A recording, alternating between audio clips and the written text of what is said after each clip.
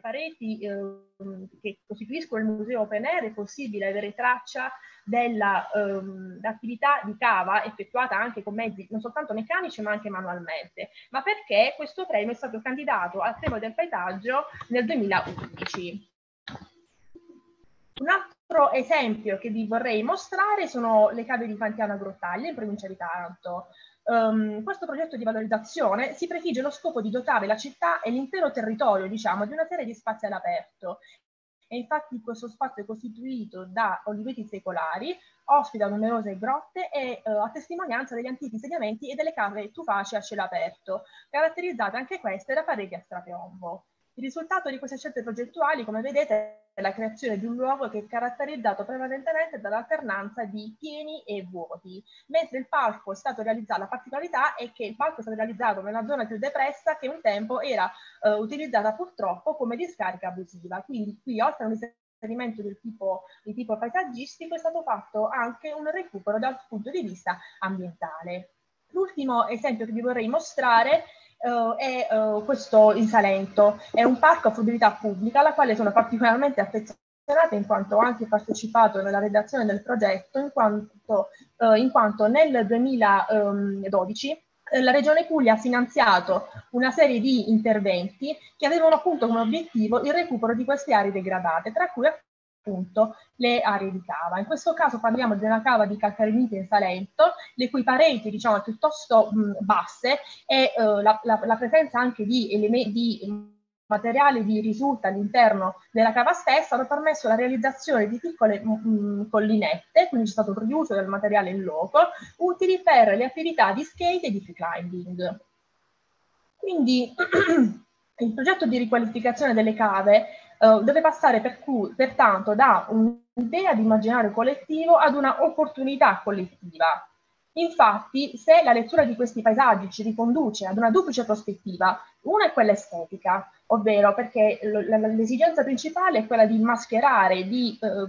curare le ferite infette nel territorio da parte di queste attività, eh, um, quale appunto quella estrattiva, svolte nel tempo, a volte anche senza controllo, ma eh, dall'altra parte è quella della collettività. Infatti dobbiamo, specialmente oggi, in questo diciamo, momento particolare che stiamo vivendo, è necessaria la creazione di aree per la, per la collettività, dove è possibile coltivare la socialità e eh, non soltanto eh, per, per, questo, quindi le cave possono diventare un'opportunità per la risoluzione dei problemi collettivi, spesso legate anche all'emergenza, ovvero anche ai dissesti idrogeologici. Quindi chiedersi e eh, diciamo, possiamo incominciare questa nuova sfida, ovvero quella di utilizzare questi, eh, questi grossi vuoti che spesso eh, favoriti anche per la loro posizione all'interno dei centri urbani come efficaci strumenti di protezione civile. Quindi ehm, quello che ehm, diciamo la nostra prossima sfida qual è? Quella di intervenire con dei recuperi efficaci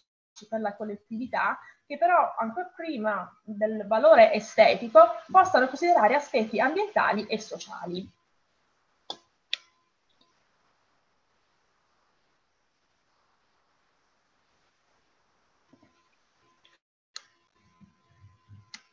Ecco Vittoria, questo era il primo eh, intervento. Sì.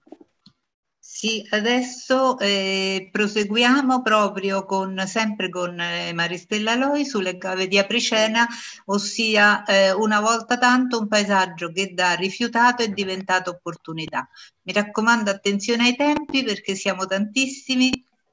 Prego. Cercherò di correre il più possibile. Sì, allora, semmai salti ogni tanto. Va bene,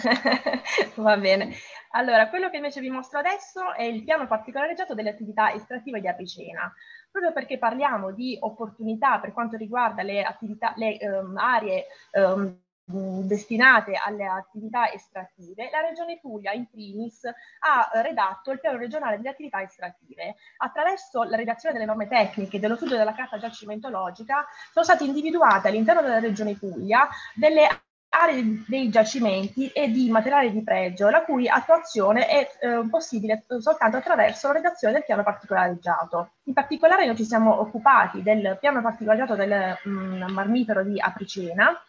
che è situato appunto nel Gargano, quindi nella parte nord eh, del territorio pugliese. Um, l'obiettivo dei piani particolareggiati, così come individuati dal PRAE, hanno la funzione di riordino dell'attività estrattiva finalizzata al recupero del territorio sotto il profilo paesaggistico ed ambientale.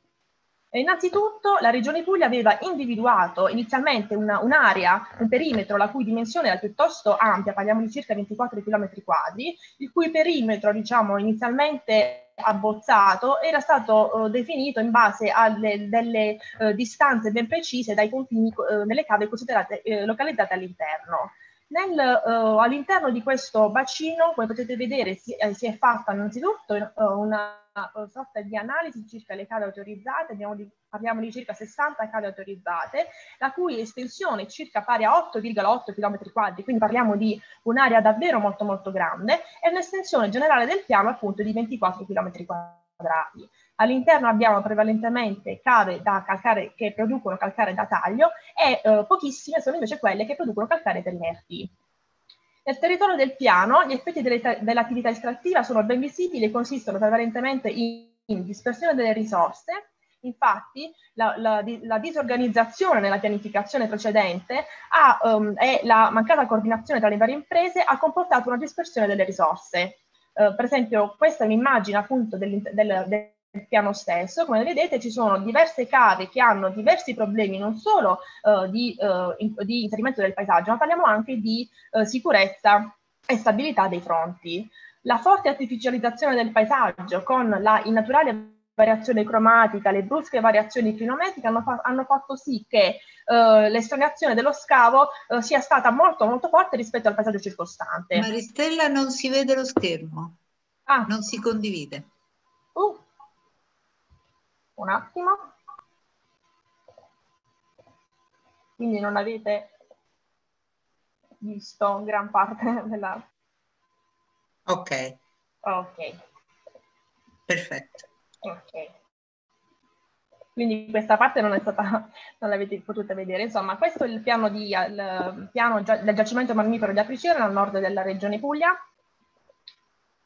Questo è il perimetro, diciamo, inizialmente eh, previsto, che aveva un'ampiezza di 24,2 km quadri, così come definito inizialmente dalla Regione Puglia, quindi all'interno del PRAE. Uh, la condizione è che uh, le, la parte delle attività estrattive occupa circa 8,8 km quadri, parliamo di circa una sessantina di caratterizzate, e dove si produce prevalentemente calcare da taglio e pochissimo calcare per inerti. I problemi che, um, uh, le problematiche che riguardano questo piano sono certamente la forte artificializzazione, dovute non solo a problemi di, um, di inserimento nel paesaggio, ma anche, come vi dicevo prima, problemi di stabilità per la presenza di questi fronti. Um, la, um, l'artificializzazione è data anche dalla presenza di queste montagne di materiali di scarto che prendono il nome di ravaneti, che vedrete successivamente come ad Apricena sono praticamente protagonisti dell'intero piano, in quanto gran parte delle aree sono appunto ricoperte da, questi, eh, da queste montagne di materiale di scatto. E poi vi è una modificazione di geografia superficiale, in quanto molte di queste cave nel passato aperte senza controllo hanno modificato l'idrografia superficiale andando a, uh, a, a, tombare anche diciamo, alcuni impluvi e alcune lame naturali, creando quindi problemi dal punto di vista anche idrologico. Uh, nella definizione di un perimetro ben più piccolo sono, eh, abbiamo cercato di in, in inglobare tutte le problematiche che riguardavano l'attività estrattiva dell'area. Innanzitutto, come vedete, eh, si parla di cave in cui viene stato calcare, quindi con delle pareti verticali a piombo molto molto profonde. Parliamo di pareti che hanno una media di circa 50-60 metri di altezza, ma in alcuni punti, eh, proprio in questo qui, questa foto, si raggiungono profondità di circa 100 metri. Come potete vedere vi è anche addirittura eh, la presenza della falda che viene quindi scoperta in alcuni eh, momenti. Uh, le pareti appunto uh, a strapiombo comportano gravi problemi dal punto della stabilità e della sicurezza degli operatori stessi che devono lavorare appunto al di sotto di, questi, di, queste pareti. La presenza di questi ravaneti, di cui vi ho accennato prima, e eh, la forte artificializzazione dovuta appunto a questi accumuli di pietra e materiali di scatto lungo anche ehm, eh, aree che sono, hanno un certo valore di tipo paesaggistico in quanto anche tutelate dal punto di vista del paesaggio.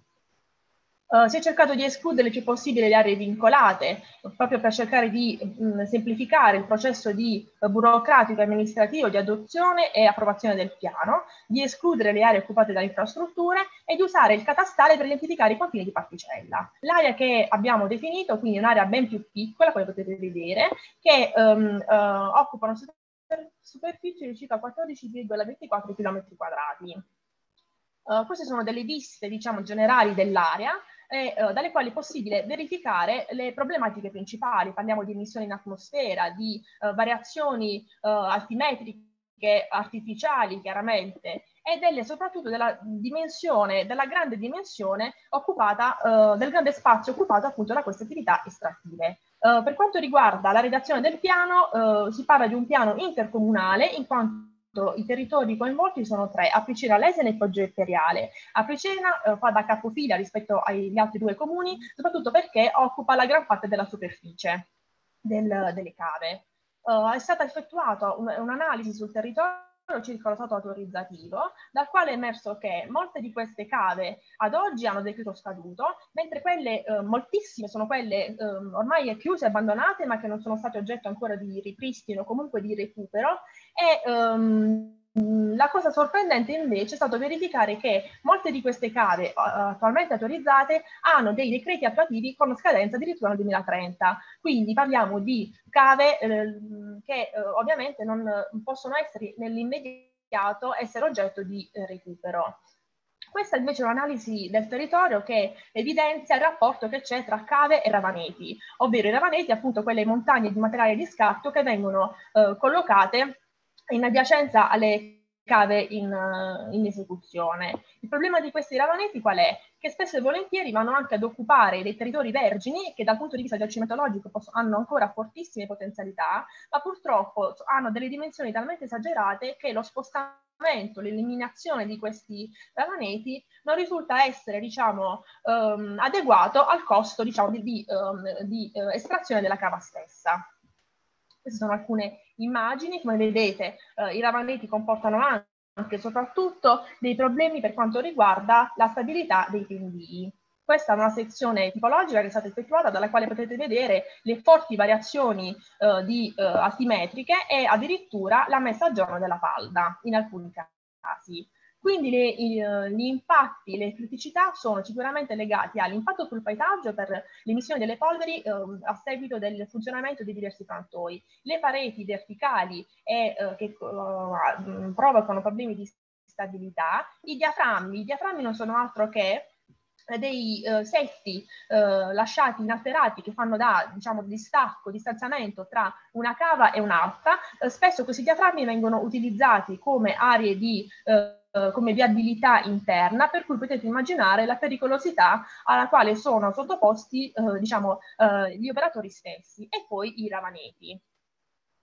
Uh, nella proposta di progetto, ovviamente, considerando anche le potenzialità giacimentologiche, logiche e la dimensione soprattutto dell'area è stato impossibile pensare a un progetto di recupero che tenesse conto dell'intera superficie, ma è stato necessario suddividere l'area in tre diverse zone. Un'area attuale che è quella di estrazione di recupero, della quale appunto ci sono le autorità, le autorizzazioni ancora in atto e vigenti per i prossimi anni. Un'area futura di estrazione che eh, sono le aree che hanno una certa potenzialità, attualmente ancora non oggetto di estrazione, ma che da un quadro del, della struttura giacimentologica offrono una grandissima potenzialità e poi un'area destinata al recupero a servizi che è uh, di circa 4,30 km quadrati ed è l'area appunto oggetto del nostro progetto di recupero. Uh, all'interno di questo uh, piano, questa è la zona di tre fossi, uh, um, è stata possibile identificare un progetto di recupero come area servizi per l'intera zona dell'attività estrattiva. È stato quindi previsto il sistema della viabilità con una, um,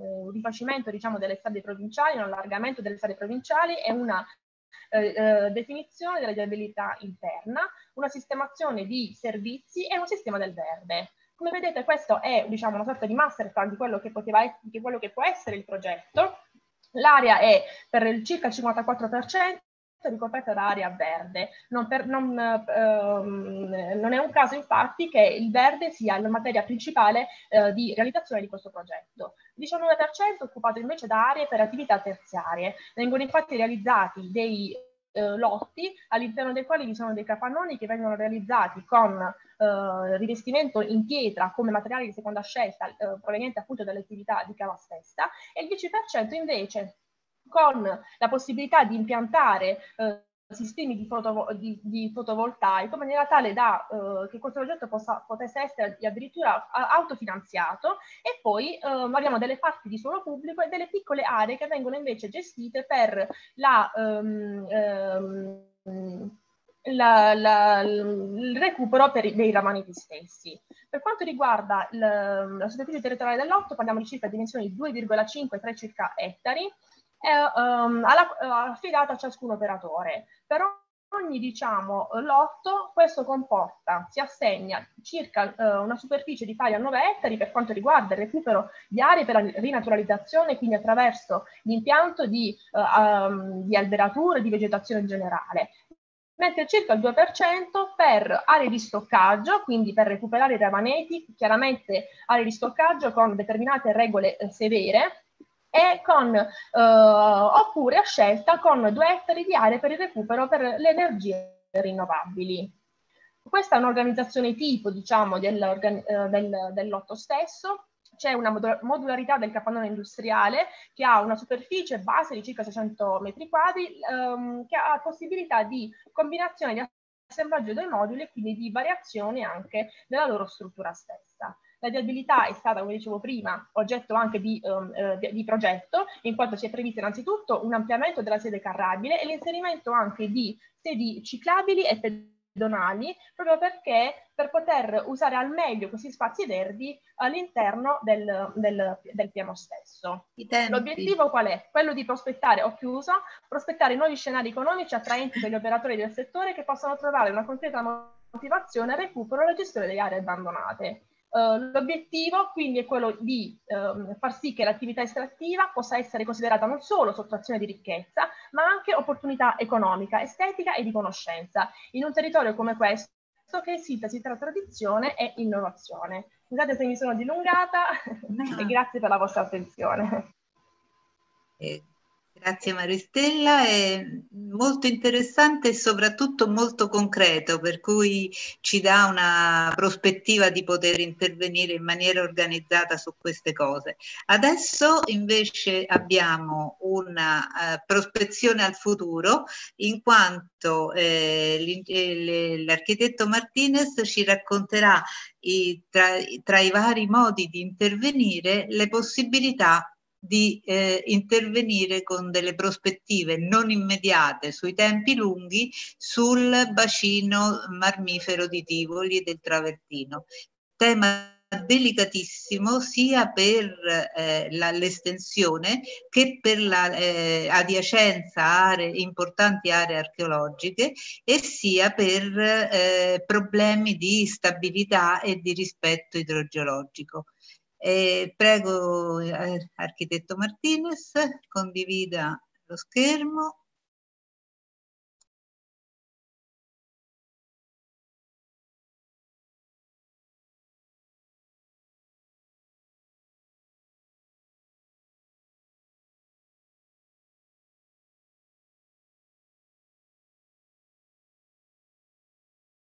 Credo che debba attivare il volume.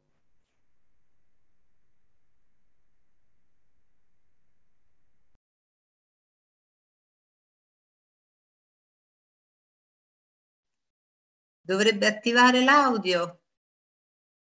il volume, il, il microfono.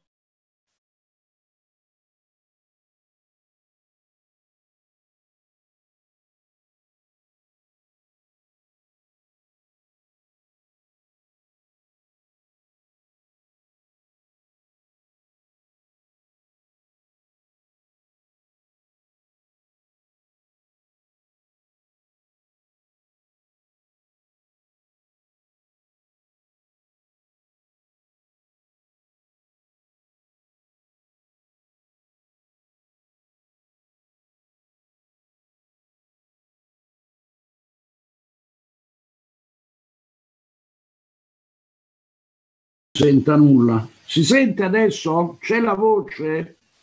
Perfetto, adesso si sente. Oh, meno male, chiedo scusa. Perdono. Ritorniamo in cima. Allora, le parole che, delle, dei relatori che mi hanno preceduto mi esimono da alcune considerazioni iniziali. Mm, il tema delle cave nella piana tiburtina è un tema estremamente eh, come dire, problematico. Si tratta di qualche chilometro quadrato di eh, area occupata, sottratta naturalmente a tutte le altre attività e eh, che interferisce con lo sviluppo urbano sia di Guidonia che di Tivoli. Mm, l'area è da sempre oggetto di scavi, è quella da cui viene eh, la maggioranza dei monumenti romani, naturalmente incluso il Colosseo, ed è un'area che come dire, eh, rappresenta un fortissimo vulnus nella piana dell'Aniene. Eh, mi sono rivolto nel redigere eh, il, il, piano preliminare del eh, piano regolatore del comune di Tivoli, mh, mm,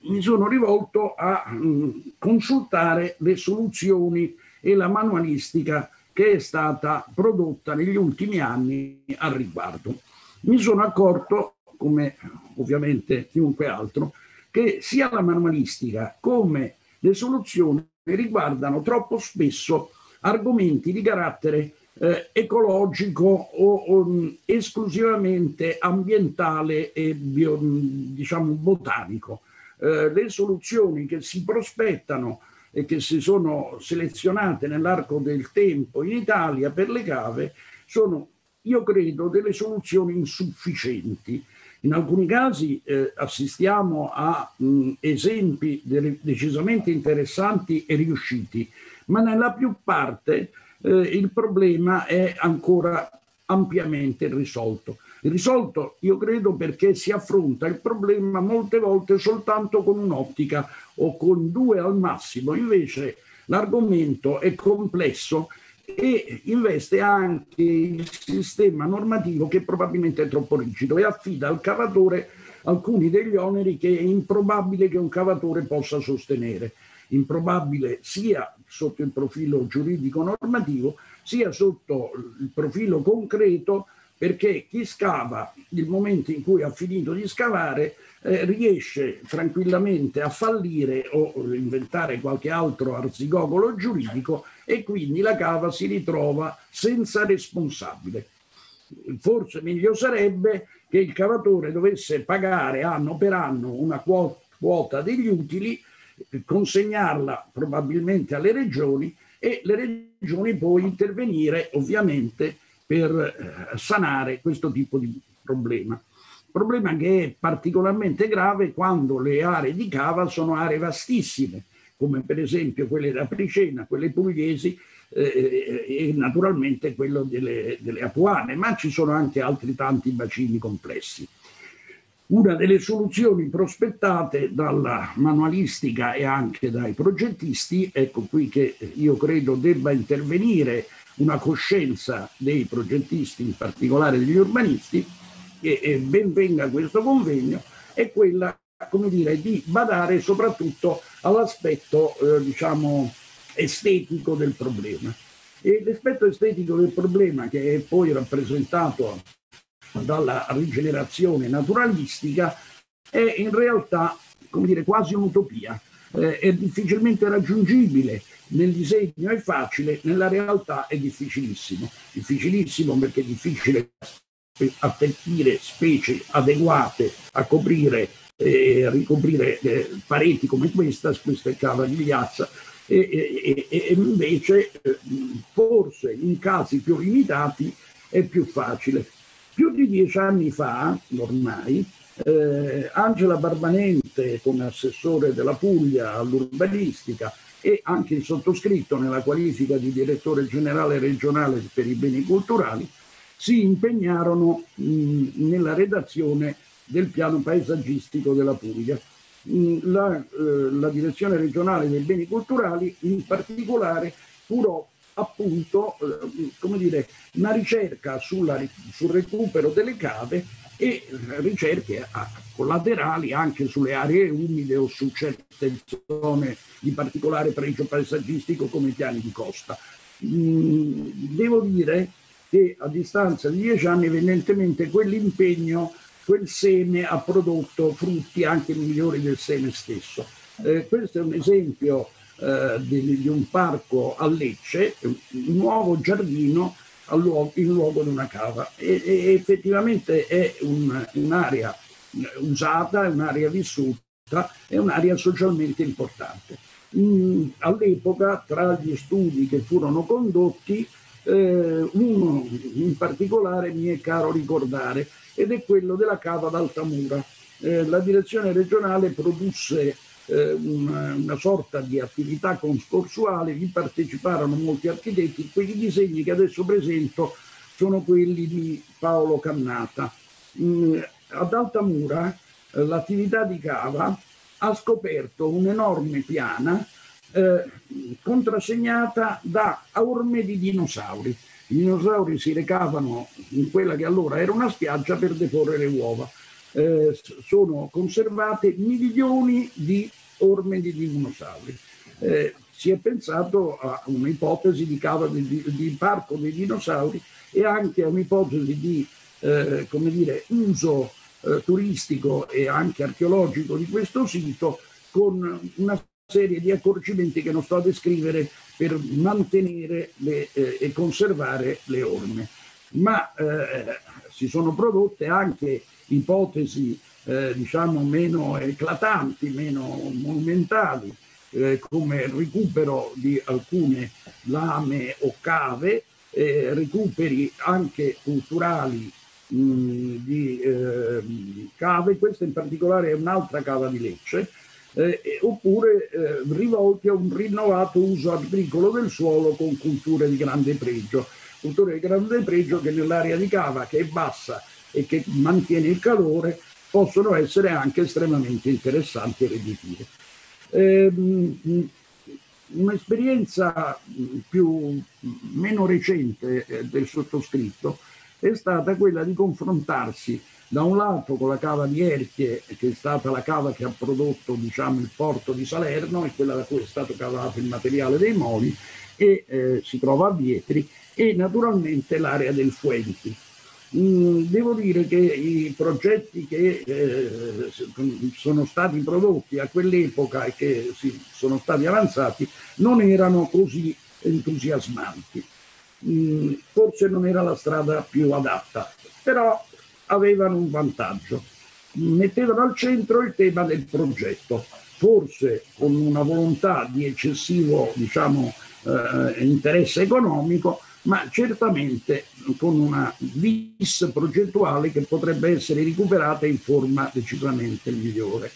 Eh, che so, eh, a Bergamo, per esempio, eh, nella cava di Remodello è, è diventata un, un, per, per, ragioni naturali, l'acqua è, è sale dal, dal, dal, dal piano di cava, colma fino alla quota del terreno, è diventata un bel lago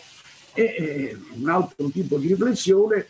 sempre eh, sul tema del progetto, potrebbe essere proprio quello di intervenire sul tema della xylella. Eh, il, il, Salento che eh, è afflitto da questa, da questa disgrazia e non è sempre stato un oliveto, e allora, eh, per esempio, i vincoli ambientali che prescrivono il mantenimento dell'oliveto potrebbero eh, dover essere rivisti, io credo, perché eh, per ripiantare olivi eh, il, l'effetto reddituale si avrà soltanto tra 20, 30 e qualche volta 40 anni.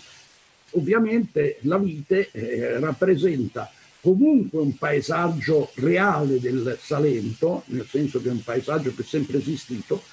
e eh, anche la natura ha le sue variazioni. Eh, al tempo dei Messapi noi sappiamo che tutto il Salento era soltanto un enorme pascolo così come eh, e Pascolo era anche il territorio, che so, di Canosa, lo cita Orazio. Veniamo a Tivoli con queste premesse. La piana di Tivoli ha qualche chilometro quadrato occupato da cave che sono mediamente profonde tra i 20 e i 40 metri. però mh, in questo già moltissime cave sono al presente esaurite, ne residuano cinque, eh, tre nel territorio di Guidonia, due nel territorio di Tivoli. Le cave esaurite tendono però a riempirsi di acqua sulfurea. Il fenomeno è dovuto alla presenza di una faglia che consente all'acqua sulfurea di salire da circa meno 270 metri alla superficie di campagna e di mischiarsi circa 12-8 metri al di sotto della quota di campagna con la falda dei monti Lucretili e del eh, Monte Catillo. Questo determina diciamo, la, la, la, la qualità dell'acqua eh, termale eh, della piana di Tivoli, eh, che ha varie polle di sorgiva e che naturalmente è sfruttata anche a livello ehm, sautistico. Eh, questo quindi è un paesaggio probabile del futuro. Eh, è un paesaggio probabile del futuro che si vede molto bene dalle colline di Tivoli, perché già oggi eh, il, il, paesaggio è caratterizzato, visto da una visione lontana ed elevata, da numerosi laghi. Eh, il congiungimento delle cave, la, la, la, creazione di canali attraverso i diaframmi potrebbe creare un unico grande lago. Eh, è ovvio che l'unico grande lago fa pensare immediatamente a, a, dire, a questioni o, o, a soluzioni tipo riccione, cesenatico o qualche altra più raffinata, ma credo che invece si debba mh, lavorare di più e meglio. Cioè un progetto di restauro del territorio, io lo chiamo restauro, eh, dovrebbe poter contare su alcuni pilastri, riequilibrio ambientale, nuovo aspetto naturalistico, spazi per la salute e il benessere, spazi per lo sport, spazi per il lesio. Sono laghi vasti, eh, ci, si può pensare persino di organizzare delle regatine per giovinetti, spazi turistici ricreativi, un nuovo paesaggio e naturalmente occupazioni. Quali sono le criticità? Perché anche le criticità vanno, non si possono dimenticare. Beh, intanto l'assetto, diciamo, eh, di, di, di, di intervento sotto il profilo del capitale da impegnare capitale da impegnare per raggiungere uno scopo di questo genere o qualsiasi altro scopo si pensi di eh, funzione, scopo funzione da attribuire a questo paesaggio richiede dei capitali assolutamente rilevanti. Poi la mentalità, ovviamente, perché un'operazione di questo genere può avere successo esclusivamente, eh, come dire, catechizzando e eh, attuando un consenso che debba estendersi a livello sociale non poco. Terzo, eh, e forse il punto più difficile, è superare il piano normativo. Il piano normativo generale prevede che le cave vadano ritombate con materiale arido. Stiamo parlando di vari, vari milioni, circa 120 milioni di metri cubi. È una quantità così tanto enorme che credo non la si possa in nessun modo produrre. E da ultimo, oltre la quantità, c'è anche il problema, io credo che convenga assecondare la natura. Se la natura pensa di, eh, come dire, riappropriarsi di questo territorio eh, in termini di liquidi e di acque, allora forse è bene eh, usare questa, questa peculiarità per creare un paesaggio del tutto nuovo, un paesaggio di progetto. D'altra parte, se le Notre o Vanvitelli riescono a costruire interi paesaggi per qualche centinaio d'ettari, non vedo perché noi non si debba iniziare a pensare cosa sarà fra 30 anni. Vi ringrazio molto per l'attenzione. Grazie a lei, complimenti perché è stato perfetto con l'ultimo granellino della clessidra e quindi è molto interessante questo tema dell'accompagnamento naturale. Adesso abbiamo invece un, una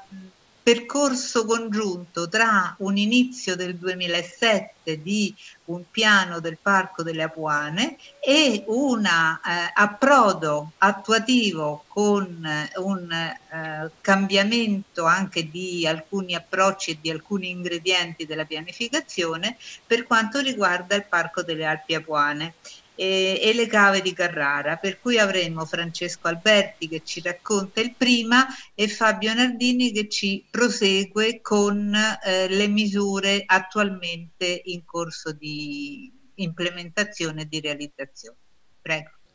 Buongiorno, chiedo a Fabio di condividere lo, eh, lo, schermo di modo che eh, ci sia un unico operatore per semplificare le cose. Nella presentazione in realtà abbracceremo un, un lasso di tempo anche un po' più ampio, anche se eh, rispetteremo, almeno nelle intenzioni, i tempi. Ehm, ecco. Allora, la, la prima immagine, eh, l'immagine di apertura che abbiamo scelto, eh, avanti, è eh, accompagnata da una citazione di Giovanni Michelucci, il famoso architetto, che negli anni 70, che fra l'altro ha utilizzato il marmo di Carrara nella realizzazione della palazzina reale della stazione di Santa Maria Novella, molto nota, e che negli anni 70 eh, eh, visita questo paesaggio un po' metafisico delle cave e propone in un momento in cui nessuno ancora eh, ragiona, riflette sul, su un uso alternativo all'estrazione, alla cavatura del marmo, eh, di realizzare nella cava di Michelangelo, prossima immagine, un, una, una, un, memoriale, ma anche un centro sperimentale del marmo dedicato al Buonarroti. Gli schizzi di quel periodo, siamo negli anni 70, sono bellissimi, questa proposta non ha nessun esito operativo, ma ha contribuito in qualche modo a far conoscere, se non altro ad un pubblico colto, eh, l'esistenza di questo paesaggio di immenso valore, non solo industriale, molto lontano dall'iconocria classica della Toscana. Andiamo avanti. A distanza di molto tempo, questa consapevolezza ormai è consolidata in tutto il territorio apuano dove la presenza naturalmente delle cave, soprattutto concentrate nell'area di Carrara, è ancora molto forte e ancora molto, diciamo, eh, condizionante le scelte eh, di governo del territorio, ma si è nel tempo indebolita, perché comunque la quota di mercato del marmo eh, eh prodotto a Carrara si è ridotta. Si sono quindi affermate istanze concorrenti riguardo a questa uh, porzione di territorio, al suo uso e al suo recupero, nel segno appunto della tutela, della promozione culturale, come appunto già nella proposta di Michelucci, dello sviluppo locale sostenibile, che passano attraverso necessariamente una diversificazione delle attività economiche. Andiamo avanti. L'area naturalmente di cui parliamo riguarda eh, in generale tutte le Alpi Apuane, che è una porzione dell'Appennino settentrionale nota già dall'antichità per la presenza di questi marmi eh, pregiatissimi. Ci sono cave dal periodo etrusco a quello romano e quelle ancora attive. Nel 1985 viene istituito il Parco delle Alpi Apuane, che ha introdotto diciamo, una disciplina di tutela su gran parte di questo territorio, ma voi vedete eh, sopra Carrara un'ansa bianca, è l'area in cui si concentrano i bacini estrattivi eh, più importanti ed è al di fuori, diciamo, del dominio del parco. Quindi il tema a Carrara è particolarmente sentito perché lì in realtà si è continuato anche dopo l'85 e fino praticamente a oggi a cavare marmo senza sostanzialmente limitazioni rispetto a quanto invece eh, il parco poteva fare in altre aree. Andiamo avanti. In realtà è all'inizio degli anni 2000 che una riflessione su questo tema della diversificazione, anche per diciamo così, la competizione fra il comparto turistico che interessa la costa e quello lapideo, ovviamente che interessa la montagna, che spesso entrano in conflitto Nel 2004 il comune di Carrara, il comune e la Camera di Commercio promuovono un primo studio di marketing territoriale, noto come studio Civita, che individua tre ambiti strategici di intervento per la valorizzazione di questo territorio. Il cosiddetto polo musei, cioè rafforzare l'offerta museale di Carrara legata al marmo, Uh, il cosiddetto polo cave, cioè l'apertura anche per con forme di eh, fruizione necessariamente controllate delle parti più belle, diciamo così, del, de, degli agri marmiferi e il cosiddetto polo paesi a monte, cioè l'idea di un ecomuseo dei paesi arroccati sul, sui percorsi delle apuane eh, e che erano i paesi poi dei cavatori, quindi diciamo legati anche ad una tradizione culturale molto forte nel luogo. Nel 2005, a partire da questa iniziativa, si costituisce un gruppo di lavoro interistituzionale che nel, fratte- che nel 2006 produce delle linee guida in termini generali, non ancora finalizzate ad interventi specifici, che riguardano alcuni settori da integrare nella pianificazione appunto il governo del territorio, la sicurezza, la difesa del suolo e tutela ambientale, la produzione, che comunque al momento è ancora un tema molto presente e forte, infrastrutture e servizi, valorizzazione turistica e culturale. Contestualmente, grazie anche ad un uso, devo dire, piuttosto efficace dei fondi strutturali, vengono portate avanti dall'amministrazione di Carrara in particolare, no, resta pure nella slide precedente, alcune opere rilevanti. Per esempio la, il consolidamento che poi ha permesso la riapertura dei ponti di Vara, un'opera di ingegneria straordinaria di fine Ottocento che apparteneva alla ferrovia marmifera, uh, una ferrovia che si inerpicava eh, appunto all'interno del territorio delle cave eh, sotto la gestione dei concessionari inglesi di fine Ottocento. Era un'opera talmente fo- eh, famosa che i fratelli Lumière andarono a, a, a, a riprenderla a, fine Ottocento eh, oppure interventi, sempre utilizzando i fonti strutturali, per recuperare immobili dismessi come il convento di San Francesco, di cui all'immagine 2, che è stato convertito in un centro di arti plastiche, quindi scultorie, oppure l'utilizzazione dei fondi strutturali, appunto, per esempio del programma Urban 2, per la riqualificazione degli spazi pubblici nei paesi a monte che ovviamente erano, versavano in condizioni di sostanziale abbandono. Ora possiamo andare. Sulla base delle linee guida del 2006 viene affidato ad uno studio di Roma eh, una, uno studio di fattibilità finalizzato alla salvaguardia ambientale e al rilancio del turismo sostenibile del territorio puano a partire dalla risorsa delle cave. Questo studio è stato affiancato da una, uno studio di architettura e paesaggio di, eh, di Firenze, eh, a questo lavoro ho partecipato anche io, che eh, redige un master plan strategico traducendo quindi le linee guida in un uh, progetto sistema strategicamente orientato e strutturato per fasi. Il tema, ovviamente il leitmotiv è il marmo, anche perché Carrara è conosciuta nel mondo per il marmo molto più che per altri eh, aspetti, che de- da declinare nei, nei, modi più vari in relazione al rapporto tra eh, eh, paesa- diciamo, agli aspetti di paesaggio, al lavoro, mh, alla, a, dire, alla, tradizione dei cavatori, ma anche alle tecniche contemporanee, naturalmente all'uso del marmo per, uh, nel campo dell'arte. A Carrara sono ancora attivi dei laboratori formidabili da questo punto di vista. La land art connessa a questo, l'ultima immagine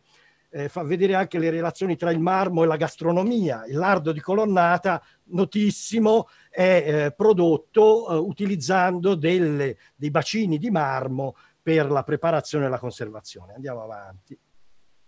Questo è lo schema generale di questo progetto sistema che si gioca intorno a quattro elementi chiave. La valorizzazione dei luoghi notevoli, cioè di quelle aree eh, estese come il centro di Carrara, ma poi tutte le aree ambientali ai margini dei, eh, dell'agro marmifero e quindi ricadenti nel parco delle Apuane eh, già visitabili, la valorizzazione e creazione ex novo di capisaldi, cioè spazi e attrezzature pubbliche ad uso pubblico, spazi eventi, luoghi di esposizione all'aperto, musei, laboratori di scultura,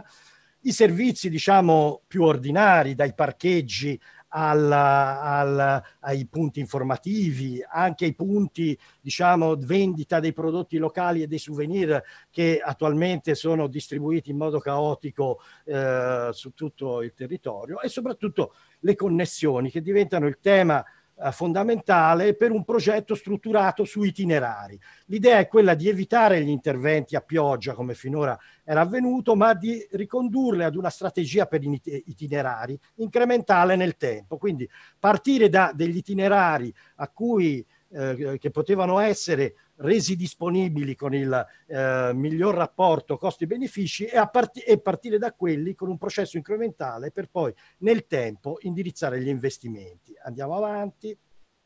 Questo è un uh, focus diciamo, sulla parte centrale che fa vedere diciamo, l'anello iniziale su cui concentrare i primi investimenti che è oltre a quello della città di eh, entro, oltre a quello relativo alla città di Carrara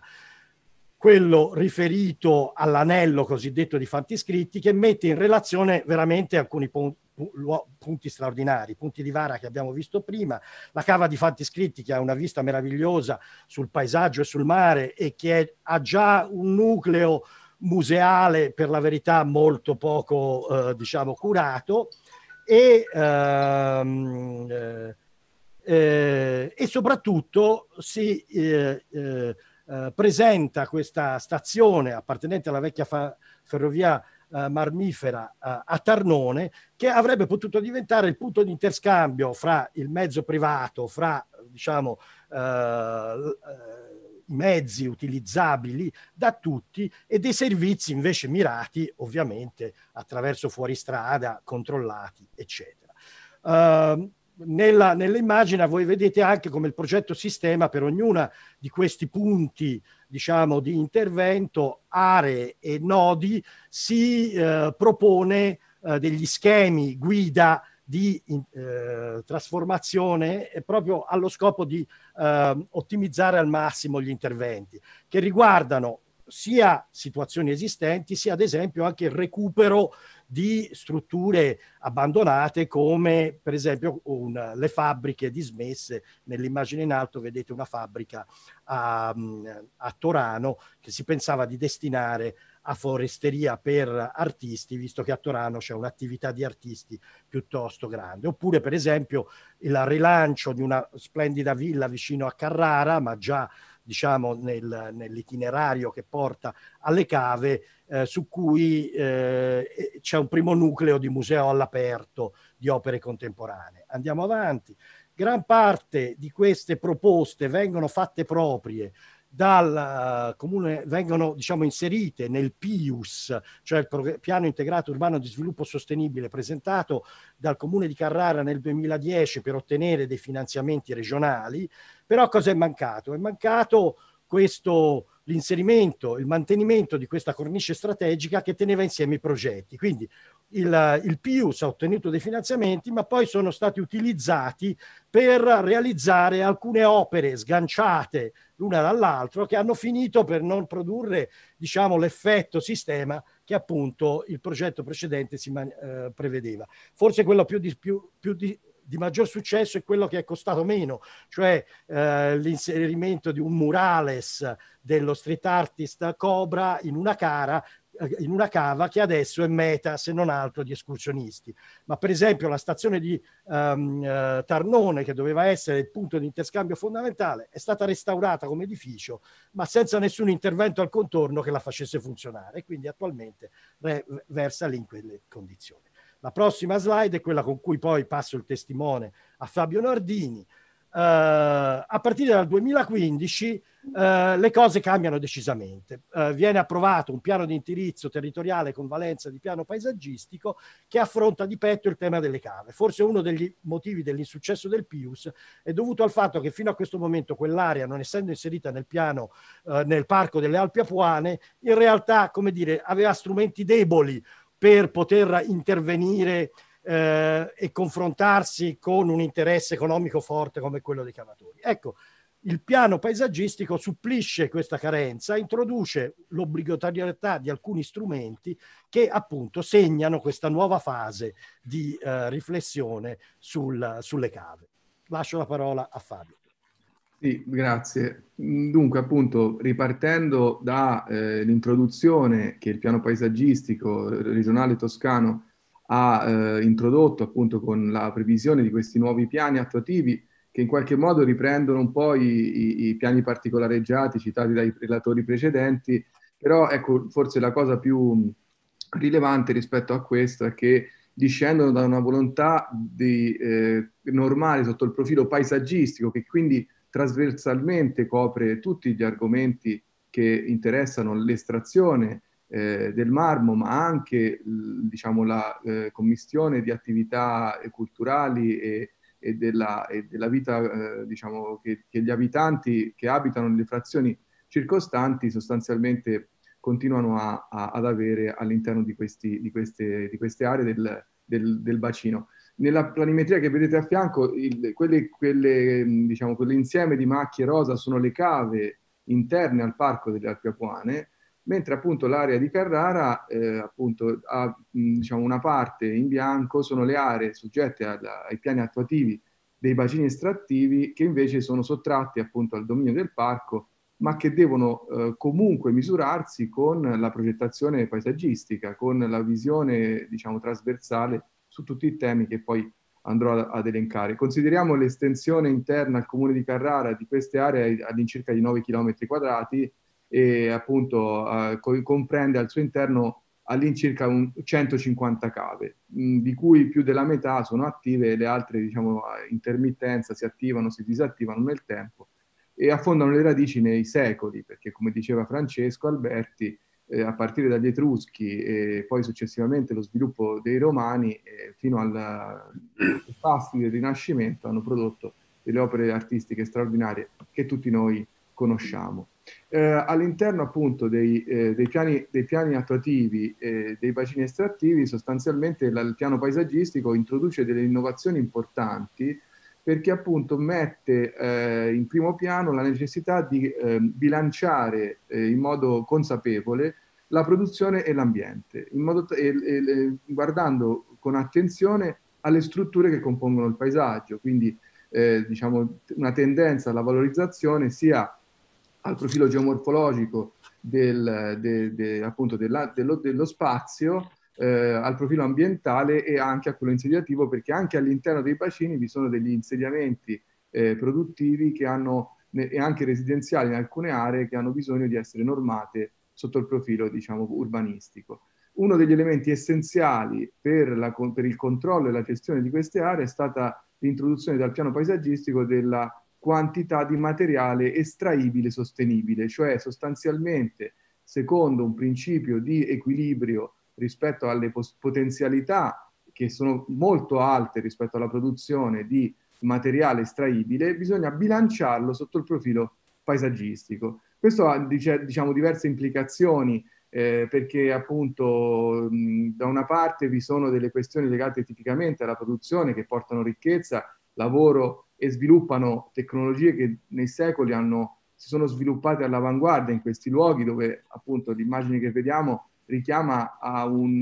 a un immaginario eh, diciamo, tecnologico avanzatissimo con una ferrovia che si inerpica su delle montagne che arrivano fino a quasi 2000 metri di altezza e, e, e hanno sviluppato nei secoli appunto delle attività che hanno avuto dei riflessi importanti sull'ambiente e sul paesaggio, riguardanti appunto le risorse naturali, ma anche appunto su, delle ricadute sulla qualità di vita degli abitanti e, e sull'ecosistema in generale. Quindi nasce la necessità di ricostruire un, un, una conoscenza delle, eh, compo- delle componenti eh, della struttura paesaggistica e quindi il piano fa una, poi lo vedremo più avanti, fa una sorta di eh, dire, quadro conoscitivo approfondito di tutte le condizioni al contorno. Ehm, gli obiettivi di questi piani hanno appunto, come abbiamo visto, diverse eh, finalità. Eh, una appunto delle, delle più eh, importanti è quella di riuscire a, a contenere eh, le, le, criticità e eh, valorizzare sotto il profilo turistico e culturale le, la, la, diciamo così, le, alternative alla produzione tipicamente industriale. Quindi da questo punto di vista, per diffondere il benessere nel territorio e non limitarsi allo sfruttamento della materia prima, perché una delle tendenze degli ultimi anni è stata quella di estrarre blocchi, caricarli sulle navi che eh,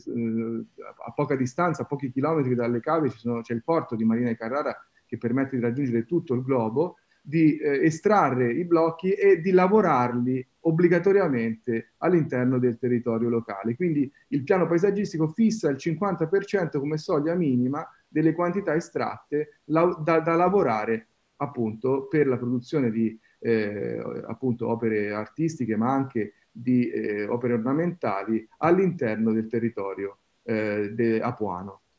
Um, quindi appunto partendo da, di questi obiettivi il piano fa uno sforzo eh, molto eh, diciamo innovativo nel cercare dei caratteri che hanno caratterizzato questi luoghi nel lungo periodo, quindi guardando alla eh, costruzione appunto di componenti idrogeomorfologiche, ecosistemiche, ma anche a quello più recente riguardando appunto le questioni insediative. Uno degli elementi essenziali di questo progetto è stato quello di eh, porre l'attenzione all'intervisibilità e alla percezione, perché considerate che appunto in un'immagine in basso a destra lo si vede bene, dalla costa queste vette, eh, appunto la, la, la, la, catena montuosa delle Alpi Apuane è un, uno scenario unico eh, straordinario che però appunto deve misurarsi con queste attività dove appunto le, la presenza delle cave e dei ravaneti producono appunto una, uno scompenso diciamo rispetto all'armonia di questi luoghi. Quindi anche da questo punto di vista, legandole a quanto un luogo, un, una cava è visibile dai vari, vari, punti del territorio, vi sono state inserite delle norme eh, orientate alla tutela e alla valorizzazione eh, del paesaggio e quindi anche limitandole sotto il profilo della intervisibilità. Dunque, e qui concludo, eh, il piano attuativo genera una serie di, ehm, eh, di innovazioni eh, normative che eh, trasversalmente interessano l'argomento e si aggiungono a un quadro normativo già assai eh, complesso perché eh, eh in Toscana abbiamo il piano regionale cave, abbiamo eh, le normative regionali specifiche sulle attività estrattive e a queste il piano che appunto ha una matrice paesaggistica ma delle regole urbanistiche, infatti questa è una cosa abbastanza curiosa per, per, per, per la Toscana, in particolare per per Carrara, si stabiliscono dentro il piano urbanistico attuativo delle regole volte alla tutela di elementi essenziali per continuare a riconoscere questi luoghi, come i crinali, che fino ad ora avevano un valore, come dire, eh, descrittivo, ma non cartografato in modo così vincolante, quindi la tutela assoluta dei crinali, di alcune emergenze geologiche e naturalistiche. Considerate che le Alpi Apuane al loro interno hanno le eh, grotte più grandi d'Europa, cioè la, la, uno degli antri più importanti d'Europa è all'interno delle Alpi Apuane e forniscono una risorsa idrica eh, straordinaria per il territorio e, e, di qualità appunto anche rispetto alle qualità diciamo delle acque sotterranee. Quindi da questo punto di vista si rafforzano alcuni principi e si introducono nuovi limiti allo sfruttamento del eh, territorio.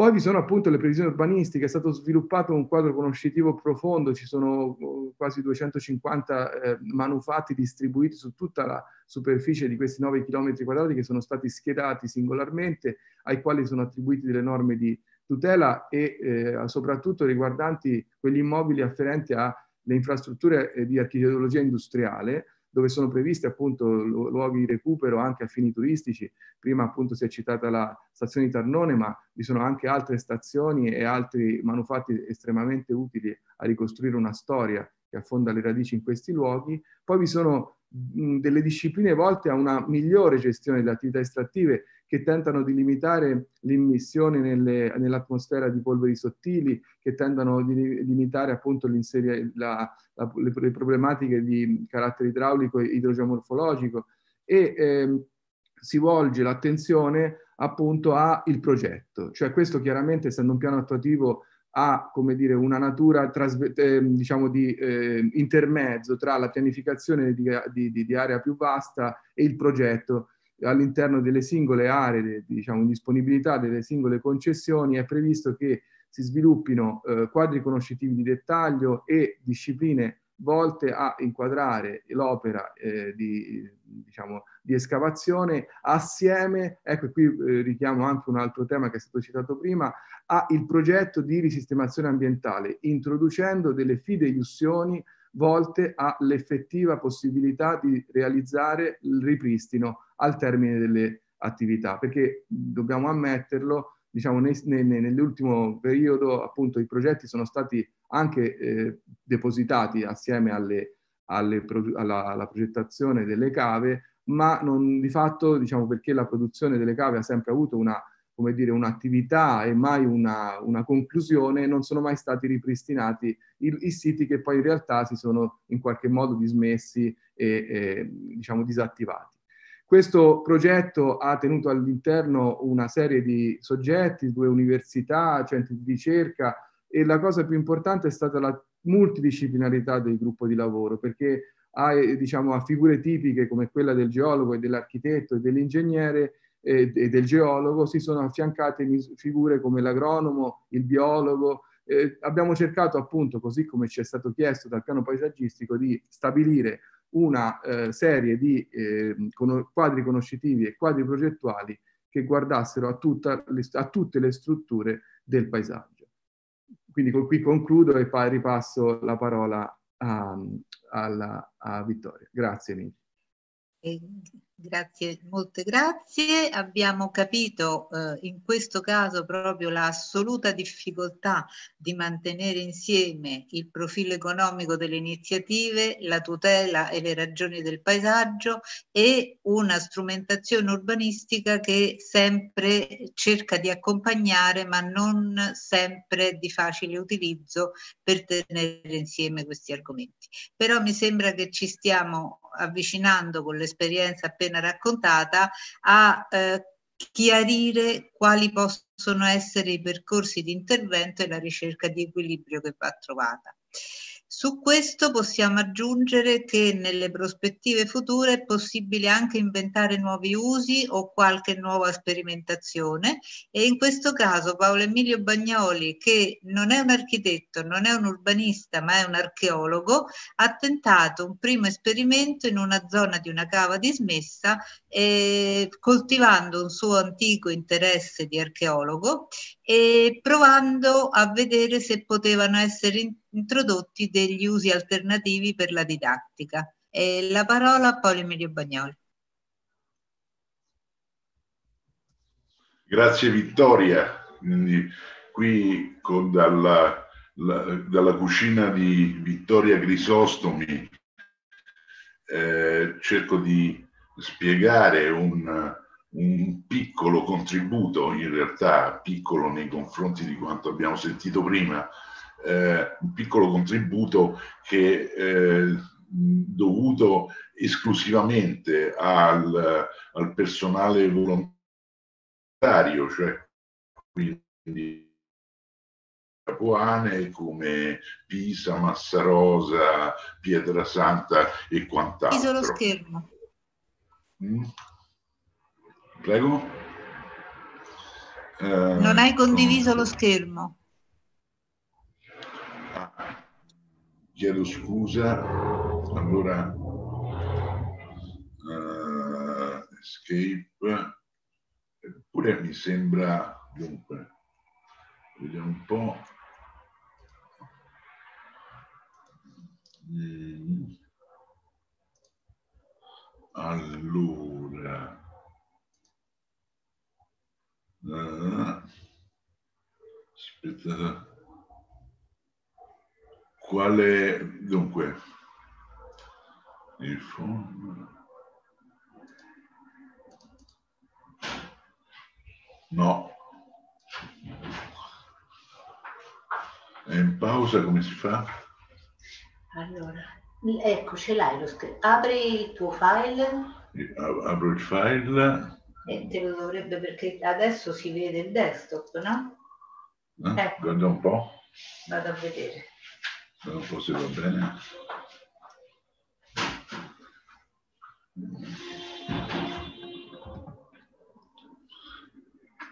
Chiedo scusa il,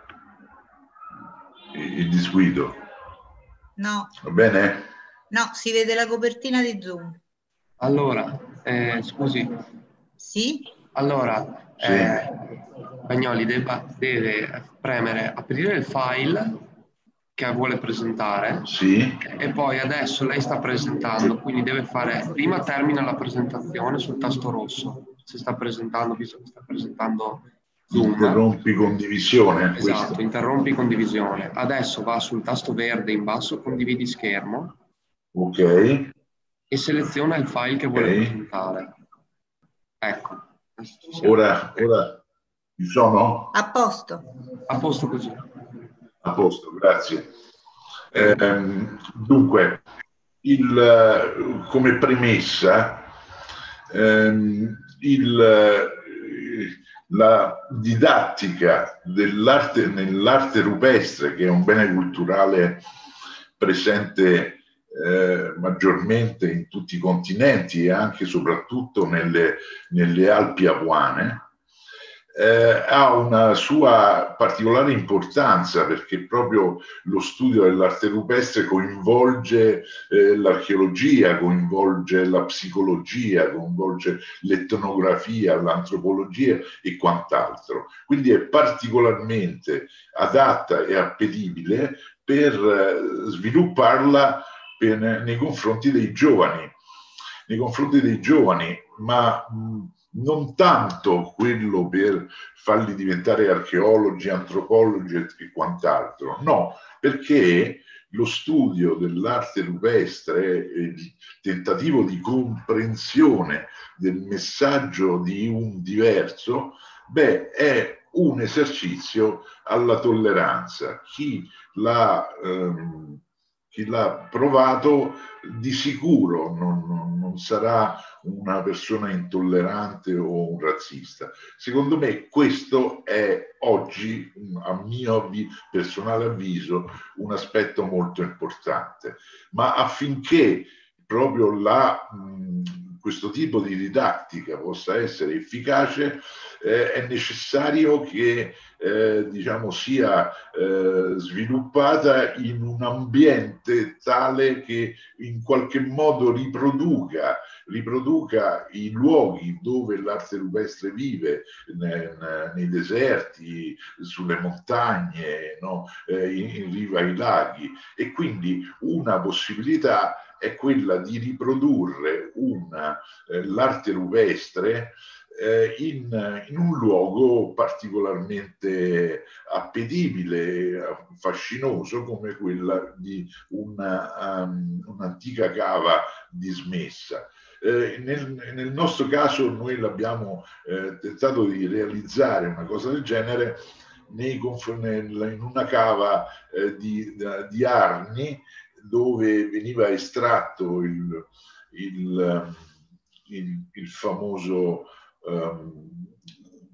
arabescato, arabesca- marmo arabescato di Arni. Qui si, tra- si trova, in questo, in questo punto, si trova, siamo praticamente a ridosso dello spartiacque tra la Versilia eh, da una parte e la Garfagnana dall'altra, lungo un, un torrente che, si, eh, che è il torrente delle Gobbie e che va verso la Turrite Secca che arriva, è un fiume che arriva fino a Castelnuovo. Eh, il posto è, diciamo, che ha il suo aspetto fascinoso, eh, come, come, potete vedere, ma eh, anche se comunque ha delle proprietà, delle problematiche ambientali di cui ha parlato eh, il professor Nardini prima, no? quindi eh, è comunque uno, uno, uno sfregio al, diciamo, all'aspetto naturalistico. Eh, in, in, questa, in questa slide si può vedere, si può vedere da una parte la mappa tematica del, del parco, il quale eh, non è proprio dentro la cava, perché altrimenti dentro la cava ci sarebbero dei seri problemi di eh, sicurezza per i visitatori, ma in una sorta di anticava, cioè in una zona dove eh, era stato no, posizionato tutti eh, i ravaneti o tutto il materiale di risulta che ha praticamente tappato un, tu, tutta quanta la valle, no? tutta quanta la valle e, ed è attualmente in corso di eh, rimozione tutta questa zona del ravaneto proprio per bonificare questo, eh, questo sistema. Eh, il, diciamo, il, l'arte rupestre è stata eh, costruita eh, diciamo, lungo una, una strada, una strada carrareccia appunto che attraversa questo luogo. Eh, come vedete diciamo che eh, si va dal eh, esempi di paleolitico e neolitico all'inizio, poi pitture sahariane, eh, la, la, la, Val Camonica, eh, le rocce degli sciamani in, tutte, in, tutti i continenti, l'età del bronzo della Scandinavia, fino a esempi di rocce, di incisioni rupestri direttamente no, eh, connessi con le Alpi Apuane, cioè le famose rocce dei pennati. Um, questo è un tipico, è un, quello che noi chiamiamo il triedro, il quale è un antico sistema di eh, cavatura del marmo quando ancora veniva utilizzato il filo elicoidale e quindi si faceva questo triedro dove, dove c'era eh, il, il, filo e la, e la ruota e il, il marmo, i blocchi venivano tagliati in maniera raggiera. Qui noi abbiamo, vedete quindi, abbiamo delle pareti verticali, sia pareti da una parte che dall'altra, sia un grosso, diciamo, parete obliqua no? sul fondo, su cui noi abbiamo realizzato da una parte eh, le incisioni del Paleolitico del Portogallo, pitture e dall'altra parte le incisioni paleolitiche del Messac libico, mentre sul fondo diciamo, abbiamo eh, realizzato eh, incisioni del Neolitico un po' da, da tutto il mondo e soprattutto il, la grande roccia di Sasaima che è del... Eh, una roccia della, della Colombia che abbiamo realizzato per intero in scala 1 a 2. Altro tipo di eh, installazione è quello di posizionare dei blocchi, eh, dei blocchi mh, singoli eh, per poterli incidere no? qui da una parte e poi eh, e qui abbiamo sfruttato il cubo, un, un, grosso blocco più o meno a forma di cubo, con una parete, una, una parete completamente liscia e, e, e, verticale e ossidata, su cui abbiamo in, riprodotto in parte la più famosa eh, incisione del, preistorica del, degli Stati Uniti, cioè il, new, il famoso newspaper rock. No? Allora, per fare alcuni esempi, no? abbiamo riprodotto la, delle eh, pitture in maniera eh, il più fedele possibile. Eh, per esempio, questa è il famoso, eh,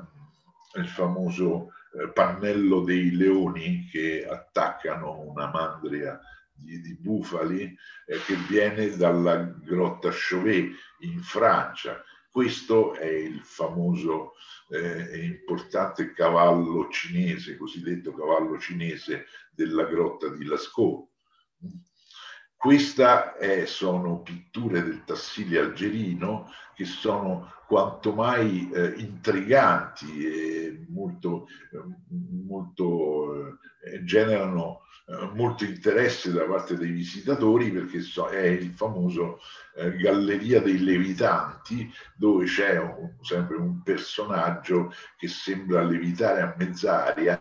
che è un modo pittorico per indicare uno stato alterato di coscienza, magari indotto da droghe e quant'altro. Eh, per quanto riguarda la, delle tecniche di incisione che noi abbiamo eh, sfruttato, sono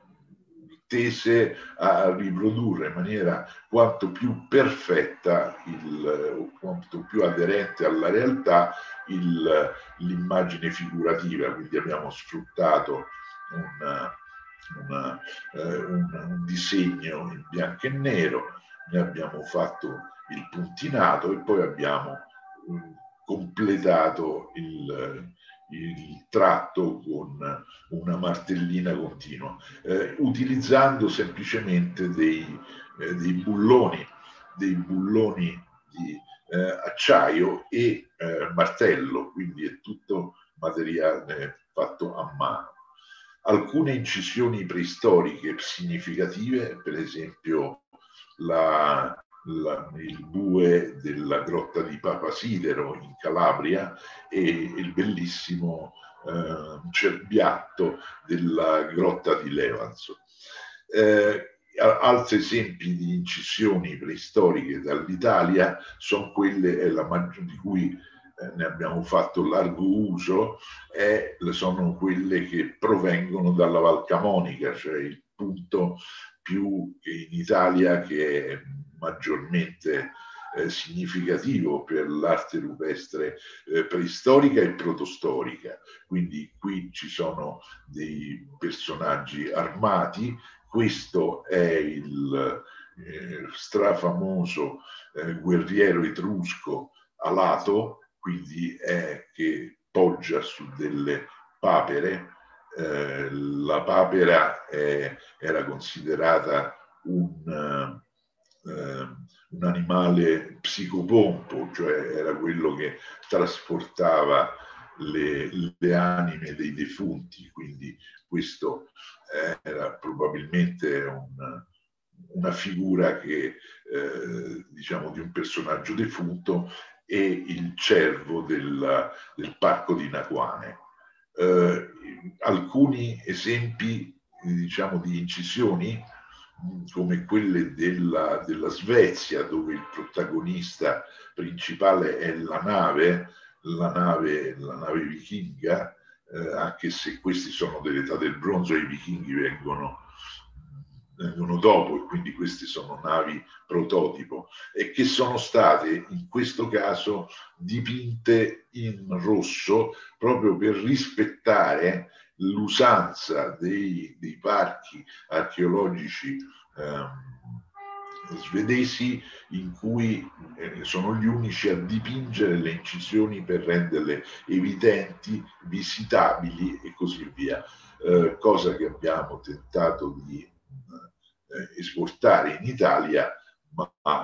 in ogni caso la cosa non ha ancora avuto successo. Il, la cosa importante, molto importante dal nostro punto di vista, è come si fa didattica. E quindi noi abbiamo in qualche modo, ci siamo inventati un tipo di didattica, principalmente per i giovani, che, eh, in cui eh, che, che, che, fa un po' eh, a metà strada tra eh, diciamo un, un c'è un, un, racconto didattico e una, proprio una, una, fiaba, quando infatti qui c'è sempre il, un personaggio che eh, conosce il, il, significato vero, intrinseco dell'incisione e che secondo una, una, sua, eh, secondo una sua leggenda o un suo modo di, eh, di rapportarsi, eh, racconta appunto una, una, storia agli altri. In questo caso eh, questa è la, una raffigurazione hawaiana che rappresenta il, un surfista perché il surf era stato inventato dagli hawaiani ed era non un gioco, ma era un, un qualcosa di molto importante anche dal punto di vista rituale. Questo è il pannello didattico specifico per la newspaper rock in cui racconta appunto che questa roccia in realtà aveva una valenza sociale molto importante, no? la famosa roccia degli spiriti dove venivano registrate praticamente tutte le eh, vicende importanti del, del popolo. Ecco, per, per, ben due anni diciamo, noi siamo riusciti uh, ad aprire questo parco nell'ambito delle giornate europee del patrimonio nel 2011 e nel 2012, soprattutto nel 2011 eh, abbiamo avuto più di 300 visitatori in due giorni, mentre nel 2012 circa 100, 150. Eh, questo, ripeto, è un'iniziativa uh, un'iniziativa che ha praticamente a costo zero perché è stata eh, realizzata dai volontari in archeologia che eh, da quelle parti sono particolarmente numerosi e quindi a cui va il, eh, il mio ringraziamento per tutto il, per tutto il lavoro svolto da questi ragazzi insieme a me. Eh, comunque, grazie per l'attenzione. Come, eh, come conclusione direi che eh, questa iniziativa ovviamente è un'iniziativa minima, minima ma tende a eh, cercare di eh, sfruttare l'inventiva per cercare di recuperare un, un ambiente che altrimenti sarebbe eh, abbandonato, cioè non sarebbe eh, non usufruibile al pubblico, no? Quindi, e con una particolare eh, diciamo, utilità che secondo me non è un gioco, ma è un'utilità culturale eh, intensa, diciamo, decisa. No? Comunque vi ringrazio per l'attenzione. Grazie. Grazie Paolo Emilio è veramente un modo di esplorare altri mondi rispetto a quello degli urbanisti e capire come tante cose possono poi convergere nell'equilibrio tra l'utilizzo e il rispetto della natura. E avverto che tra un po' eh, saranno eh, lanciate le domande per la verifica delle presenze e del, delle presenze e ovviamente è obbligatorio soltanto per chi è interessato ai crediti. Le domande rimarranno visibili 10 minuti e eh, le risposte sono un sondaggio, ovviamente non, non è una verifica, quindi avremo questa, mh, mm, questo ulteriore passaggio. Intanto noi eh, ah, aspetta che avvertiamo Ecco, perfetto. Bene, e a questo punto, eh, capita la complessità l'estensione e la difficoltà di avviare un linguaggio progettuale e di ricostruzione di paesaggio, cambiamo eh, argomento e arriviamo al paesaggio invece che degradato da un'intensa attività umana, degradato da una lenta involuzione e eh, contaminazione di un batterio che è la xylella e che ha devastato completamente parte del paesaggio della Puglia e eh, presenta ancora tutte le difficoltà di una questione aperta e ancora non del tutto esplorata. Una questione dove hanno stentato a mettersi in moto gli elementi della governance dal 2014, quando era stata eh, intuita e vista la presenza di questo batterio, le, le questioni, non c'era l'esperienza per affrontare una diffusione come questa, un po' come eh, l'esperienza del Covid la devo citare perché sono proprio simili come meccanismo e come approcci.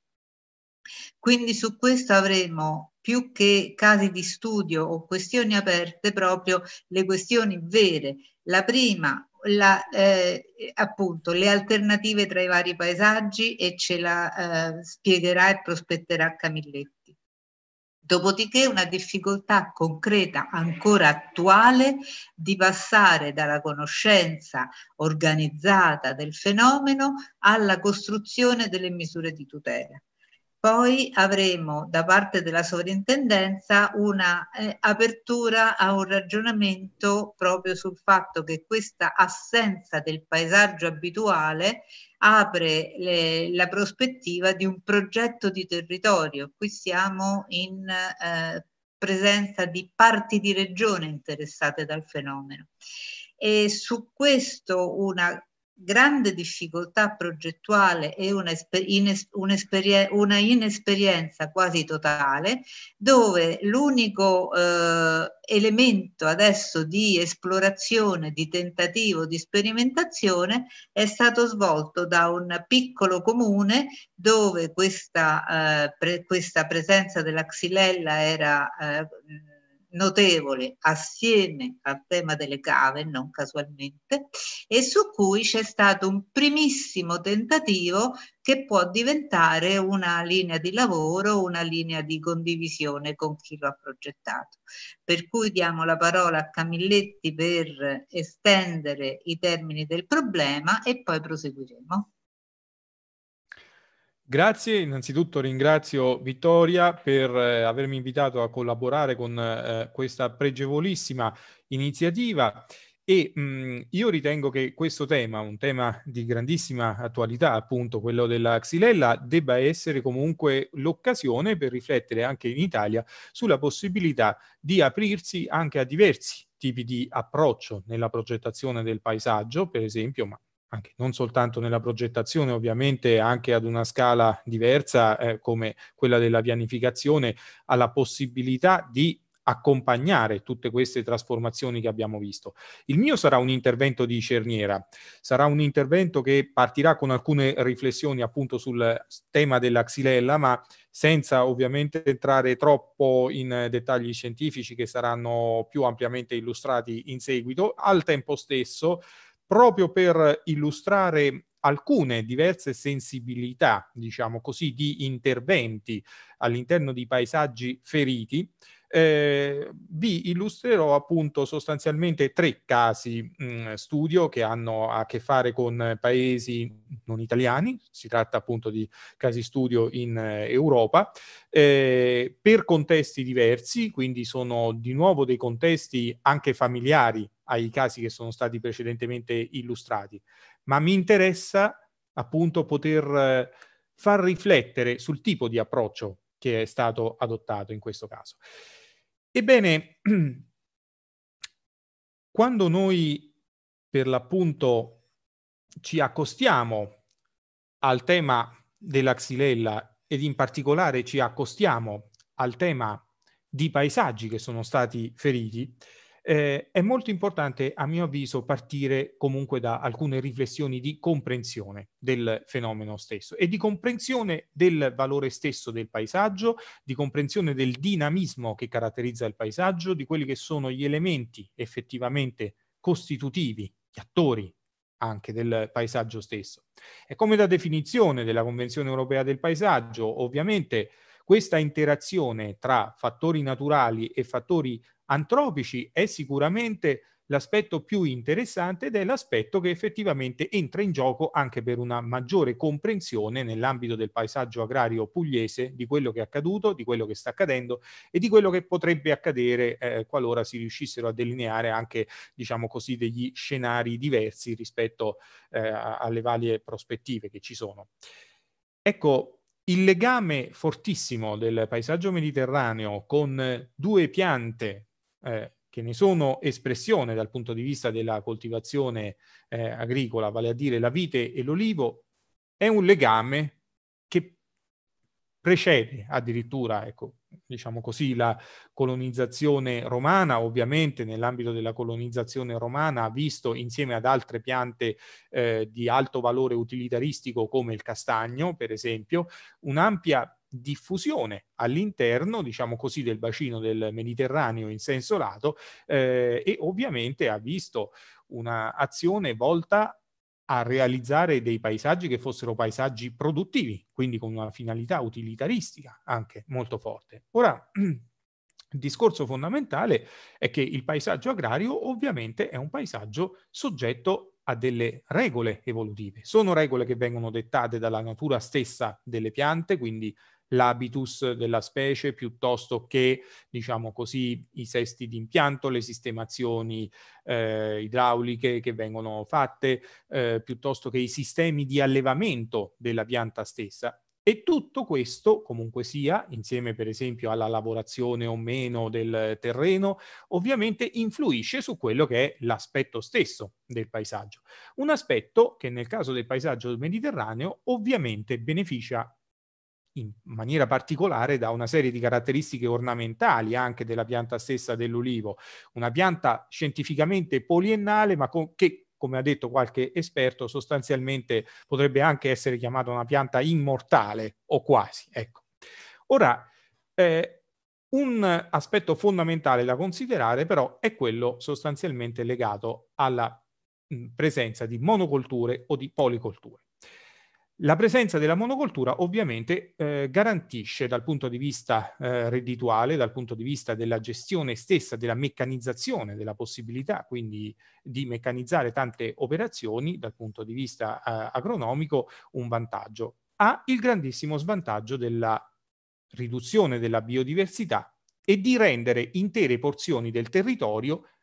completamente o quasi suscettibili nel caso appunto di un attacco patogeno come eh, eh, diciamo xylella, poi tutto il discorso anche sul vettore ovviamente, sulla sputacchina eh, che ne viene fuori. Questo è ovviamente un aspetto problematico. Quindi quando un, un, paesaggio effettivamente viene ad essere particolarmente caratterizzato e costituito da una specie, il rischio è che in eh, termini estremamente stringati, finché va tutto bene, siamo tutti felici, magari ecco, riusciamo anche ad ammirare dal punto di vista ehm, estetico, perché no, un paesaggio gradevolissimo come quello degli olivi in Salento, ma quando sopraggiunge qualche problema l'effetto può essere devastante. E l'effetto devastante ovviamente purtroppo lo abbiamo visto a partire dal 2013 ad oggi, appunto, per eh, la particolare virulenza, diciamo così, la particolare eh, forza di questo batterio di Xylella fastidiosa, che lo ricordiamo viene veicolato essenzialmente dalla sputacchina ehm, e che comporta poi il cosiddetto codiro, quindi il eh, complesso praticamente di disseccamento rapido dell'olivo. Ora, eh, sull'avanzata della xylella si soffermeranno altri relatori. Io brevemente, come potete vedere eh, appunto eh, nell'ambito della slide, ho comunque ripercorso, giusto per dare un'immagine, anche eh, qualche immagine simbolica di tutto quello che è accaduto, eh, e non intendo sollevare questioni circa il si sarebbe potuto fare, avremmo potuto, avremmo dovuto e così via dicendo. Oggi ci troviamo con questa situazione, ci troviamo a dover fare delle scelte. Rispetto a queste scelte, da fare è stata avanzata per esempio la possibilità di introdurre delle cultivar, quindi delle varietà praticamente di olivo che eh, hanno già mostrato una particolare tolleranza nei confronti appunto del batterio. Attenzione, che cosa vuol dire però tolleranza o molto spesso leggiamo anche resistenza. Queste piante sono resistenti al batterio. No, parliamo essenzialmente di tolleranza. Non è una differenza, diciamo così, di lana caprina dal punto di vista agronomico scientifico, ma eh, è una differenza fondamentale. La tolleranza significa che eh, effettivamente il batterio c'è, ma la pianta riesce comunque a livello fisiologico ad andare avanti, a vegetare, a produrre eh, la resistenza invece è resistenza alla penetrazione appunto ecco, di un eh, patogeno.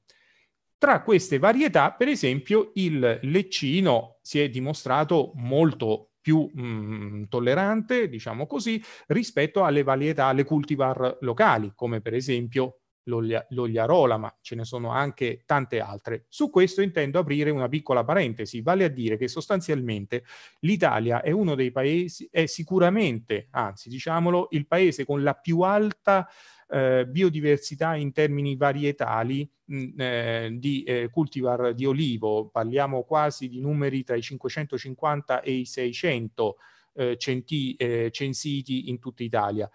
Quindi il problema è che eh, accanto a questa straordinaria ricchezza, ovviamente molte di queste eh, cultivar possono non essere effettivamente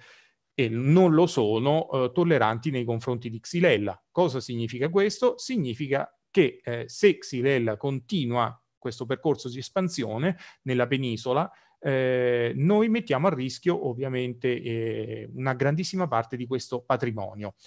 Questa è una ricchezza che è posta a rischio, ma significa perdere molto anche dal punto di vista stesso paesaggistico, anche della, dell'aspetto stesso di queste coltivazioni, perché ogni varietà di olivo sostanzialmente si caratterizza per un proprio portamento, per delle differenze cromatiche e poi ovviamente per delle differenze non da poco dal punto di vista della qualità del prodotto eh, e così via dicendo.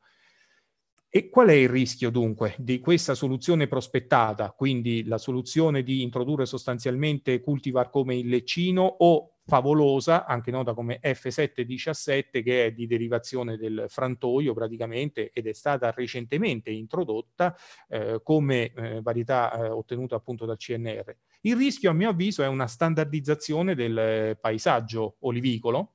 il rischio è anche quello di cambiare completamente, diciamo così, anche eh, l'aspetto stesso del paesaggio eh, olivicolo. Eh, e che cosa significa da questo punto di vista? Significa, ad esempio, per fare un esempio banale, mh, mm, standardizzazione di una cultivar, il leccino che è ormai diffusa in tutto il mondo, originariamente toscana, che certamente può dare degli ottimi risultati anche in Puglia,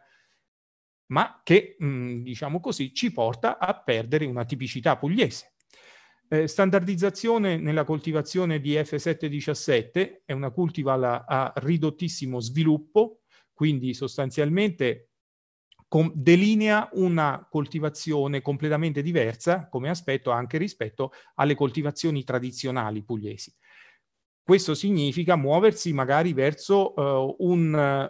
paesaggio olivicolo intensivo o addirittura super intensivo, come vediamo a destra,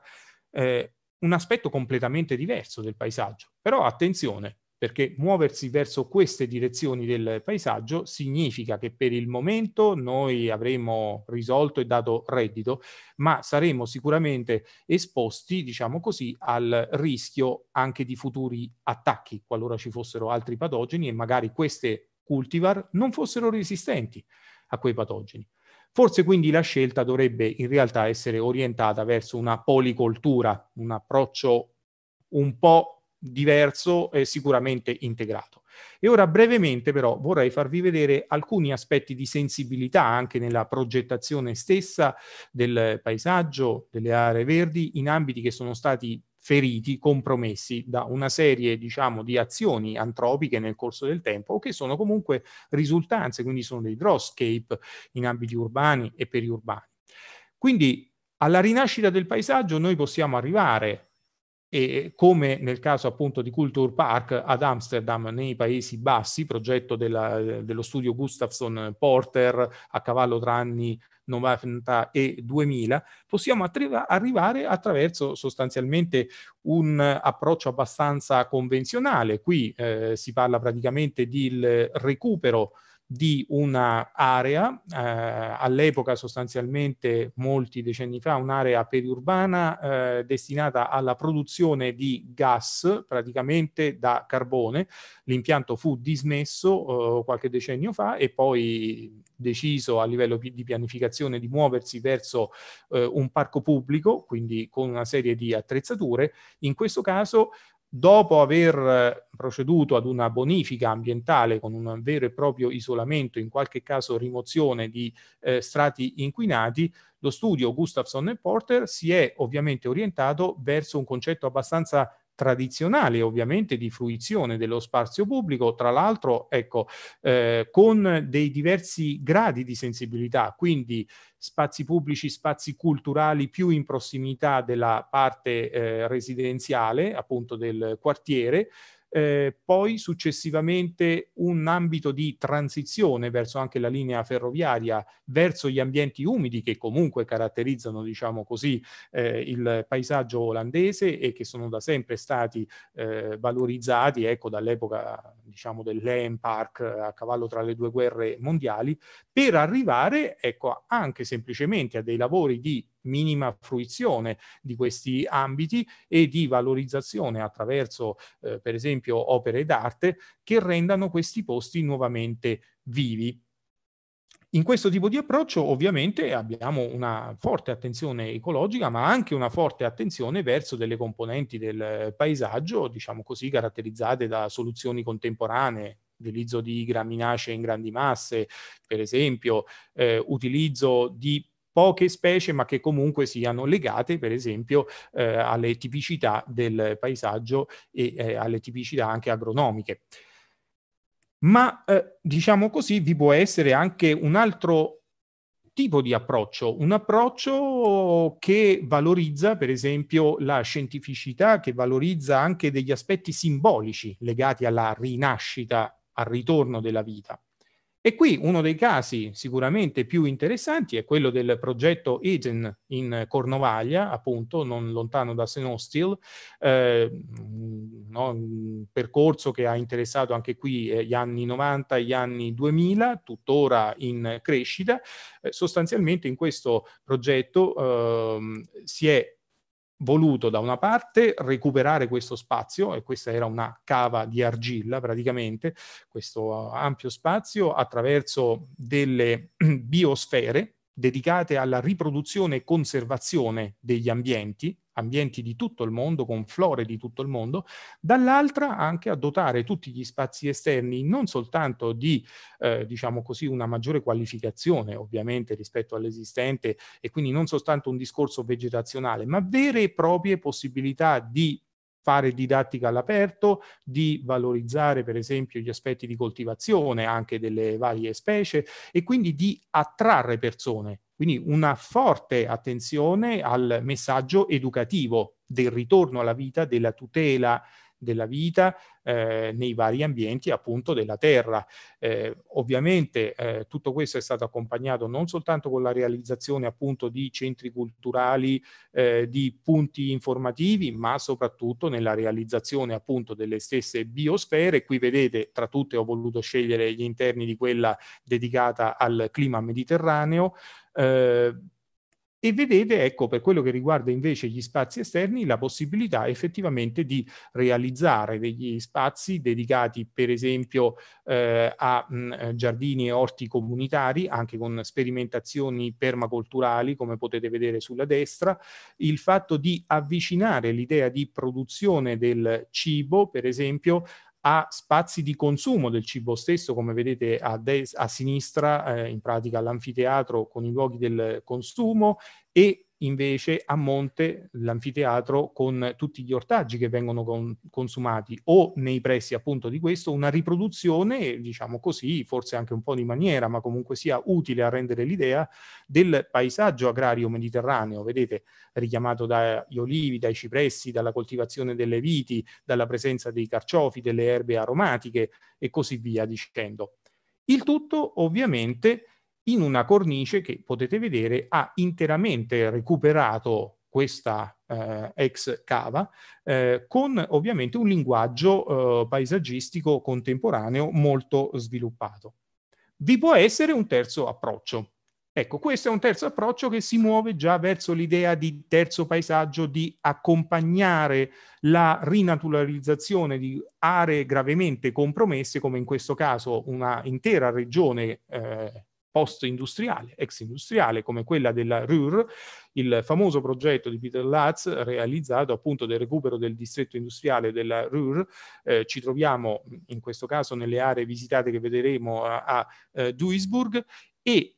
in questo caso mi preme sottolineare l'approccio multiscalare che si è avuto, quindi non soltanto una sensibilità delle soluzioni che sono state applicate a degli ambiti urbani e periurbani, ma anche il fatto di avere dilatato attraverso una stessa visione, ecco all'epoca non si chiamava ancora propriamente infrastruttura verde, ma nei fatti anche questo è stato fatto nella regione ex industriale appunto della RUR, che ha accompagnato il processo sostanzialmente di rinascita di un territorio dove le acciaierie alla fine degli anni 80, inizio degli anni 90, erano state ormai completamente dismesse. Che cosa fare? Eh, abbattere eh, completamente? Pensare a usi completamente nuovi, tra l'altro in alcuni casi non era possibile dal punto di vista ambientale, tanto forte era l'antropizzazione che c'era stata nell'intera regione. Si è scelto semplicemente di fare qualche abbattimento eh, selettivo, di fare delle messe in sicurezza, diciamo così, delle opere di bonifica, ma poi di accompagnare questo processo e quindi di avere un processo attivo nel corso dei decenni che seguivano la realizzazione del, processo, del progetto, per, eh, perché la natura potesse in qualche modo ricolonizzare questi spazi, distinguendo tra spazi maggiormente destinati ecco, all'uso pubblico, ehm, alla fruizione, altri spazi invece in cui questo processo, quindi la rinascita di specie spontanee, soprattutto arbustive e arboree, venisse osservato e venisse man mano accompagnato. Naturalmente, ecco, questo processo eh, è stato anche accompagnato dalla realizzazione di aree, soprattutto in prossimità della città di Duisburg, eh, destinate alla fruizione da parte del pubblico, aree in cui la sistemazione paesaggistica, per esempio, ha previsto comunque sia delle eh, opere eh, che non richiedono manutenzioni eccessive, ma che comunque richiamano in qualche modo anche l'idea magari di avere qualche stanza di giardino all'aperto, la, l'idea di poter accompagnare degli spazi ludici, spazi per le famiglie, spazi ricreativi, banalmente anche spazi per il barbecue. Eppure quando noi saliamo, diciamo così, anche sui... Eh, ormai dei veri e propri monumenti industriali, queste testimonianze, ecco, diciamo così, di archeologia industriale, abbiamo comunque in generale questo genere di visione. Ecco, qui vedete per esempio le betulle e i salici che stanno ricolonizzando in maniera eh, apparentemente casuale, perché la casualità è data non soltanto dal fatto che la natura li veda rinascere in certi punti e non altri, ma è data anche dalla volontà di chi ha in eh, essere la manutenzione del parco di selezionare certe piante, mantenerne certe, eliminarne altre. Quindi in realtà il discorso, diciamo così, dell'interazione uomo e natura è sempre presente. Anche qui, per esempio, il fatto di accompagnare il versante a monte di questo anfiteatro con delle distese naturalizzate, diciamo così, di eh, narcisi è un intervento umano, ovviamente. Si muove nell'ottica, diciamo così, di applicare teorie di wild gardening, e quindi di naturalizzazione delle specie, che sono perfettamente in sintonia con il progetto, con la filosofia, diciamo, che anima il progetto paesaggistico di, del, per la RUR. E qui si apre una nuova prospettiva sulla quale si può riflettere. E non dico che sia tempi, la... Paolo. Sì, sì, finisco eh, proprio nella conclusione. Non dico che debba essere certamente un discorso dedicato alla mh, mm, soluzione tal quale, quindi non fare niente, ma si tratta anche di prendere atto serenamente del fatto che il paesaggio è diciamo così, una realtà in divenire, una realtà in movimento come il giardino, un qualcosa che, sul quale ecco, Gilles Clément ha sempre richiamato l'attenzione, eh, questa immagine delle specie che vengono trasportate anche a volte dai mezzi di comunicazione, dall'uomo, da un territorio all'altro e poi diventano specie talvolta anche invasive, ce lo ricorda molto chiaramente. Però dobbiamo ecco, tenere presente un aspetto, anche nel caso dei terzi paesaggi non dobbiamo più, a mio avviso, essere particolarmente eh, selettivi e, e, e, dobbiamo forse anche accettare che all'interno del terzo paesaggio possano esserci delle componenti, ad esempio a livello ecologico, di primissimo ordine. tra cui, e questo è stato ormai chiaramente mostrato, diciamo così, un eh, grande apporto dal punto di vista della biodiversità. Quindi a mio avviso la sfida per la Puglia, per il paesaggio olivicolo che è stato colpito dalla xylella, è proprio questa, forse quella di pensare a più approcci da integrare al tempo stesso. Vi ringrazio. Grazie Paolo, veramente come dire, una passeggiata illuminante su tutte le alternative e su tutti i rischi che si corrono a mettere mano ai paesaggi, quindi operazioni sicuramente non, non banali. A questo punto, una volta eh, finita questa panoramica di, di, prospettive larghe, mettiamo invece i piedi nel piatto con una questione assolutamente concreta, che è quella seguita dalla dottoressa Caroppo, e cioè la conoscenza, il monitoraggio e la difficoltà di questa operazione nell'aggressione della xylella in Puglia, dove eh, è difficile organizzare la conoscenza e ancora più difficile riuscire a passare a un piano organizzato di tutela. Prego. Ok. Provo. Oh, scusa. Allora, condivido lo schermo, prima cosa.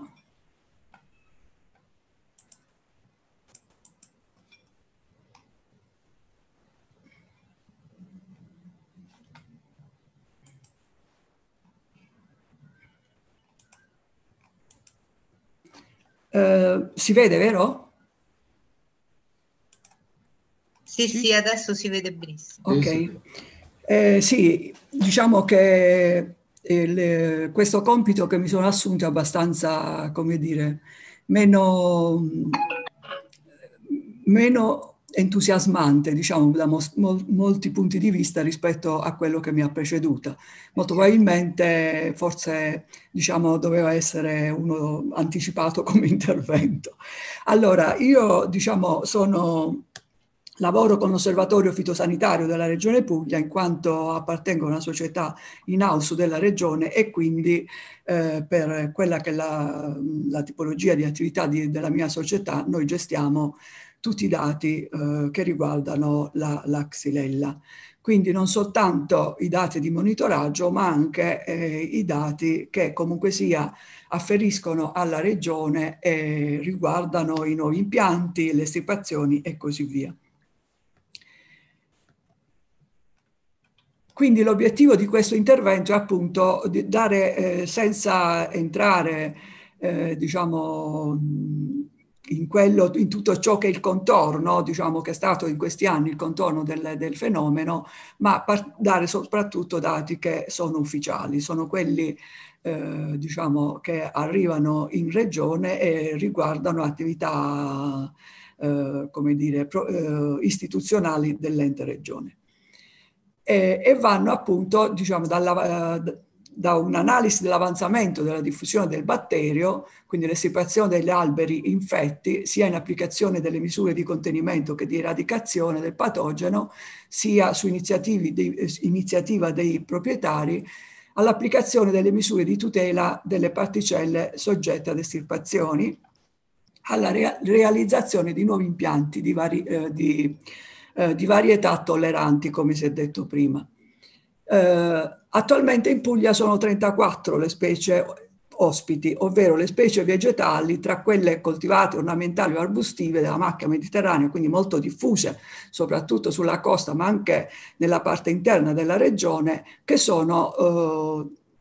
diciamo soggette, vengono eh, infettate dalla, dal batterio. L'olivo è la specie più colpita, ma ce ne sono tante altre, tra cui mandorlo, ciliegio, aleandro, eccetera, quindi specie molto diffuse e questo ovviamente complica maggiormente l'attività di monitoraggio e di contrasto al batterio, anche perché molto spesso queste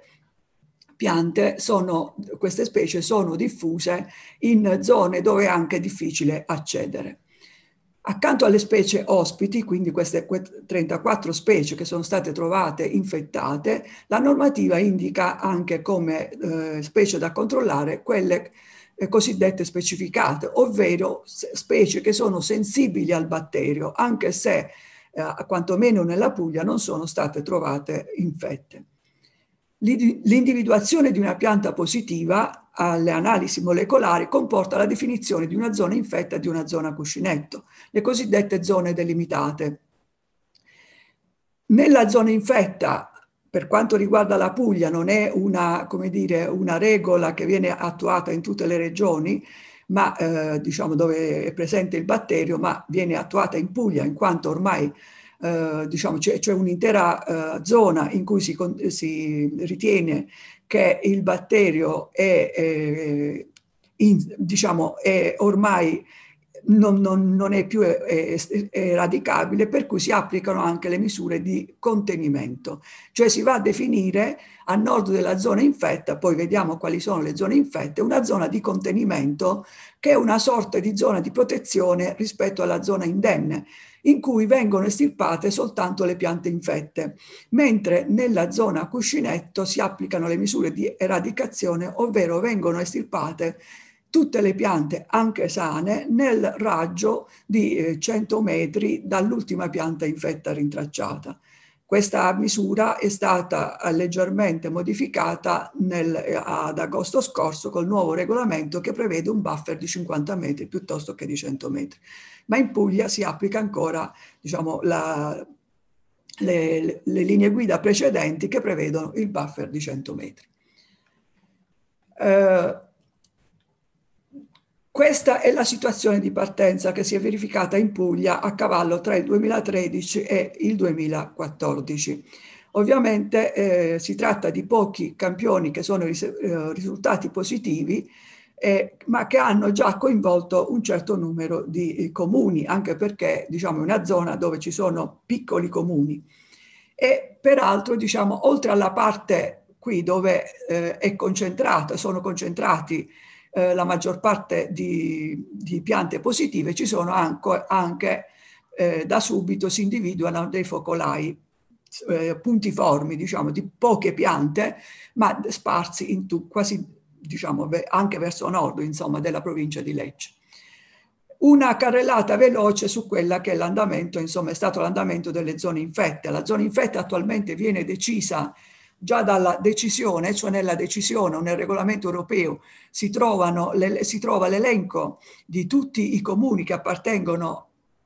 alla zona infetta, mentre la zona cuscinetto, la zona di contenimento, viene definita come buffer intorno alla zona infetta. Quindi diciamo questa carrellata fa vedere in funzione del ritrovamento delle piante positive come sono state definite poi le, l'avanzamento delle zone infette sostanzialmente. Ecco, questa è una situazione molto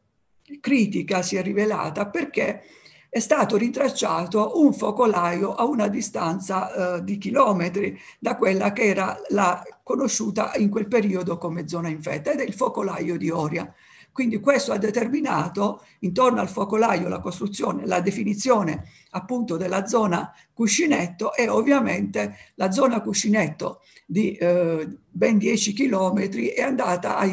come dire, a convergere poi verso l'altra zona cuscinetto a difesa della zona eh, eh, diciamo della zona infetta e quindi ha determinato un'intera area molto vasta come zone delimitate sostanzialmente. Successivamente abbiamo ancora un'evoluzione, sono stati trovati molto probabilmente per tutto quello che si è verificato anche diciamo, sul, sul, focolaio di Oria, sono stati trovati vari focolai puntiformi eh, verso Francavilla, eccetera, e quindi una nuova definizione delle zone infette fino ad arrivare praticamente alle attuali zone infette con i risultati che vengono eh, dagli ultimi monitoraggi. Qui vediamo eh, sempre eh, le piante, i focolai, quindi le piante positive, che sono relative agli ultimi monitoraggi e, al, e queste ultime al monitoraggio in corso.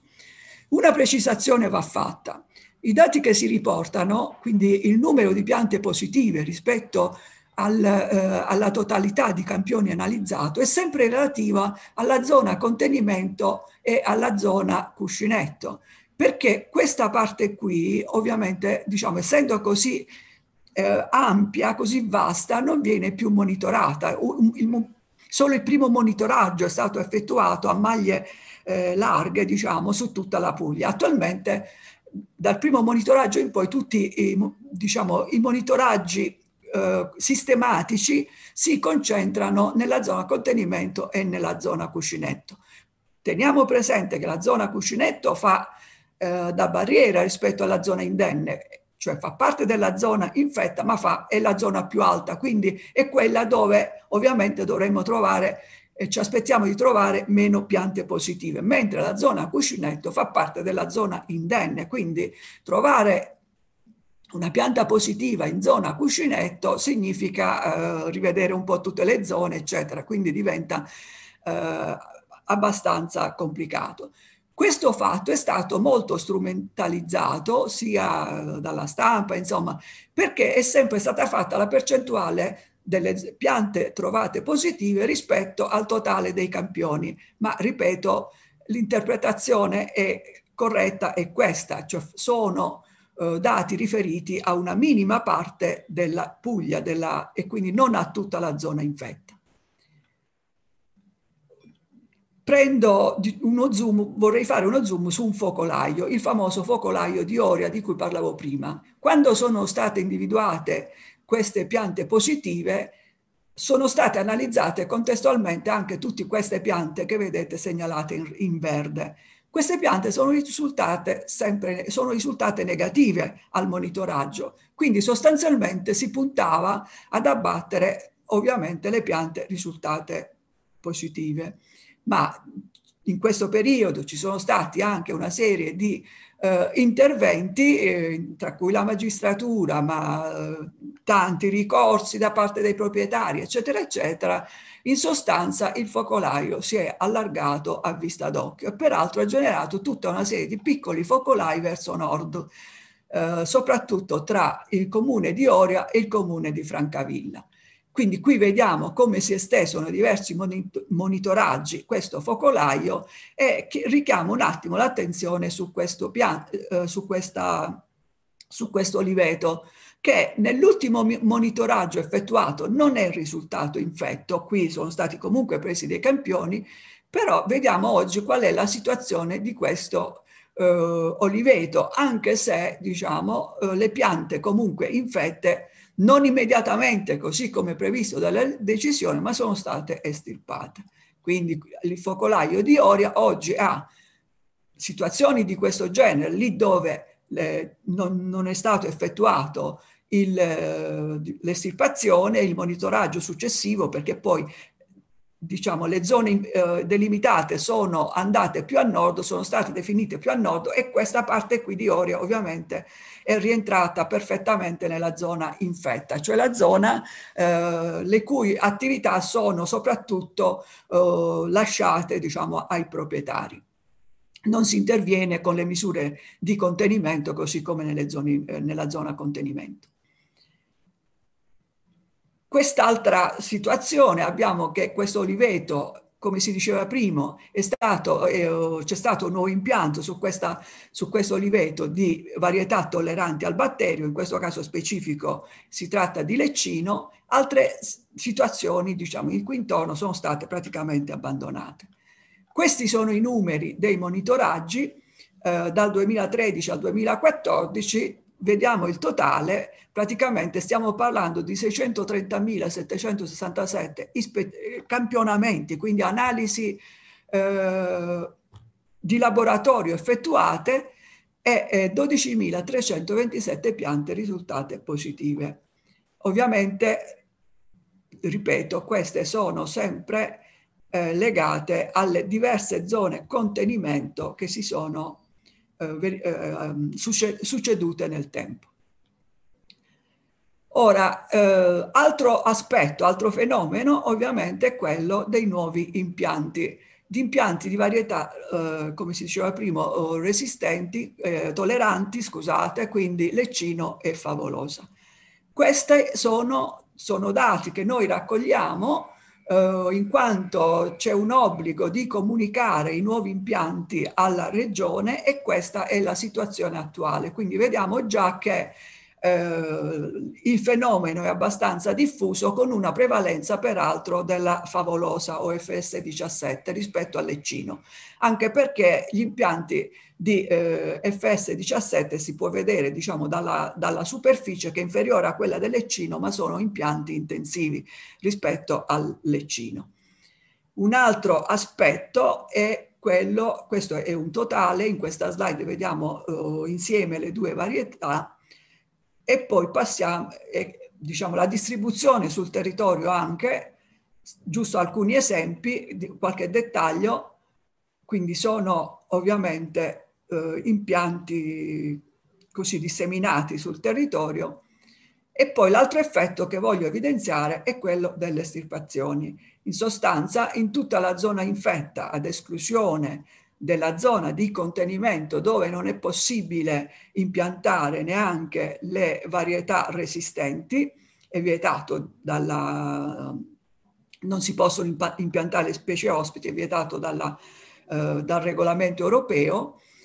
ci sono, eh, diciamo, espianti, espianti proposti dai proprietari, comunicati eh, semplicemente alla regione facendo ricorso appunto a tutta una serie di leggi, tra cui quella del 44 del 2019, che prevede che eh, le estirpazioni nella zona infetta possono andare in deroga ad ogni disposizione in materia vincolistica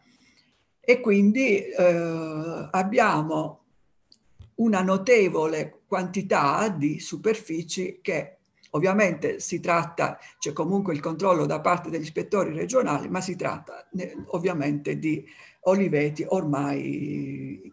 eh, eh, infetti sostanzialmente, tipo quelli che abbiamo visto prima. Questa è la somma delle due. Eh, dove ho, ho, tenuto a, ci ho tenuto a evidenziare le comunicazioni rispetto alle autorizzazioni seguono delle procedure leggermente diverse e fanno riferimento a normativa diversa, ma non è questo l'obiettivo di questo, diciamo, approfondire la normativa di questo intervento. Qui vediamo appunto le estirpazioni effettuate la, la sintesi e eh, volevo mettere, voglio mettere in evidenza anche questo aspetto di, a cui è stato accennato anche nei precedenti interventi, ovvero che la legge 7 legge regionali, in questo caso del 2016, impone che su tutte le zone desti, eh, a destinazione rurale in cui sono state effettuate attività di estirpazione piuttosto che di movimentazione a causa di, di alberi di oliveti, a causa della xylella, sostanzialmente non possono, queste zone non possono cambiare per i successivi sette anni la tipizzazione urbanistica vigente al momento dell'espianto. Quindi sostanzialmente non significa che, non si, che bisogna per forza impiantare olivi, ma significa che deve rimanere un'area agricola. Questa è una precisazione che ritengo abbastanza importante. E questo significa che appunto noi eh, diciamo, abbiamo varie situazioni in cui eh, moni possiamo monitorare quello che, che è l'attività la, sul territorio. Un'importante eh, considerazione volevo fare. La definizione delle zone di, delimitate, contenimento e, e cuscinetto, ovviamente anche de, di tutta la zona infetta, non ha solo aspetti passaggistici, ma incide molto anche sull'economia di tutto il territorio. Senza voler entrare nel merito, ovviamente avevo già accennato al fatto che nella zona eh, infetta non, so, non, è possibile eh, piantare le specie ospiti, ma quelle ritenute tolleranti, resistenti sarebbe meglio, tolleranti. Oggi, quindi diciamo, questo ha avuto un forte impatto su tutta l'attività vivaistica della regione, perché quelle, eh, ci sono forti limitazioni sostanzialmente alle movimentazioni di tutte le specie eh, che eh, ospiti, ma anche specificate, che vengono coltivate, vengono gestite nelle, nelle zone delimitate.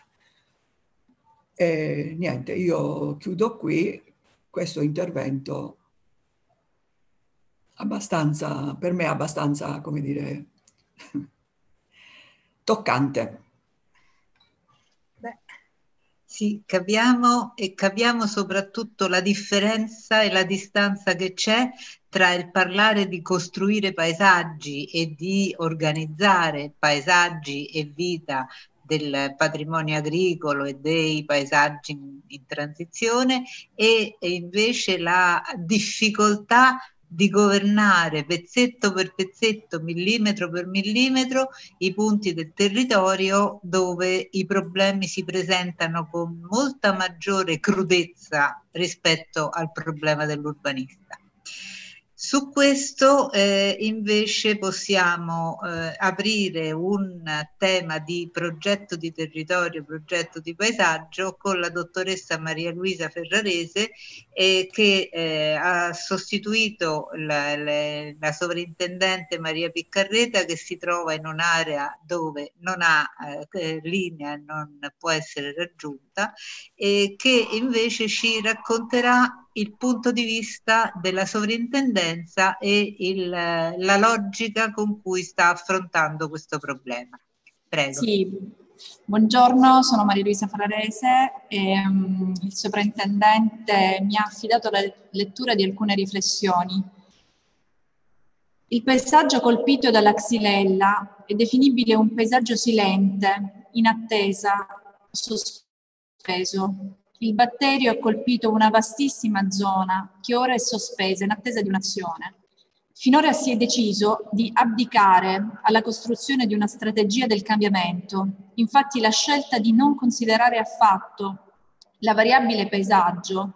tra le varie considerate ha portato a sospendere l'efficacia di provvedimenti di tutela regionali, scegliendo quindi di non riportare tutto il ragionamento in seno al PPTR, nell'ambito del quale invece le potenzialità programmatiche e strategiche avrebbero fornito le linee e le direttive per la soluzione del problema. Infatti il punto è non si risolverà mai il dilemma se non si comincia a a ragionare in termini di ricostruzione del paesaggio. Questa è l'unica chiave di lettura che permette di risolvere tutte le problematiche che un paesaggio silente e sospeso comporta, sociali, economiche, di sviluppo, culturali, identitarie, ambientali, idrogeologiche. Il paesaggio è un bene culturale a prescindere dalle tutele che lo interessano. Il PPTR lo dimostra. È solo il giusto equilibrio tra il bene comune paesaggio e le singole proprietà private che lo compongono che restituirà voce ad un paesaggio oggi silenzioso, guidando la sua ricostruzione, ponendo fine a questa lunga attesa. Queste sono le riflessioni dell'architetto Piccarreta che si scusa per non poter uh, aver potuto partecipare ehm, anche per problemi diciamo anche di collegamento nel posto in cui si trova. La dottoressa Crisostomi eh, ne, ne ha conoscenza, insomma. Ringraziamo eh, la dottoressa Ferraresi, mandiamo un saluto alla sovrintendente, speriamo di eh, andare avanti comunque in questa costruzione difficile di paesaggi e in questa eh, riduzione della distanza tra gli strumenti di governo del paesaggio come il piano paesistico e gli strumenti dell'agricoltura del vivaismo che hanno ancora una logica di sopravvivenza e di attenzione ai casi singoli. Bisognerà su questo fare proprio un grosso lavoro di ricostruzione della governance e del pensiero progettuale di questi temi. A proposito di questo, infatti, uno dei tentativi veramente, credo, pionieri, se non unico, nella Puglia, è stato eh, quello di ehm, eh, sì, quello di, eh, di, un piano regolatore, il piano regolatore di, eh,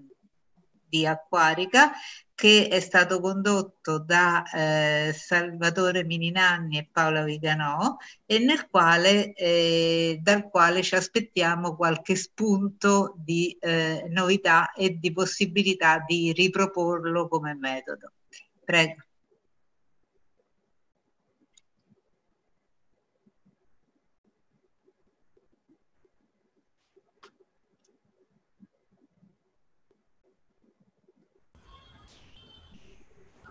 Condividi schermo? Dove? Il PDF, in basso, a sinistra. Condividi. Ah, ho capito bene. Ho capito bene. Comincio io con la presentazione del piano o c'è prima Francesco Rotondo? Mi sentite?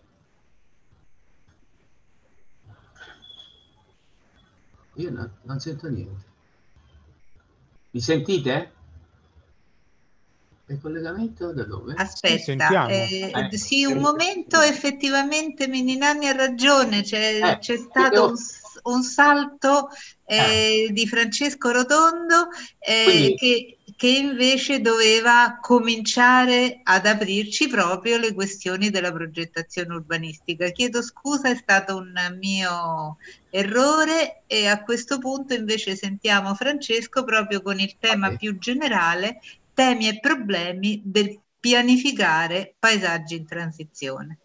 Scusa ancora Francesco, ma c'è stato un attimo di...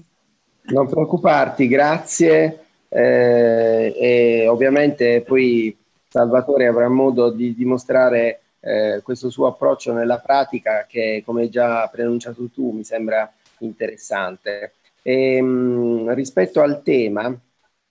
io vi condivido subito lo schermo. Eh, rispetto al tema che stiamo eh, affrontando, io volevo eh, sottoporvi alcune riflessioni legate proprio alla ehm, capacità e alla possibilità di affrontare questi paesaggi in transizione attraverso il piano, perché eh, spesso e volentieri, eh, come hanno mostrato in parte anche eh, le slide di Tina Caroppo, di fronte ad eventi ehm, chiaramente non previsti, la, pianificare gli interventi è un risultato a cui spesso si arriva troppo tardi ed invece, come dire, dovrebbe essere un approccio da eh, avere e eh, rendere subito disponibile, in particolare a quei territori che si trovano ad affrontare il momento e, eh, come dire, riescono a, a difficilmente ad avere strumenti e mezzi eh, per contrastare un processo che spesso e volentieri sembra immodificabile e più grande eh, delle popolazioni che abitano questi luoghi. Anche perché noi siamo abituati a considerare i tempi lunghi di modifica dei paesaggi e eh, quindi la nostra idea è connessa con una eh, capacità di pianificarli in tempi e modi altrettanto lunghi e diluiti, spesso incapaci poi di fornire effettiva risposta alle questioni che abbiamo da affrontare e alle sfide che in maniera imprevista si pongono. Ora, eh, rispetto a questo, il concetto um, fondamentale di Drawscape, come ce lo ha ben descritto Alain Berger in un suo libro che si chiama appunto Drawscapes, è eh, quello di eh, elementi che, come dire, rimangono, restano, eh, resti per l'appunto, quindi scarti eh, all'interno di tessuti eh, urbani o eh, all'interno di terreni coltivati o in, come dire, in ambiti di sviluppo, in distretti di stoccaggio merci, in zone di scarico rifiuti, eh, in elementi che mh, spesso sono in contrasto tra di loro, spesso hanno difficoltà di relazione e che sono ehm, ancora più frequentemente il risultato degli usi che l'uomo ha fatto in questi ultimi 200 anni in quello che, eh, come è noto, ormai stiamo definendo neoantropocene proprio per la capacità inusitata che l'uomo ha di trasformare il territorio in cui vive e rispetto al, alla quale occorre avere una maggiore responsabilità oltre che una maggiore capacità di eh, pianificare. Una marginalità che eh, non è solo urbana, ma è una marginalità anche agricola, anche tra le infrastrutture. Quindi eh, un, una frammentazione di paesaggi e di luoghi che normalmente portano a eh, dimenticare le identità che questi hanno avuto. È effettivamente veramente qualcosa in between, all'interno di altro ed è quindi eh, una rappresentazione di spazi che spesso rimangono ai margini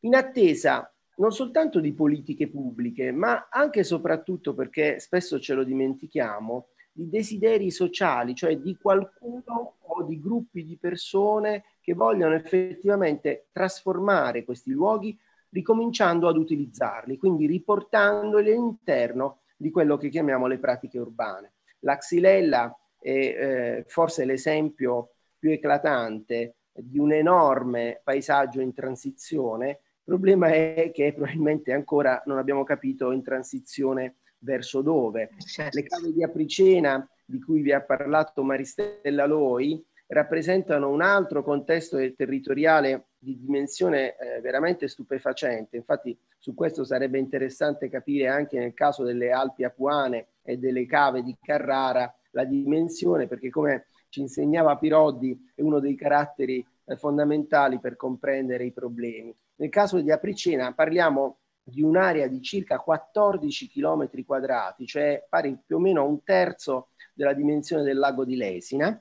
eh, e che fortunatamente non, ha, non è soltanto oggetto eh, di attività di cava o di attività produttive e quindi come dire di elementi che producono benessere economico perché non va dimenticato questo sottraendo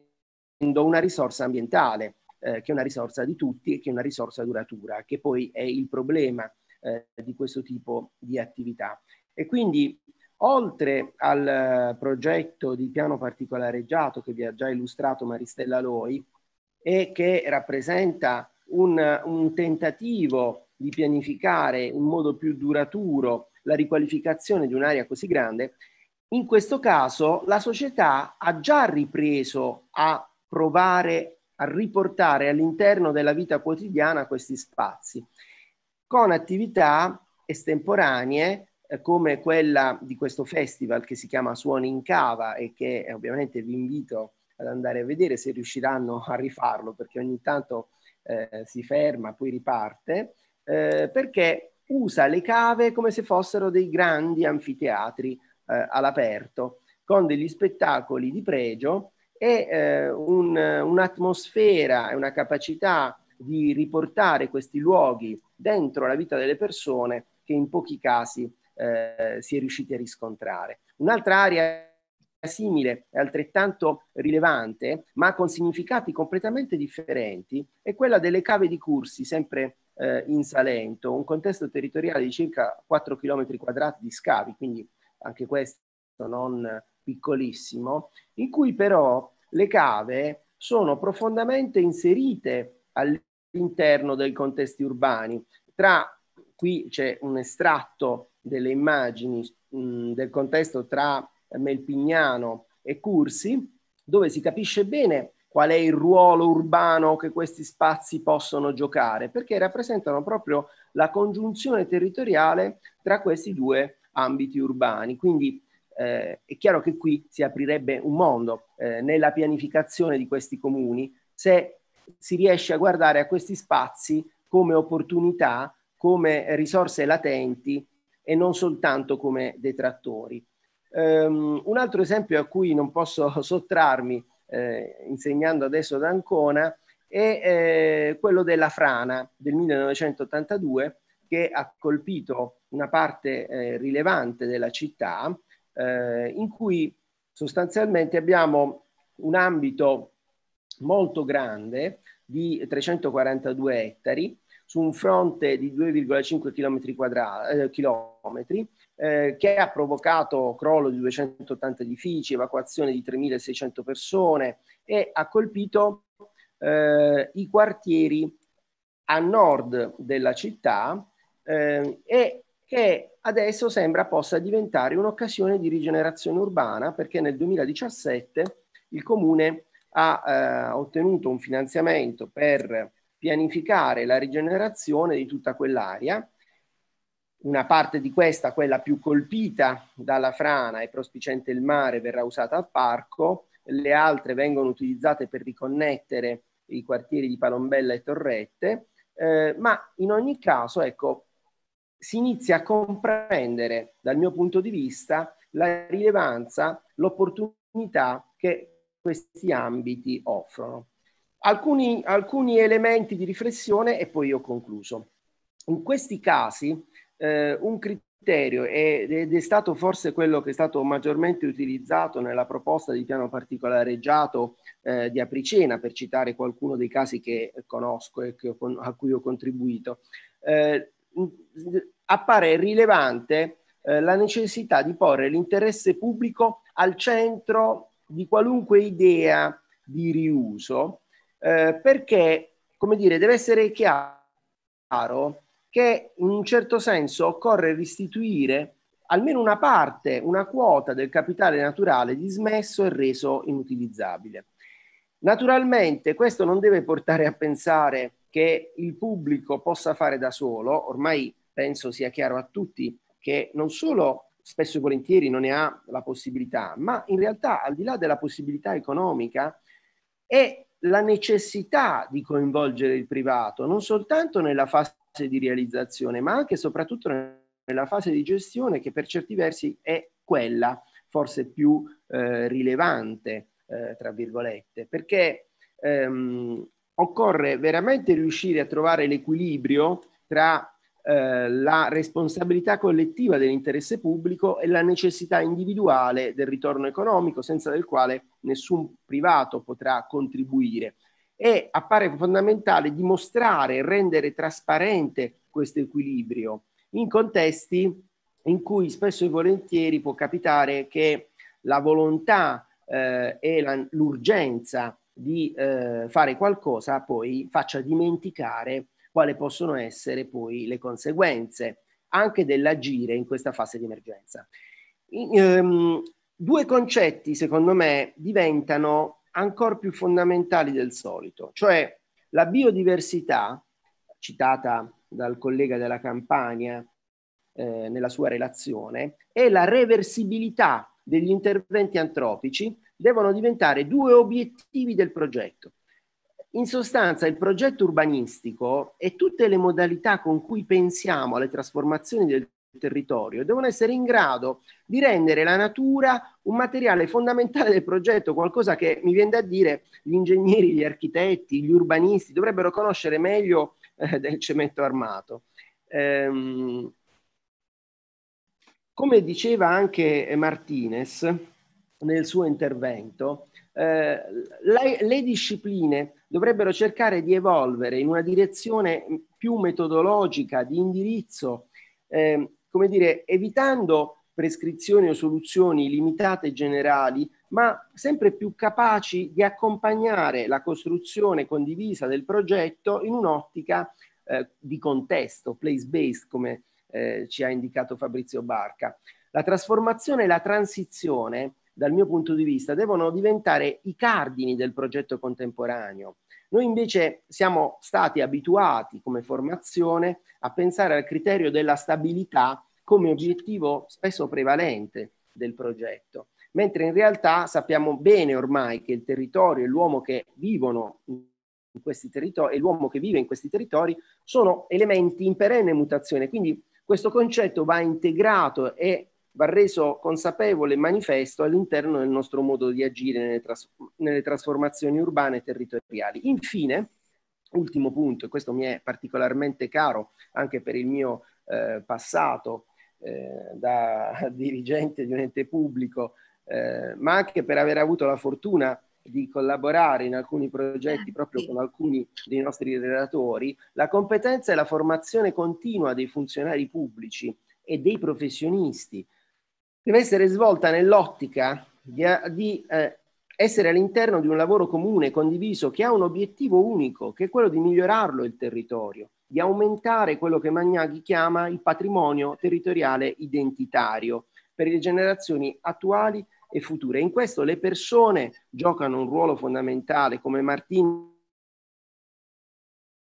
attualmente Maria Picarreta, spesso sono riusciti a fare quando hanno incontrato anche loro dalle altre parti persone altrettanto capaci di guardare un obiettivo comune. Questo mi sembra un aspetto insuperabile. E vi lascio ringraziandovi per l'attenzione con due immagini di eh, policolture, eh, cioè di ambiti in cui sono, eh, c'è un elevato grado di biodiversità costruito dall'uomo nella storia il primo e come dire costruito eh, sempre dall'uomo ma eh, in tempi più brevi eh, il secondo. Grazie. Eh, grazie, grazie a te e soprattutto per aver introdotto proprio il tema dell'esigenza di curare questi paesaggi in transizione, eh, di farli entrare in un desiderio di pratiche urbane, come hai precisato, di tenerli in un equilibrio dimostrabile trasparente nel rapporto pubblico-privato, uno scambio leale che dovrebbe mantenere in vita questi equilibri e la contrapposizione a cui non siamo ancora abituati tra transizione e stabilità, che sono invece degli elementi portanti di questo tipo di progetti. E proprio su queste sfide, a questo punto, il pluripresentato piano pugliese a cura di Salvatore Mininanni e Paola Viganò. Eh, vi avverto che all'una meno 10 tendiamo a sforare parecchio, per cui aiutatemi a contenere i tempi.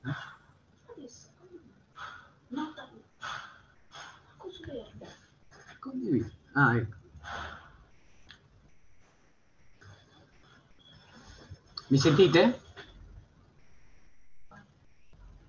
Sì, sì, sentiamo. Ok. Intanto mi avete caricato di un sacco di responsabilità, un saluto a tutti, ma un saluto, un saluto particolare però consentite di farmelo fare alla dottoressa Caroppo perché la sua attenzione emotiva mi ha molto coinvolto per essere anch'io un, un pugliese, per essere direttamente eh, colpito dalla situazione in cui versa il Salento in, in particolare.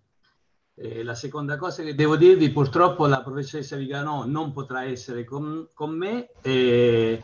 perché è stata presa qualche minuto fa da impegni universitari e, e, e, quindi non potrà partecipare, però mi ha incaricato di dire che questo lavoro davvero è stato per lei molto entusiasmante, eh, costituisce per lei un laboratorio eh, su cui bisogna provare a sperimentare più che essere certi delle cose che andremo eh, a fare, eh, sono dei tentativi, delle esplorazioni, delle prove per provare a tirare su due borghi rurali eh, come tanti in Italia, ma questo, in, questi due in particolar modo colpiti da questa ehm, dannata xylella fastidiosa che ha creato davvero eh, grandi disagi e vera disperazione. Allora, io comincerei eh,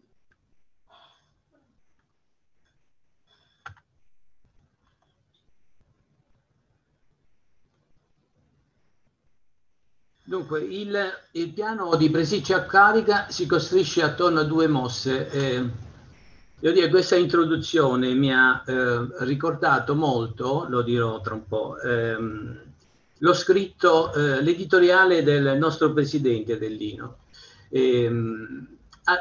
la costruzione del piano, quindi attorno a queste due mosse principali, eh, vorrei togliere questa cosa, scusate un attimo, schermo intero. Uh -huh.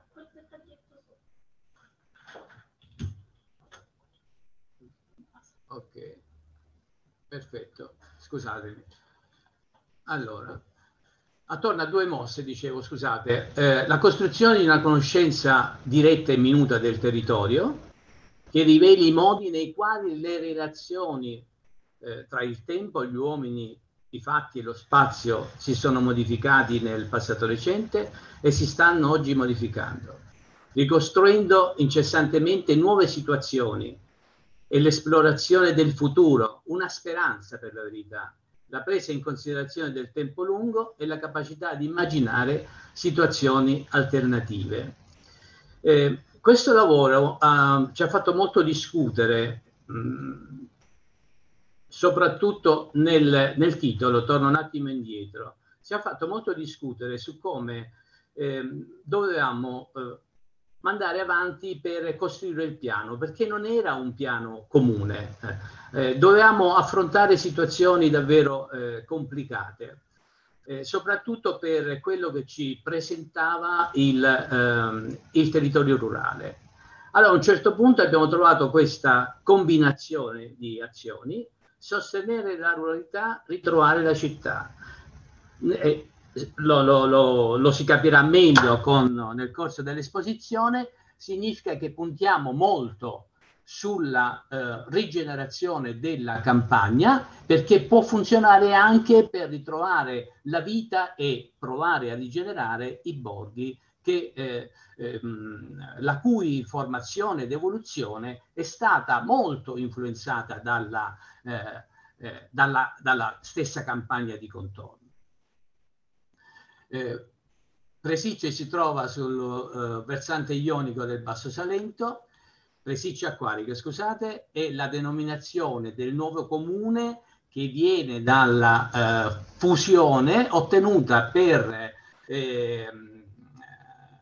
eh, il successivo eh, referendum consultivo eh, che si è tenuto nel maggio del 2019. Quindi eh, diciamo che questo, eh, questa unione di comune eh,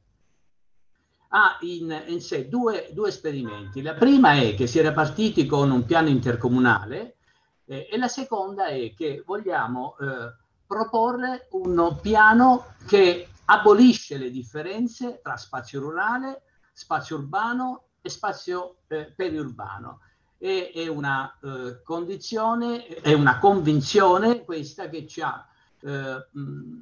guidato nella costruzione del piano.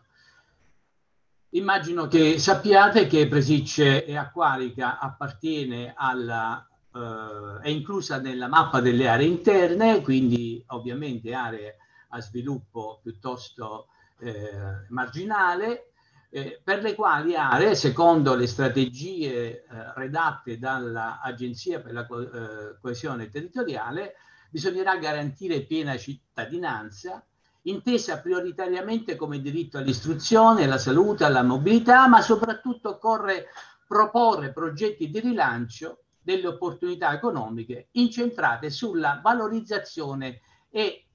riqualificazione delle risorse esistenti. Ecco, su questo noi eh, ci siamo eh, poggiati, eh, tenendo anche conto, qui è stato già eh, eh citato eh, proprio da Francesco Rotondo, Barca, che molto ha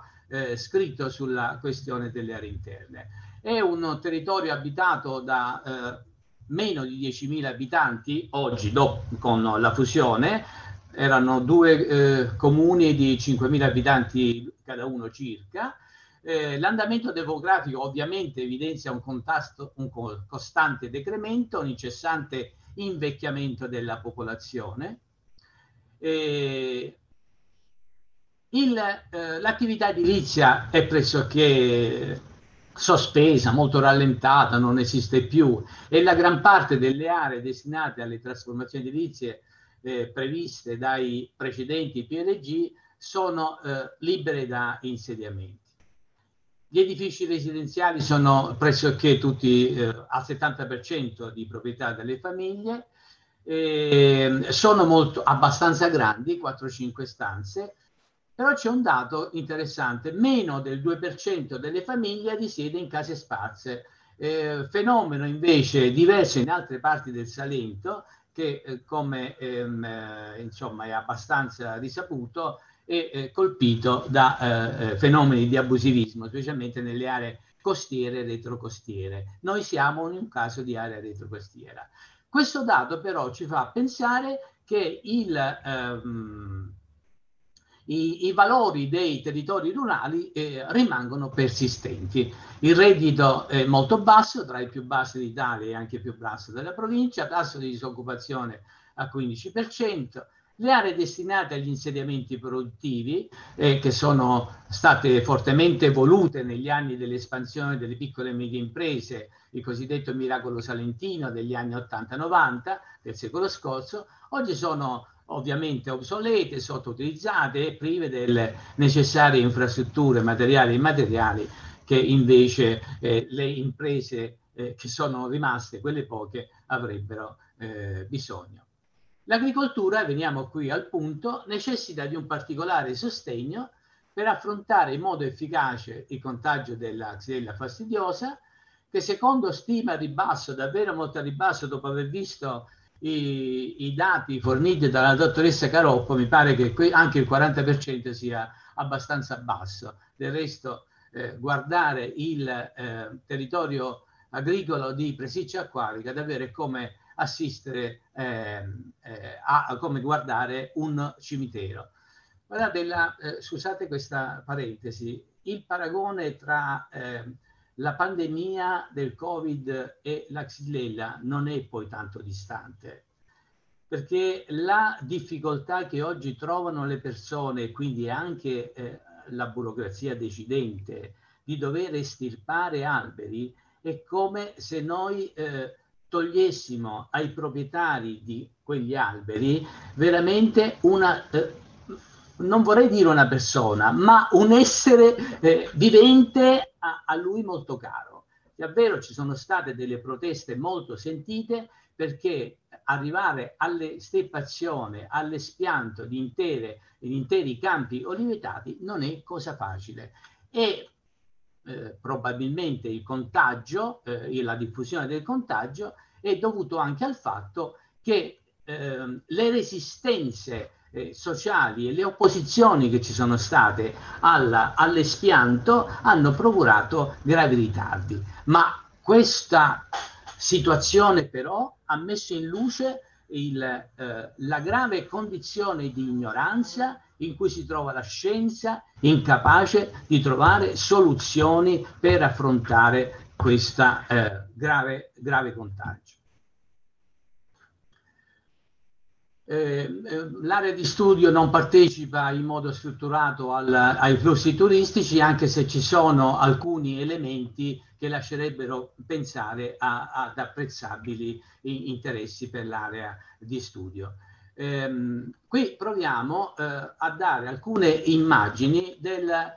del, delle forme del territorio. A sinistra questa immagine è il plastico molto sintetico ehm, dal quale si possono individuare appunto le due eh, serre che qui vedete in sezione eh, all'interno delle quali poggia la piastra insediata questa immagine bianca eh, che sono i due centri originali totalmente saldati ormai e che qui vedete in questa fascia eh, più bianca eh, ehm, tra le due serre appunto. Questo spazio eh, verso il basso eh, indica proprio l'area, eh, lo spazio rurale che, de- eh, che digrada verso, verso, il mare.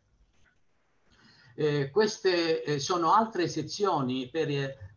lavorare proprio sulla topografia dei luoghi e si capirà dopo meglio perché insistiamo tanto sulla comprensione del, delle forme, sulla valutazione e comprensione delle forme del territorio, non solo eh, delle superfici, ma anche la stratigrafia del, del suolo, eh, perché ehm, proviamo a, a, a, dare un approccio eh, eh metabolico al, eh, al, al piano. Eh, questa immagine invece ehm, riproduce un po' i, i caratteri della, dello spazio rurale eh, questa è fatta all'inizio del, eh, del, del, contagio, queste immagini. Noi abbiamo cominciato a lavorare nel 2000, effettivamente nel 2007, quindi qui siamo all'inizio del contagio. Eh, questa è una eh, eh è il cosiddetto uno dei due pendoli che conduce dalla, dal, dai centri urbani verso il mare, eh, distia, la, dista dal, dal, mare circa 6-7 km, la strada subcostiera che invece collega alcuni itinerari narrativi come vengono descritti anche da, nel eh, piano territoriale di coordinamento redatto da eh, Paola Viganò e Bernardo Secchi eh, ehm, tra il, la fine degli anni 90 e i primi anni del 2000. Eh, anche qui ehm, una, una, immagine di, dei caratteri territoriali, una grande campagna eh, sapientemente coltivata, a tratti eh, terrazzata lungo i pendii che digradano, eh, soprattutto quelli che digradano verso il mare, una eh, diffusa perimetrazione di muretti a secco, alcuni dei quali indicherebbero perfino delle eh, antiche ehm, costruzioni romane, eh, punteggiata da Pagliare e Lamie sono eh, denominazioni di questi eh, tipici rifugi eh, del, del, Salento, ma insomma che, che, sono, che, caratterizzano tutta la Puglia, sia pure con forme eh, differenti, ehm, attraversata appunto da percorsi da cui si aprono ampie viste eh, panoramiche. Ecco, queste sono le immagini invece più contemporanee, ma ne avete, ne avete viste anche di più espressive, quelle eh, che hanno presentato i relatori eh, che mi hanno eh, preceduto, soprattutto il dottor Camilletti, mi pare, che abbia presentato le immagini molto molto eh, vicine alla realtà di questi giorni. Eh, quindi eh, queste immagini colgono i segni dell'abbandono e della marginalità, il diffuso disseccamento degli alberi di olivo eh, provocato dalla xylella, una maledetta circostanza, come ci hanno detto eh, i nostri, eh, i cittadini da noi interrogati, che genera appunto nelle popolazioni una vera disperazione. Il progetto tenta con eh, con lo scenario di rifornimento che vi faremo vedere, è incentrato eh, su una coppia di mosse strategiche che appunto sono il sottotitolo di cui prima eh, accennavo. Eh, sostenere la ruralità, ritrovare la città. Sono, eh, questo è lo scenario di riferimento molto sintetico nei, nei, negli schizzi, molto sintetizzato negli schizzi, però eh, credo che, che dicano abbastanza quello che intendiamo presentare. Lo scenario di riferimento, eh, anche qui eh, eh, eh, ricordo le cose che ha detto il dottor eh, Camilletti, anche qui lo scenario di riferimento è quella, parte dall'ipotesi di mantenere la campagna olivetata, sostituendo gli olivi malati e insieme costruire un grande giardino coltivato e arricchito da una maggiore varietà di coltivazioni, come è stato del resto in epoche precedenti nel Salento. Il dottor Martinez ci ha detto della eh, dei boschi del periodo messapico. Io vorrei aggiungere nel periodo, che ne so, eh, 8-900, eh, le grandi piantate di vigneti, anche molto pregiati, altri invece utilizzati per il taglio dei vini eh, del nord, o come per esempio le piantate del tabacco tra la fine degli anni eh, 40, tutti gli anni 50 e i primi 60, e poi sostituite ancora dal eh, dal girasole o dalla colza. Quindi diciamo che ci sono stati periodi in cui eh, il,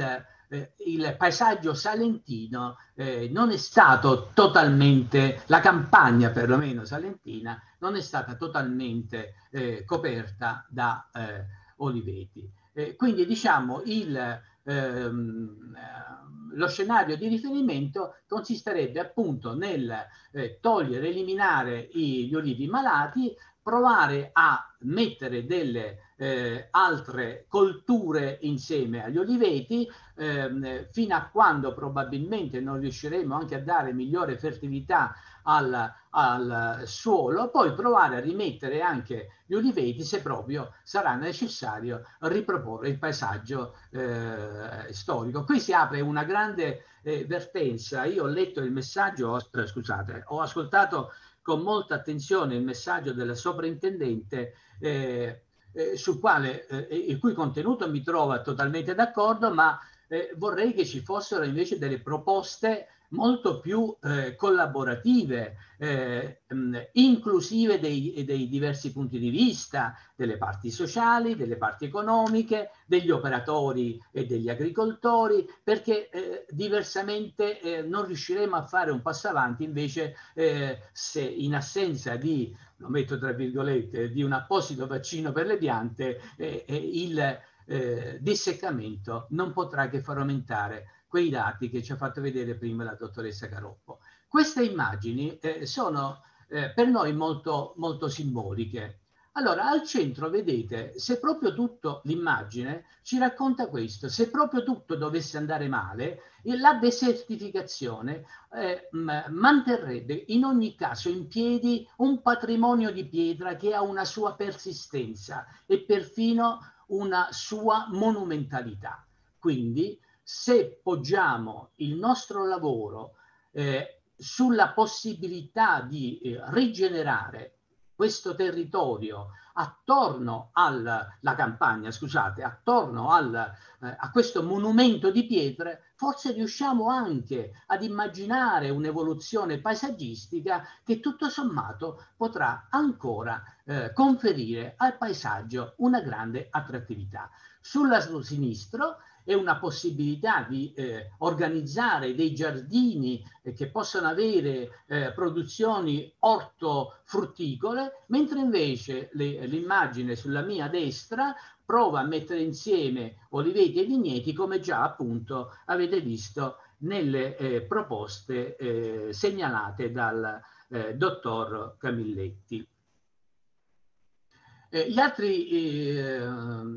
eh, scenari di riferimento erano, eh, pre- previamente sono questi. Che cosa succede se non facciamo nulla? Ma insomma lo, lo avete visto dalla, dalla, dalla, dalle immagini, dai dati riportati dalla dottoressa Caroppo. Che cosa facciamo se la produzione è guidata dal mercato? Anche qui il, sempre il citatissimo eh, dottor Camilletti ci ha fatto vedere se eh, si introducono eh, le, le, le, uh, le produzioni eh, intensive, che cosa potrà accadere? Eh, sicuramente ci sarà un, una uh, riduzione delle, delle qualità paesaggistiche, oltre che anche probabilmente una caduta della fertilità nel tempo del, del terreno o comunque anche eh, eh, sarà sempre un territorio che potrà essere insidiato da ulteriori, eh, da, altre, eh, ehm, da altri eh, insetti che, che potrebbero eh, contagiare. E, mm, dunque, il, il terzo eh, appunto è quello a cui noi facciamo riferimento, è quello di sostituire parzialmente o gli ulivi malati per cui, per cui sostituirlo poi con, con altre colture fino a eventualmente riproporre, ma in, nei tempi successivi, eh, il, i nuovi eh, oliveti. Naturalmente, ripeto, qui eh, si apre una discussione molto, ma molto eh, importante eh, eh, dentro cui i conflitti devono trovare soluzioni tra la sovrintendenza, che giustamente ritiene che il paesaggio ha bisogno di una eh, tutela, una protezione, ma non mette in discussione la possibilità di crearne nuovi purché siano eh, all'interno del, eh, delle indicazioni del piano paesaggistico eh, territoriale di Puglia. Anche qui però questa mi pare una condizione molto eh, ehm, bloccata perché lo stesso piano eh, paesaggistico, così come scritto nelle norme, potrà e dovrà, o, o potrà più che mh, mm, dovrà, eh, subire delle variazioni che potranno essere proprio determinate dalla evoluzione e dalla, eh, dalle necessità territoriali. Quindi eh, per entrare un po' più eh, nei contenuti del progetto, il territorio viene ripensato prendendo in considerazione il metabolismo territoriale. È un progetto... Devo ricordare i tempi. La dimensione, la dimensione spaziale e quella culturale si uniscono anche per agevolare la transizione verso un modello di economia circolare. La rinascita delle aree interne salentine ricche di storia e tradizione dipenderà da come sapremo utilizzare lo spazio rurale che tanto ha influito sulla formazione ed evoluzione dei piccoli centri che popolano il Parco Salento così come lo ha definito e descritto eh, lo hanno definito e descritto Bernardo Secchi e Paola Vigano nel piano eh, territoriale. Il piano infine punta a mobilitare risorse per dare vita a una diversa crescita locale incentrata sulla costruzione della fabbrica del cibo. cioè puntiamo molto sulla rigenerazione agricola, sulla rigenerazione rurale per costruire una grande fabbrica del cibo. Il Salento è frequentato non solo per eh, mh, il suo mare, ma soprattutto perché, eh, almeno così ci dicono eh, i frequentatori eh, ehm, interni ed esterni, per, per eh, quanto bene per, per, come si mangia qui nei nostri posti. Quindi i, i sapori, il cibo eh, è assolutamente di qualità eccellente. Quindi il progetto guarda alla rigenerazione eh, della campagna, al riuso degli insediamenti rurali esistenti, a nuovi processi circolari e sostenibili, alle nuove forme dell'abitare dello spazio pubblico, perché poi lo spazio rurale dovrà connettersi con le trame abitative. Indica gli spazi dedicati all'acqua, da recuperare, esplora il potenziale turistico di una più forte relazione tra la costa e il spazio rurale e suggestivi itinerari che, che conducono ai mirabili centri di eh, presiccia acquarica. Eh, tutto questo è funzionale e il progetto di, eh, è funzionale ehm, al eh, recupero dei rifiuti organici utili per produrre il compost, necessario appunto a rilavorare il suolo impoverito, la regimazione dell'acqua piovana per allontanare i rischi di alluvionamento e agevolare la raccolta dei punti più bassi del territorio, perché qui siamo nel paradosso che l'acqua, eh, quando arrivano le bombe d'acqua, il, i centri urbani si allagano, quando eh, non c'è eh, pioggia, eh, allora abbiamo il rischio della siccità. Quindi noi proviamo a indicare i punti in cui l'acqua può essere recuperata e potrà essere utilizzata per irrigare il grande giardino e le piante olivetate e, e, e i vigneti. Ecco qui questo schema eh, vedete qui, eh, questa è un'immagine dall'Unione del ottobre del 57 eh, dove acquari, i centri di acquari che furono totalmente allagati, cosa che accade piuttosto periodicamente, non con questa eh, ehm, intensità, ma eh, spesso accade nonostante siano stati fatti dei canali per eh, in eh, regimentare le acque eh, e, e, però poi disperderli. Noi invece contiamo di eh, intercettare eh, i canali e provare a recuperare l'acqua per fare dei grandi bacini, anche per eh, provare a, eh, vedete qui questa immagine mette in evidenza le tre fasce del, della mh, mm, falda acquifera, la falda più vicina alla costa che ormai eh, salinizzata per, in, per l'intrusione dell'acqua marina, c'è una fascia interna di eh, salvaguardia e una fascia centrale che invece è, è quella di, eh, di mm,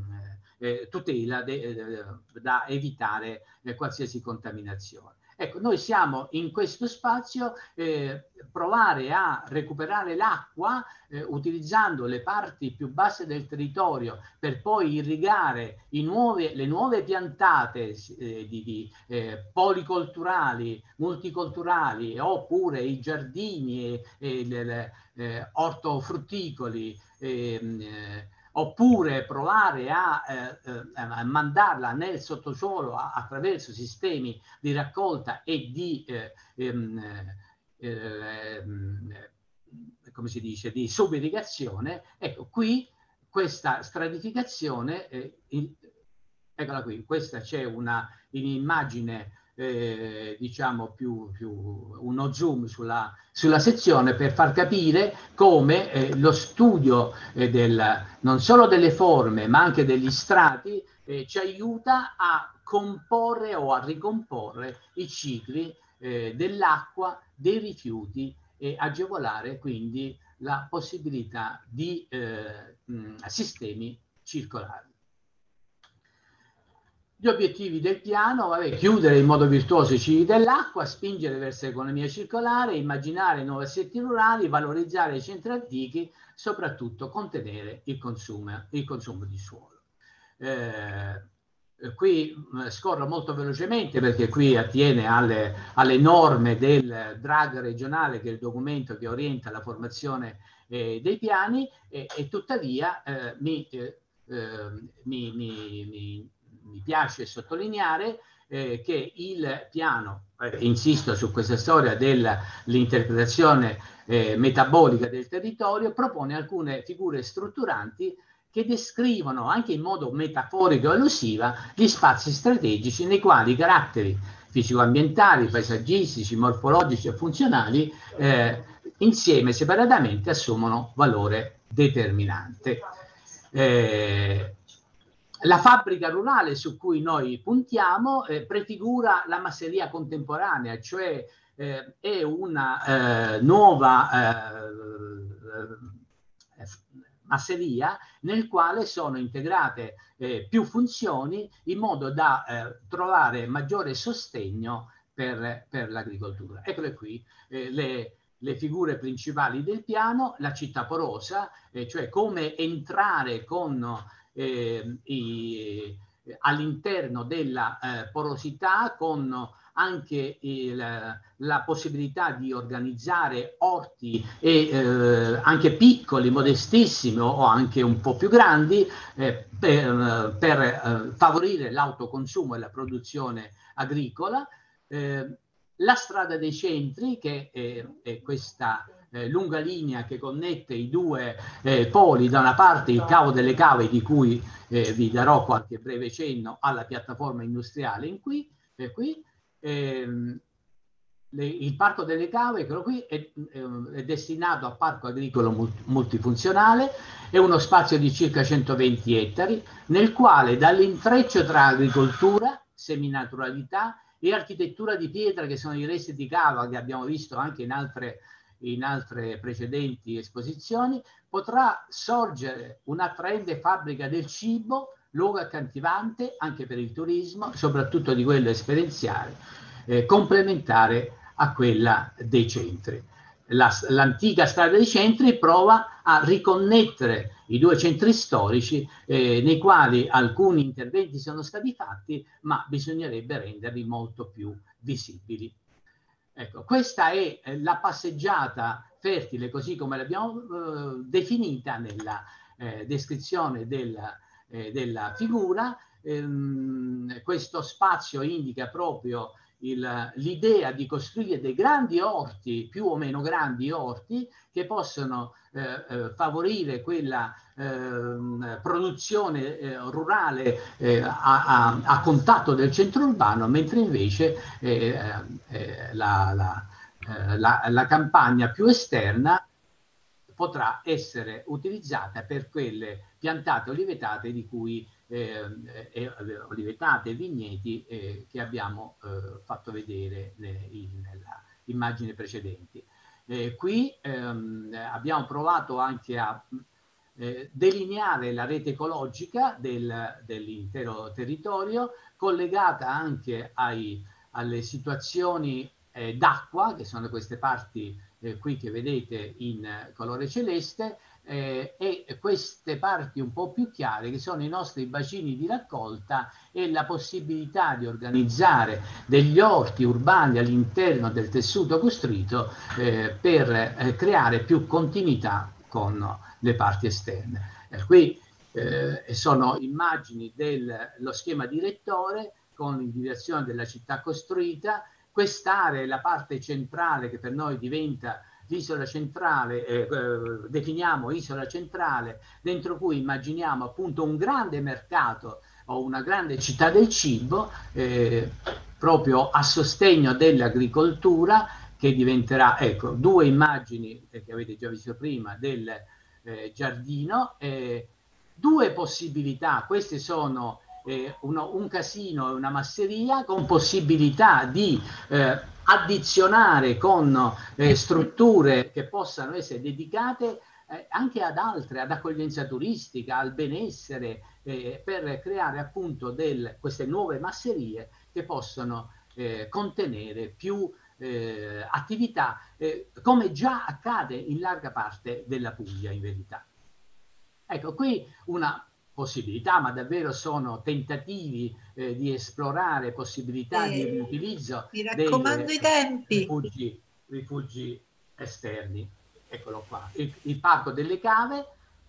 eh, con eh, la possibilità di utilizzare questi resti di cava come architetture e sculture. Questo è il, eh, la grande città del cibo, grande lo si fa, lo, lo metto tra virgolette ovviamente, con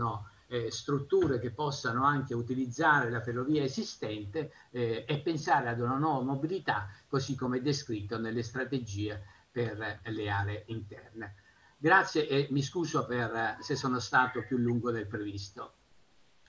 Grazie e soprattutto per aver messo in evidenza la difficoltà di questo tipo di progetti. Tra l'altro progetti di eh, argomenti di territori dove normalmente parliamo di decine barra centinaia di ettari, quindi non piccole realtà marginali, ma elementi importanti. I temi sollevati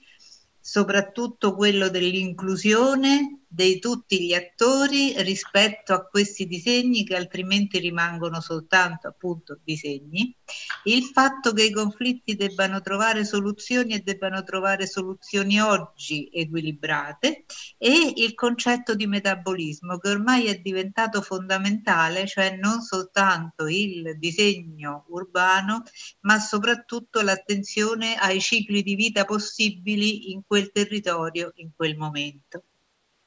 Adesso cambiamo argomento, vi ricordo che siamo con 20 minuti di ritardo, che eh, Architetti eh, è in collegamento dalla Cina, quindi dobbiamo cercare di ehm, non perdere la finestra nella quale sono disponibili.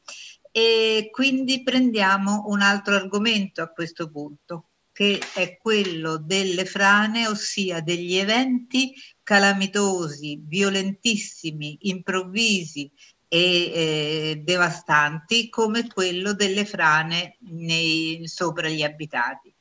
Su questo abbiamo un primo passaggio che è quello anche qui della difficoltà della governance di questo tipo di elementi dove siamo sempre abituati ad operazioni di tipo ingegneristico invece che a operazioni di controllo e anche in questo caso di, eh, di equilibrio tra soggetti e, di, eh,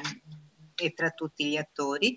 per poi passare eh, appunto a mettere l'accento su questo argomento, in particolare sul bacino del fiume Sarno da parte del eh, dottor Chiavazzo di Legambiente e poi anche qui due esperimenti di progettazione. Uno, quello del Pago del Vallo di Lauro, che ha applicato proprio i criteri della pianificazione ecologica usando il paesaggio non come scenario ma come elemento di progettazione. E un altro, quello di ripensare completamente il territorio di Sarno, che eh, svolgerà Stefano Boeri assieme poi a un richiamo generale ai principi da utilizzare per il centro Italia. Quindi la parola a Corinna Vitale per quanto riguarda l'apertura dei problemi. Allora, condivido il schermo. Si vede, giusto? Mi sentite anche forte e chiaro? Penso. Sì, sì, si vede bene e si sente bene. Mm. Ecco, allora, buongiorno a tutti, il mio nome è Corinne Vitale e sono una dottoranda di ricerca in gestione del rischio alluvioni in ambito urbano um, tra l'Università di Napoli Federico II e uh, la Radboud University in Nijmegen in Olanda. Um, dico questo perché mh, vado in qualche modo un po' a motivare la, la natura del mio intervento che uh, in qualche modo fa anche un attimo un passo indietro in quella che è poi la letteratura scientifica sulla, sull'argomento. Quello che vi presenterò è il caso del fiume Lambro e del fiume Sarno a confronto eh, che andrò in qualche modo a, um, a, mm, dire, ad utilizzare ecco, come casi studio per uh, spiegare quali sono le pratiche di gestione del rischio alluvione in Italia uh, più frequenti in Italia e perché uh, insomma um, ci sono delle pratiche che sono più diffuse poi di, di altre. Um, è sotto gli occhi di tutti che eventi estremi accadono più spesso uh, ogni, ogni, anno, in particolar modo um, gli eventi alluvionali sono tra i fenomeni più frequenti uh, secondo l'Agenzia Europea dell'Ambiente a livello europeo. Basta guardare il grafico in basso per riconoscere quanto questi siano uh, notevolmente aumentati a partire dagli anni 80, come riporta il grafico, fino solo qui al 2010 um, e quanto siano aumentati a maggior ragione quelli ad alta intensità. Um, secondo secondo l'Agenzia Europea dell'Ambiente circa 1500 eventi alluvionali si sono verificati eh, in Europa a partire dagli anni 80, più della metà dopo gli anni 2000. In questo caso, quando parlo di eventi alluvionali, mi riferisco alle esondazioni di corpi idrici superficiali, quindi alle alluvioni eh, fluviali. Ci sono due ragioni principali eh, che eh, sono individuate nell'ambito appunto della letteratura scientifica e che sono ormai note, note a tutti, che sono da un lato sicuramente l'aumento eh, di eventi per così dire estremi o eccezionali o appunto cosiddette bombe d'acqua e dall'altro lato sicuramente l'impatto che ha l'urbanizzato sui corpi idrici superficiali che è riconosciuto nell'ambito appunto della letteratura scientifica come in realtà la causa determinante nella, nel verificarsi appunto di eventi alluvionali. Um, siamo, molto, uh, siamo sempre più spesso uh, portati ad usare um, il, il, termine di resilienza. Quando parliamo di eventi alluvionali, uh, pianificatori urbani e gestori delle, delle risorse idriche, delle acque sono chiamati a eh, garantire la resilienza della città rispetto a quelli che sono fenomeni, eh, in questo caso, alluvionali eh, più o meno estremi. Ma eh, cosa intendiamo per il concetto stesso di resilienza? Qual è il significato che noi attribuiamo a questo termine che molto spesso viene utilizzato eh, in maniera impropria o comunque con significati molto diversi? Uh, come dicevo, facendo un attimo un passo indietro in quella che è la letteratura scientifica sull'argomento, uh, possiamo individuare tre uh, discorsi per così dire, dominanti di resilienza, che sono la resilienza ingegneristica, quella ecologica e quella socio-ecologica. Introduco questo aspetto qui perché a seconda di quello che noi, uh, del significato che ne diamo al termine appunto di resilienza, uh, i decisori politici vanno poi ad adottare delle misure che uh, sono diverse nella gestione stessa del rischio. Uh, quindi quello che cercherò di, di affrontare uh, adesso nell'ambito di questa breve presentazione e mh, per quanto insomma uh, per quanto mi è possibile poi dimostrare per, per il tempo che ho a disposizione è quali sono i discorsi dominanti di resilienza nello specifico dei due casi studio, come l'interpretazione e il significato che i decisori politici hanno attribuito a questo termine ha influenzato la scelta di specifiche misure di gestione del rischio e soprattutto quanto la varietà piuttosto che l'ampiezza di quelle che erano le arene d'azione sottostanti a queste politiche abbiano in qualche modo influenzato la scelta delle misure eh, di gestione del rischio stesso. Eh, quello che vi presenterò oggi in realtà è un piccolo aspetto di un di un quadro analitico molto più ampio eh, che quello eh, appunto che vedete qui nell'immagine che attiene alla teoria istituzionalista e quindi va ad indagare ehm, tutta una serie di fattori che giocano un ruolo eh, poi sull'arena d'azione, sui pattern di interazione e poi sugli outcomes di specifiche politiche. Questi fattori sono elencati sulla sinistra, sono le condizioni chiaramente fisiche di un bacino, sono il contesto politico-economico, sono i discorsi, in questo caso l'interpretazione che i decisori politici attribuiscono al concetto di resilienza, eh, la comunità degli attori coinvolti e infine le norme eh, che in qualche modo vanno a disciplinare poi la, eh, l'operato degli attori stessi. Questi cinque fattori hanno un, impatto hanno un impatto simultaneamente su quella che è l'arena d'azione, interazioni tra gli attori e quindi poi mh, decisioni e outcome finali di specifiche politiche di gestione del rischio. Oggi mi concentrerò però sull'aspetto dei discorsi, quindi dei discorsi di resilienza e come questi giocano un ruolo sull'ambito della renatazione e sulle politiche finali adottate.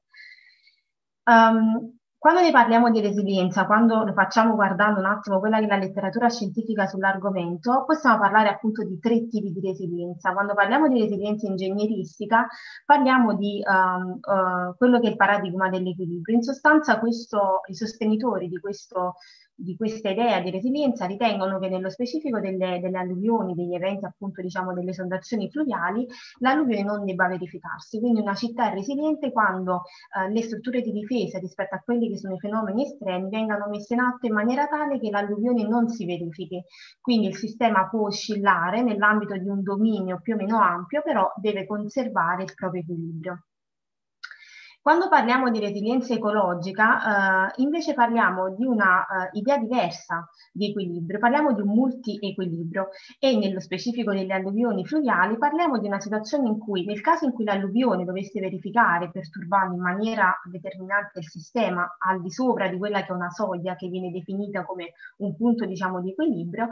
questo sistema può, uh, come dire, può um, um, adattarsi al nuovo equilibrio, può diventare qualcosa di diverso. In questo specifico caso, le misure di gestione del rischio che sono uh, insomma, tenute in considerazione sono quelle che vanno in qualche modo ad accogliere l'evento diciamo alluvionale, le sondazioni, come ad esempio il Rumford River in Olanda o uh, appunto un po' i bacini, la logica un po' dietro i bacini di ritenzione fluviali. Per quanto riguarda la resilienza socio-ecologica, non aggiunge in realtà um, condivide ecco, il, uh, di base l'idea del multiequilibrio, ma c'è una determinante, c'è un fattore chiave che è il ruolo dato appunto alla comunità. C'è in questo caso l'aspetto diciamo, um, della comunità locale, uh, delle persone in quanto agenti dell'ecosistema. In questa, in questa, categoria ricadono un po' di più quelle che sono delle misure che partono dal basso e nello specifico delle, del, dei fiumi e delle esondazioni possiamo fare riferimento ai contratti di fiume, no? in cui c'è questa logica diciamo, di coinvolgimento della comunità, questa logica appunto bottom up. Questo per dire, questo passo un po' indietro ecco, nella letteratura scientifica ci ha aiutato, ha aiutato me nell'ambito della mia ricerca di dottorato e, e quello mh, che vorrei condividere con voi oggi, ad individuare poi nello specifico quali sono le misure che i decisori politici, che i pianificatori urbani, che i gestori appunto delle acque vanno a mettere in atto e quali sono queste misure sulla base un po' di quello che loro ritengano sia appunto il senso stesso di resilienza per un fatto appunto di tempi sono costretta ad andare un po' più veloce su questa su questa, su questa tabella, ma fondamentalmente quando parliamo di resilienza ingegneristica parliamo di una uh, situazione in cui uh, si prevede che l'alluvione non avvenga, in questo caso ricadono le misure uh, per così dire hard control infrastructures o appunto misure hard strutturali di riduzione del rischio o misure di pianificazione spaziale che in qualche modo vanno un po' a reinventare il classico sistema di arginature o appunto di dighe quali ad esempio i bacini di ritenzione protezione oppure le difese multifunzionali piuttosto che water storage. Uh, quando parliamo di resilienza ecologica uh, e di resilienza socio-ecologica andiamo a parlare di misure uh, che non escludono che l'alluvione avvenga, ma vanno in qualche modo a preparare l'area urbana per quello che è l'evento alluvionale quindi con misure diciamo di, um, uh, con, um, intervenendo sul monitoraggio piuttosto che sulle, sulla misura del, sugli interventi nell'emergenza o appunto su interventi che uh, vanno in qualche modo ad adattare il patrimonio costruito rispetto all'eventualità che l'alluvione si verifichi. Quando invece parliamo di um, misure esposte a, di misure dedicate all'esposizione invece del rischio, parliamo fondamentalmente di tenere via eh, la città da quella che è l'alluvione. Quindi non contenere l'alluvione affinché questa non si verifichi, ma far sì che si verifichi una realtà in cui eh, possa verificarsi liberamente, come appunto in aree urbanizzate, ma questo insomma è il caso un po' meno più difficile, meno improbabile, soprattutto in Italia con la densità urbana e abitativa che, insomma, di cui, di cui siamo tutti a conoscenza. Uh, quindi quello che abbiamo cercato di fare è guardare un po' uh, quali sono state le decisioni adottate nell'ambito di due uh, bacini, in particolar modo mi riferisco al fiume Lambro per quanto riguarda la città metropolitana di Milano e al fiume Sarno per quanto riguarda quella di Napoli. Sono, sono, due realtà diverse ma che hanno dei connotati in comune. nel caso del fiume Lambro a Milano sappiamo che appunto um, la città di Milano possiamo ecco dire che sia attraversata da tre fiumi principali e una serie numerevoli poi di fiumi secondari, ma sono appunto il Lambro, il Seveso e l'Olona. Il Lambro lambisce la città eh, di Milano sul lato eh, sul lato est, attraversando un territorio altamente urbanizzato, un'area tra, tra, le aree più, in, in, più, importanti dal punto di vista industriale in Italia, per cui scorre in buona parte incassato tra um, quelli che sono appunto aree uh, in attività o aree appunto dismesse industriali, con tutta una serie di difficoltà nella gestione di piogge che non sempre sono piogge a carattere eccezionali, ma che molto spesso e molto più spesso sono piogge invece a carattere ordinario, perché il il, uh, la, la, il, il, letto del fiume presenta dei connotati tali da uh, non avere sufficiente spazio per accogliere appunto quest'acqua in, eventualmente in arrivo in esubero. Per quanto riguarda il bacino del fiume Sarno, eh, anche in questo caso il Sarno eh, ha una posizione un po' collaterale rispetto alla città metropolitana di Napoli, eh, tocca anche diverse altre province vicine, eh, condivide con il Lambro eh, il fatto che scorre in delle aree altamente urbanizzate, soprattutto per quanto concerne la parte bassa del bacino, eh, ma attraversa anche delle aree meno urbanizzate con una vocazione agricola molto importante che ne determinano insomma ehm, che de- determina l'economia della piana e il ruolo anche poi appunto della piana dal punto di vista eh, di distretto agricolo a livello italiano. Um, quindi quello che abbiamo fatto fondamentalmente è stato guardare a delle politiche, um, ovviamente abbiamo, insomma, ne abbiamo selezionato qui alcune, ma uh, guardare ad alcuni studi piuttosto che delle politiche messe in atto, in questo caso specifico sul bacino del fiume Lambro, e um, mi, mi, faceva piacere ecco, richiamare l'attenzione un po' alla diversità di questi, di questi approcci. Uh, abbiamo da mh, qui appunto sulla sinistra quello che è lo studio di fattibilità del Lambro, nasce pertanto come studio di fattibilità uh, finanziato da Fondazione Tariplo che um, insomma, guardava alla possibilità eh, ricercava ecco, le possibilità di creare una rete ecologica regionale, c'è questo studio condotto da ERSAP che eh, ho trovato di estremo interesse per la varietà di attori che va a tenere in considerazione nell'ambito poi dei possibili scenari eh, futuri, nasce come uno studio, quindi va ad indagare, va ad effettuare delle analisi all'interno del bacino e provvede poi diciamo delle, delle soluzioni, quindi degli scenari futuri. E la varietà degli attori coinvolti, eh, nonostante il tema fondamentale di questo studio non sia stata la gestione del rischio, ma abbia guardato appunto un po' di più ai temi di ristorazione ecologica e quindi di recupero ambientale del fiume, ma comunque il rischio ha giocato un ruolo in questo, ho trovato interessante quelle che sono le misure uh, fornite, che insomma non sono solamente misure a carattere uh, appunto uh, strutturale, ma va anche a ipotizzare delle misure come dare spazio al, al, dare, dare spazio al fiume piuttosto che indietreggiare gli argini, laddove ovviamente questo fosse possibile, rinatu- rinaturalizzare gli argini, insomma cercare di fare degli interventi che non siano semplicemente di contenimento dell'evento alluvionale in maniera appunto localizzata e eventualmente... Scusate, devo chiedere di velocizzare i tempi perché dalla segreteria mi stanno lasciando pochissimo, almeno riescono a parlare tutti anche per poco perché se no rischiamo di dover saltare degli interventi. Vi prego di stringere alle questioni eh. essenziali. Mi dispiace, purtroppo siamo andati lunghi sulla prima fase, ma almeno riuscite a parlare tutti tutti. Certo, no, non c'è problema, posso qui andare veloce. Questo è per dire che uh, accanto diciamo, ad uno studio, il contratto di Fiume Lambro, piuttosto che gli accordi di programma, il contratto di Fiume Lambro nasce appunto dal basso, pertanto anche in questo caso c'era una varietà di attori che venivano ad essere uh, coinvolti e poi insomma ci sono gli accordi di programma, in questo caso per la gestione idraulica del nodo di Milano,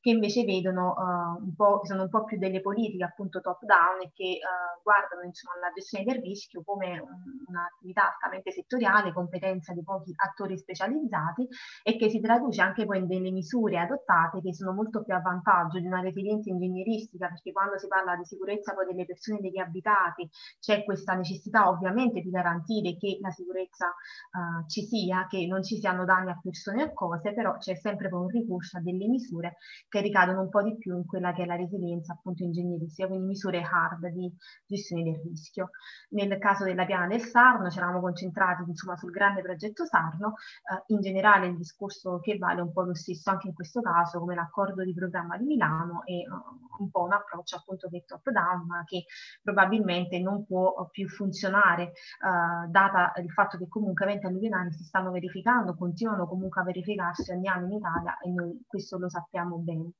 Uh, volevo solo diciamo, tirare poi delle conclusioni finali um, che se da un lato un attimo solo, uh, se da un lato diciamo c'è uh, l'uso, diciamo, la resilienza per così dire ingegneristica e quindi l'uso di misure strutturali è fondamentalmente istituzionalizzato, ci sono istituzioni preposte ed è quello che forse con cui noi abbiamo più familiarità, ci sono delle uh, eh, delle politiche che spingono in una resilienza più ecologica e quindi con misure diverse da quelle tradizionali che possiamo anche vedere nell'immagine qui accanto a destra nel bacino del, del Sarno, la varietà degli attori coinvolti nell'ambito dell'arena d'azione può aiutare la, uh, a mh, ipotizzare delle soluzioni che non siano solo appunto uh, in, infrastrutture hard di controllo, ma che guardino anche ad altro. Se il risultato di queste appunto politiche è quello che vediamo qui accanto, dobbiamo insomma porci se questo ancora, porci la domanda se, se questo è ancora il modo di concepire il nostro, i nostri fiumi, il nostro reticolo idrografico insomma, superficiale. Quindi insomma così per velocizzare, per concludere. Grazie. Grazie a lei, mi dispiace di questo restringimento, ma alle due ci tolgono la linea, quindi dobbiamo regolarci e lasciare spazio anche a un minimo di conclusioni e, ehm, a questo punto avremmo, entrando proprio nello specifico del bacino del fiume Sarno, il dottor Chiavazzo, eh, che prego di sintetizzare nei due punti chiave, cioè l'approccio che c'è stato finora al contenimento della frana dopo l'evento del 98 e invece a quello che ha chiesto Legambiente e su cui poi il professor Moccia potrà eh, raccontare appunto il proseguimento e mm. la messa in atto di queste esortazioni. Prego. Buongiorno a tutti. Innanzitutto provo ad essere velocissimo. Allora, innanzitutto eh, immagino, spero sia condiviso lo schermo. Sì, tutto a posto, si sente e si vede. Perfetto. Se riesco anche a, a farlo full screen è meglio. Si vede?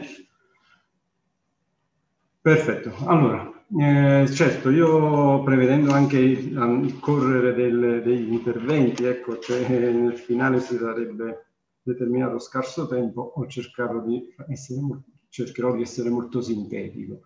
Eh, innanzitutto, qual è il bacino del Sarno? Ecco, un territorio di circa 750 km quadrati, eh, con una elevata eh, presenza insediativa, circa un milione di persone, tra l'altro polarizzata eh, verso la costa e poi con un gradiente non regolare che va a defluirsi verso l'interno. Uh, nella parte qui dell'immagine in rosso si vede chiaramente eh, un po' il territorio del comune di Sarno che rientra nel bacino del Sarno. Ecco, immagino che vediate pure il cursore che si muove, che è la parte blu. Il bacino del Sarno, il bacino del Sarno in senso stretto del, dell'asta del fiume Sarno afferisce anche il bacino dei suoi due eh, tributari principali, il torrente Cavaiolo e il torrente Solofrana, e quindi che eh, afferiscono, cioè, provengono da altre province, provincia di Salerno e provincia di Avellino. Qui andiamo alla parte alta a destra della videata. Ecco, questo bacino del Sarno, diciamo, emblematicamente è una eccezionale stratificazione di problematiche ambientali, sociali ed economiche, quindi è proprio un cimento da un certo punto di vista per, per, per poter evidentemente affrontare problematiche di particolare complessità. Si, si sovrappongono infatti problemi di carattere idrogeologico, di stesso idrogeologico, sia di, di, riguardo alle frane, schiofrane, emblematiche eventi del 98, che dal punto di vista idraulico, la, la dottoressa prima parlava appunto delle, delle alluvioni, rischi alluvioni. Inquinamento, altra problematica importante e tra l'altro datata, inquinamento delle acque superficiali in particolare derivante da una mancata depurazione di un territorio imponente, importante, dinamico che si è sviluppato senza un'adeguata dire, eh, corrispondente infrastrutturazione fondamentale, cioè di quelli che sono i servizi fondamentali. Di qui ne deriva anche la contaminazione dei soli, che è un'altra problematica non da poco, tanto è vero che immagino era fino a qualche anno fa, prima che venisse derubricato, eh, annoverato tra i siti di interesse nazionale ai sensi della legge di riferimento che riguarda le bonifiche. A ciò si aggiunge un'importante progressione nel consumo di suolo, eh, aggravata da fenomeni di abusismo edilizio e soprattutto dal disordine insediativo, laddove c'è stato spontaneismo. C'è qualcuno con l'audio aperto? E, e, così via. Da ultimo, giusto per non farci mancare nulla, sul bacino incombe anche il rischio vulcanico. Mm, mi corre l'obbligo ecco, di dare sempre uno sguardo al passato e eh? mi incuriosisce sempre vedere che cosa ne pensassero del bacino del Sarno, un po' i, i nostri antenati. E guardando qualche libro interessante questo qui che è dato 1844 veniva fuori qualcosa di, di, di per così dire eh, che, do, che, dovrebbe costituire l'insegnamento ecco eh, leggiamo un po' che dice qua. Recandovi dalla città alle sorgenti della Foce qui parliamo proprio del centro abitato di Sarno e la località Foce è, è, si trova in pratica uh, in destra idrografica del, del, del fiume Sarno, è una delle principali eh, sorgenti che poi vanno a costituire il Sarno. Ecco, e, e, quindi che cosa dice qui? La strada che vi, si percorre risvela subito le continue alterazioni cui sono state e van soggette quelle terre per le alluvioni montane non si vedono che aride scarne coste di monti insufficienti a ritenere le acque. E siccome facilmente franano per la fragile loro natura, perché compositi di strati lavillosi calcari, rovinose scendono e si spandono sui terreni. La devo pregare di arrivare subito alla descrizione Perfetto. del 98 e alla posizione di Lega Ambiente su questo tipo Eccoci di rimedi qua. proposti. Questi sono un po' gli eventi, giusto qualche foto, oh, in effetti venne giù portate notevoli di materiali, cioè portate liquide e solide, frammiste, eh, che travolsero, diciamo, facendo, determinando danni notevoli e, e con un numero notevole di vittime, una tragedia immane. Che cosa poi è stato realizzato, mi corre pure questo l'obbligo di dirlo, è che eh, eh, diciamo si, si, tratta di due paesaggi che si sono contrapposti, quello lì naturale si è proprio contrapposto a, a quello antropico. Eh, eh, questi sono gli interventi che sono stati realizzati, sono in effetti delle opere ponderose con grosso impegno di cemento che hanno di fatto stravolto un paesaggio e che in effetti poi lasciano anche qualche dubbio sulla loro efficacia. Se solo si ricorda che le portate che, dei materiali fluidi, fluidificati che venivano giù erano notevoli, non si comprende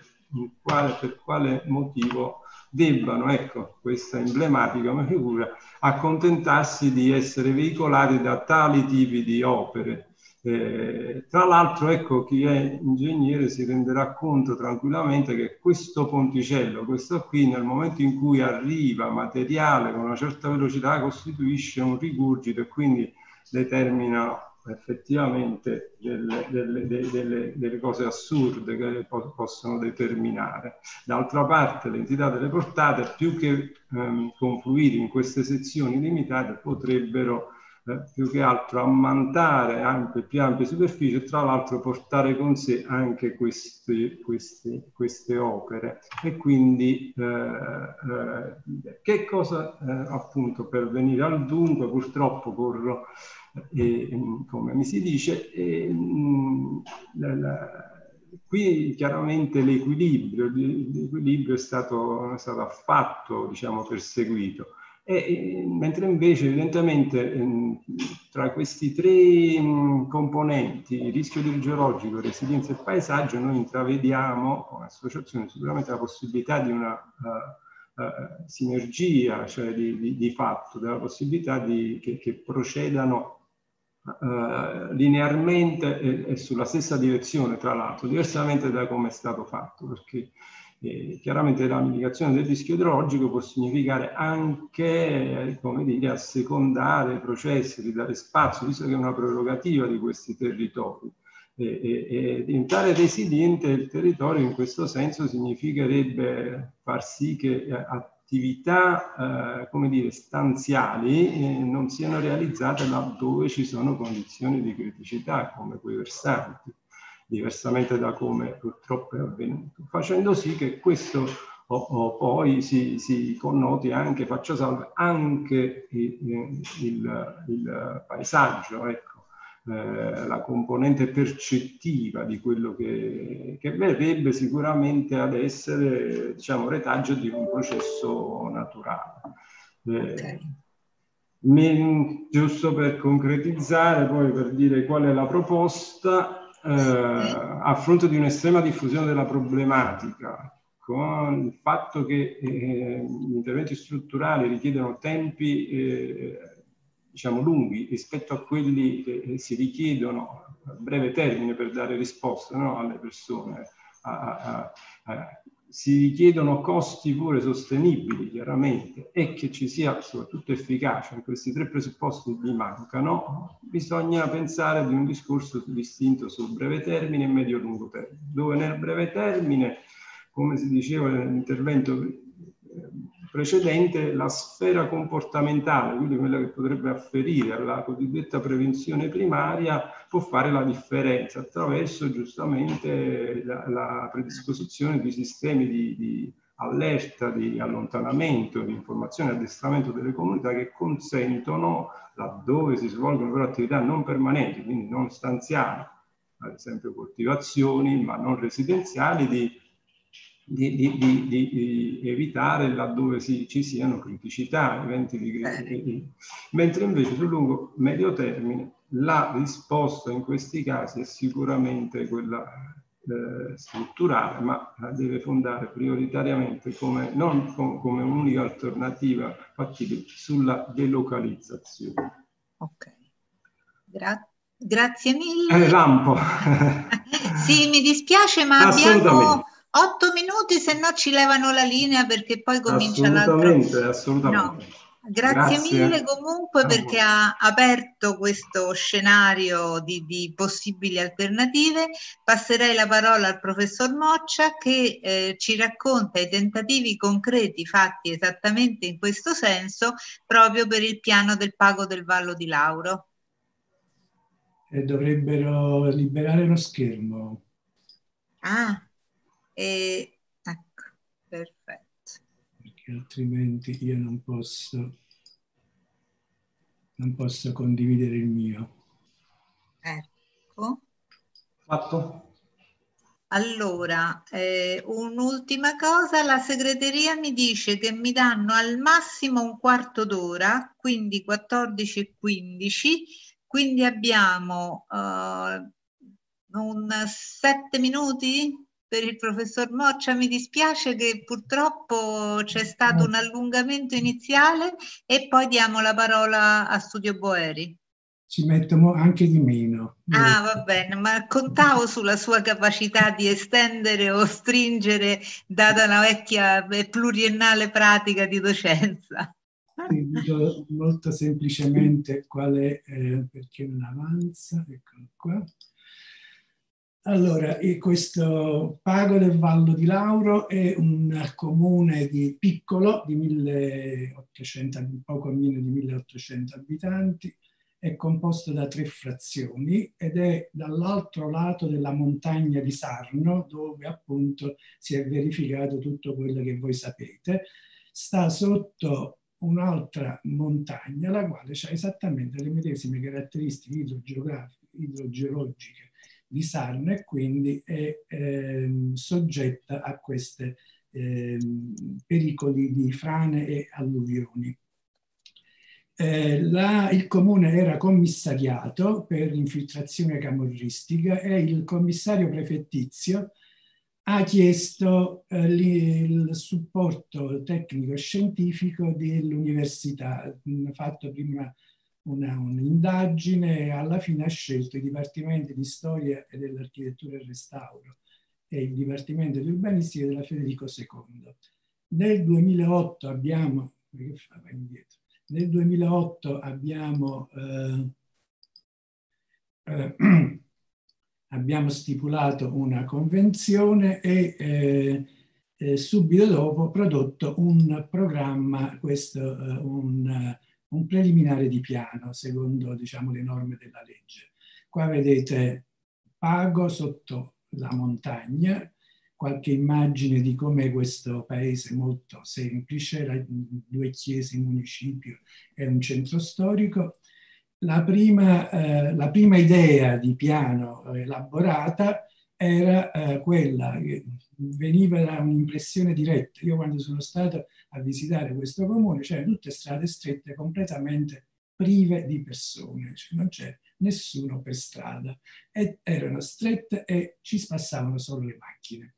Per cui mi sono incominciato a esercitare sul fatto, ma ci può essere un'altra struttura, un'altra infrastruttura urbana che invece è eh, friendly con le persone, che ha un carattere naturale e quindi naturalmente in quel periodo studiavamo le infrastrutture verdi e allora i eh, torrenti eh, che attraversano il comune sono diventate immediatamente l'oggetto fondamentale del nostro,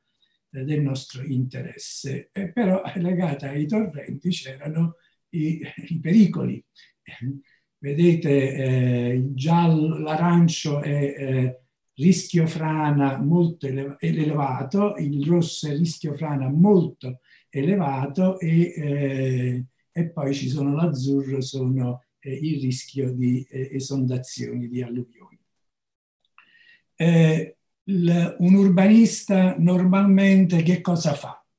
Zonizza il territorio sulla base della carta del rischio e allora dice, rischio frana elevato non si fa nulla, rischio frana eh, si può fare qualcosina, questo eccetera. Ma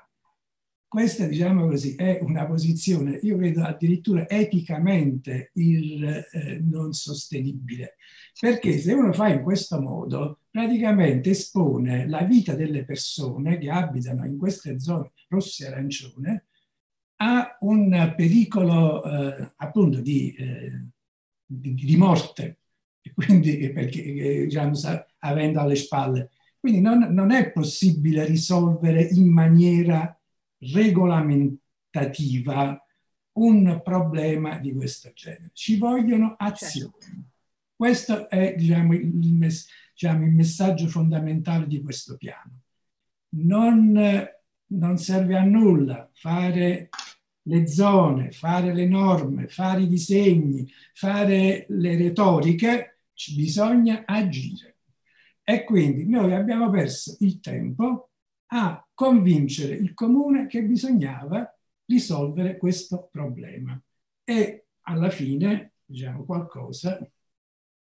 eh, non dico diciamo, il progetto preliminare perché ci porterebbe un poco fuori eh, fuori luogo, così come diciamo, non approfondisco il, le questioni di, eh, di pericolo e di, e di, rischio, ma vi faccio semplicemente vedere che a un certo punto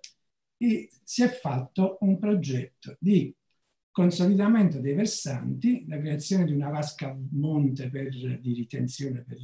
le acque che scorrevano dal, diciamo, dal torrente che aveva maggiore impatto proprio sul centro eh, sul centro abitato. E, e, è andato tutto bene, così così, perché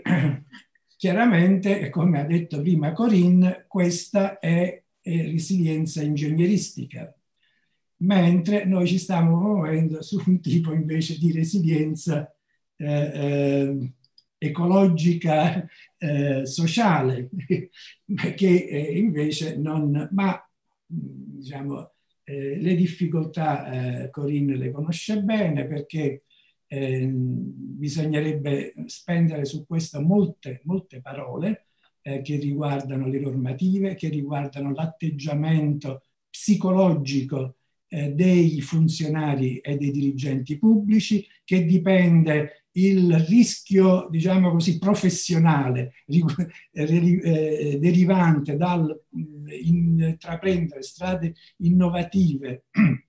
che potrebbero portare a risultati anche di maggiore qualità, ma hanno un livello di incertezza superiore perché non sono confortati da, eh, da esperienze consolidate, ma soprattutto non sono confortate da una falsa razionalità matematica, la quale eh, riesce ad avere una funzione retorica e di convincimento e di oggettivazione delle scelte che perlomeno mette tutti quanti tranquilli, per cui quando succede qualcosa e interviene il giudice, ci stanno le carte che possono parare, diciamo così, le responsabilità di chi eh, opera all'interno di questo sistema. Questo mi sembra veramente un punto particolarmente rilevante su cui bisognerebbe dare a fondo perché altrimenti non andiamo verso un diverso tipo di concezione, eh, di concezione del, della resilienza. In ogni caso però siamo contenti che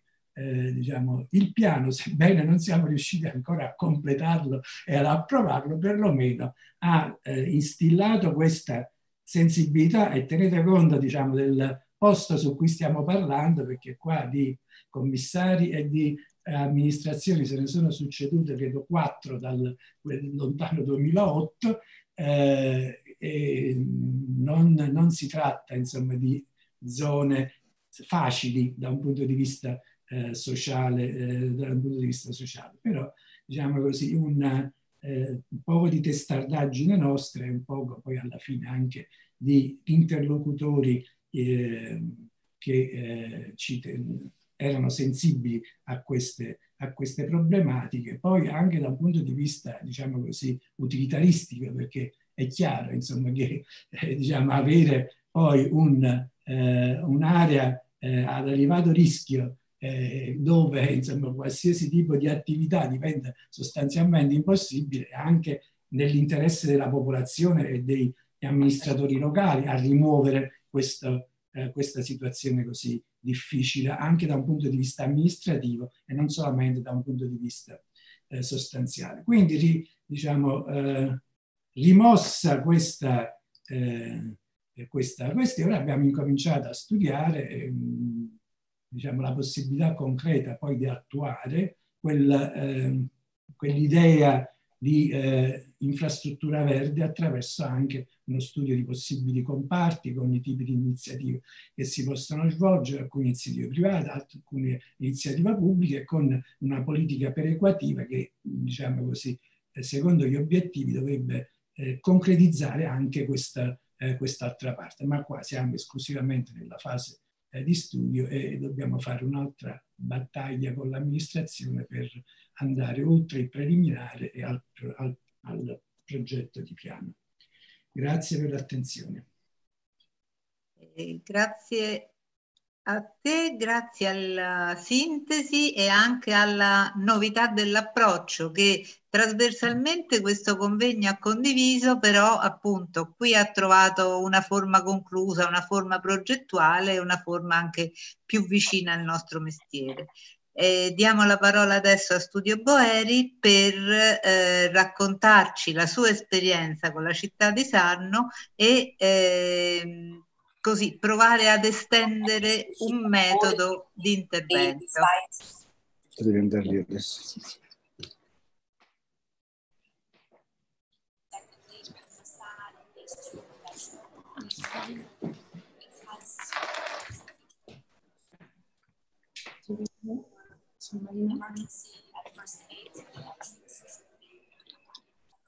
Pronto? Non so se mi sentite.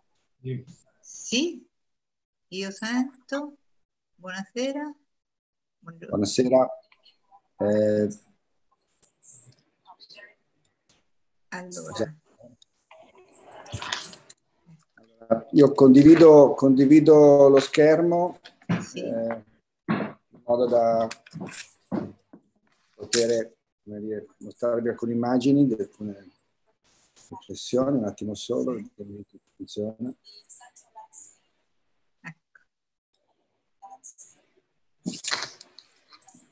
Ecco, mi sentite? Sì, sì, benissimo.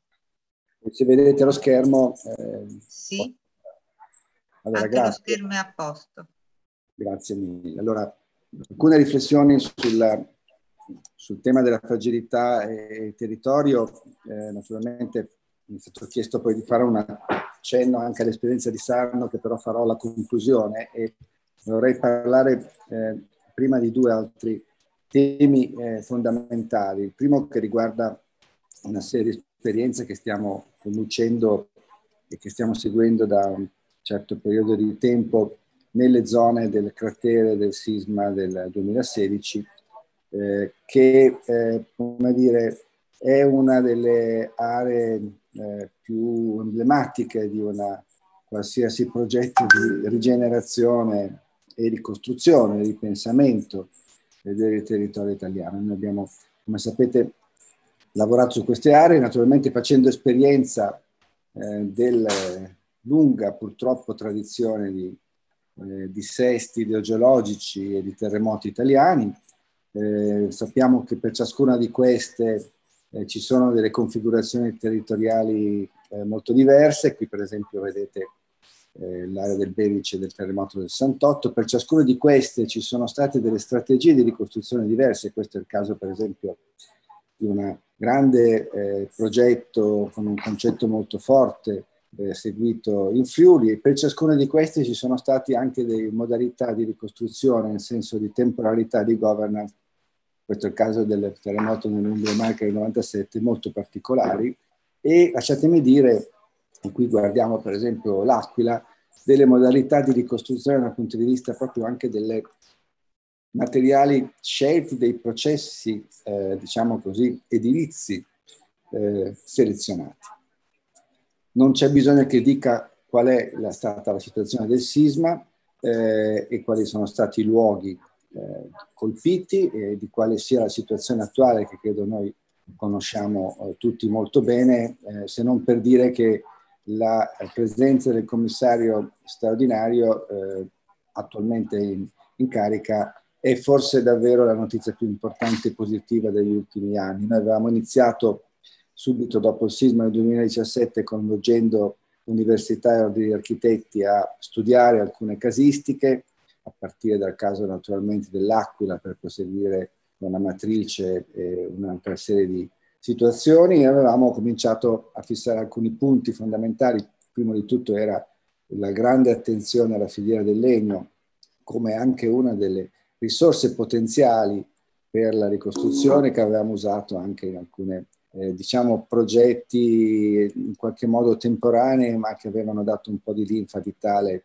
ad alcuni di questi centri, eh, tra cui anche Norcia, oltre che Amatrice, dove io ricordo erano crollati gli edifici pubblici, eh, tutti e non invece le case private, io credo per un tema che andrebbe guardato con attenzione di eh, assenza eh, di una come dire, capacità di guardare veramente quali erano i temi dell'emergenza. Poi questa è una storia, una vicenda eh, che ha anche avuto dei risvolti giuridici eh, che mi ha riguardato e che in qualche modo rappresenta un elemento paradossale. Noi stiamo adesso lavorando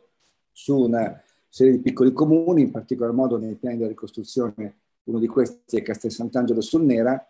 eh, e qui ci tengo a dire che il lavoro che stiamo cercando di fare con un gruppo di professionisti molto qualificati eh, è una che vedete anche qui sotto segnato, tra cui ricordo il professor Braga, è un lavoro molto importante perché quello che siamo chiamati a fare è quello di riprovare a capire come in questi centri si tratta di riportare anche una, una comunità, non solo di ricostruire un guscio edilizio. Quindi il lavoro dei piani di ricostruzione è un lavoro eh, ad ampio spettro, è un lavoro che si interroga sulla quello che è stato chiamato un neopopolamento, quali sono le opportunità e le possibilità di un neopopolamento di questi centri che sono emblematici di una condizione più diffusa dei centri rurali e, e storici nella dorsale appenninica. Quindi è un lavoro che ha, come dire, una serie di sotto eh, aspetti fondamentali e che però, come succede eh, in molte eh, di queste altre reti di piccoli centri, eh, è un lavoro che parte dalla costruzione di un rapporto tra un capoluogo e un serie, una serie di frazioni. Eh, abbiamo lavorato molto naturalmente sul tema della sicurezza e però abbiamo anche subito lavorato, lo stiamo facendo con una serie di incontri, sul tema della comprensione di una questione che per noi è fondamentale, che è il rapporto tra la dimensione dell'autentico e la dimensione dell'identico. Per dire in poche parole, la mia opinione è che noi dobbiamo cercare di scoprire e rigenerare l'autenticità delle relazioni prima di tutto sociali e poi spaziali di quei territori senza essere ossessionati dalla ricostruzione dell'identico dal punto di vista delle configurazioni fisiche. E questo è eh, il senso del nostro lavoro. Stiamo cercando di lavorare su questo, studiando le frazioni, studiando le loro caratteristiche, la loro funzionalità e cercando di capire come possiamo veramente come dire, ripensare anche da un punto di vista storico questo spazio, guardando, io qui tengo molto a questa immagine, guardando questa incredibile reticolo di piccoli centri che si sviluppa in questa parte d'Italia, che potrebbe essere estesa anche verso le zone del Lazio, noi abbiamo di fatto una, come dire, una, un sistema di centri che storicamente era legato e che andrebbe guardato come una, eh, come dire, una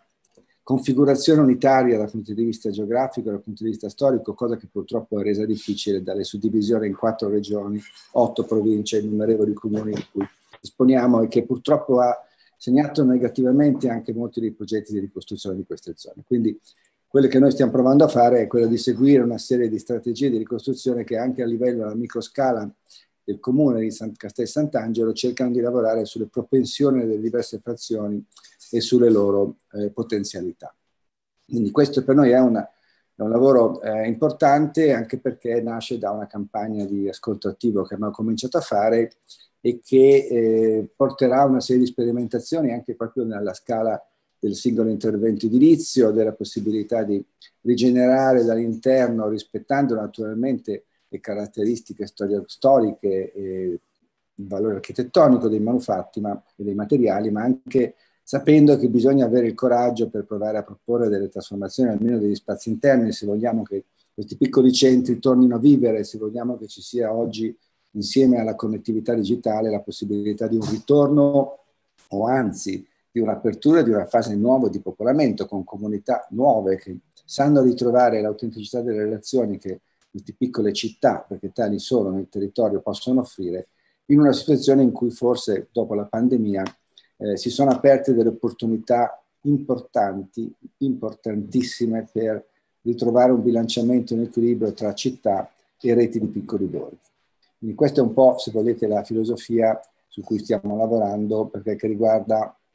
Castel Sant'Angelo sul Nera, e qua vedete una serie di riflessioni che però poi ovviamente sono anche molto attenti alle caratteristiche storico-architettonico-artistiche delle diverse eh, parti, alla loro modalità insediativa e alle loro caratteristiche, eh, diciamo così, da un punto di vista della città pubblica, della città, della città esposta. Eh, questo riguarda un po' un lavoro importante, come dicevo, che eh, ha al centro anche una serie di attenzione sui materiali e sulle modalità di intervento e di ricostruzione. Secondo tema è quello della messa in sicurezza. Io vorrei anche qui basarmi su un'esperienza fatta, che è il piano, che è il piano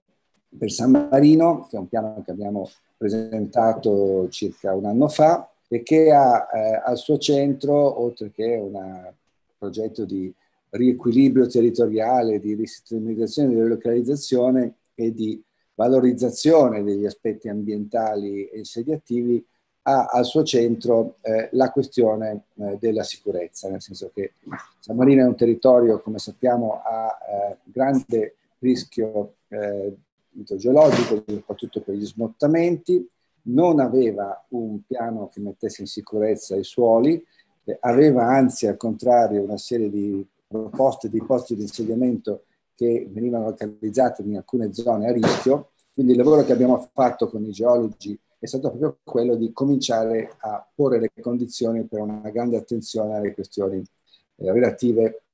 alla eh, messa in sicurezza, oltre che naturalmente una serie di interventi legati al contenimento dello sviluppo, al consolidamento dei centri esistenti, alla mobilità, eh, attraverso una serie di ambiti di rigenerazione principali una serie di progetti puntuali, esemplari che abbiamo, eh, che abbiamo sviluppato. Ma ripeto, davvero il punto fondamentale di tutto questo progetto è stato quello della messa in sicurezza,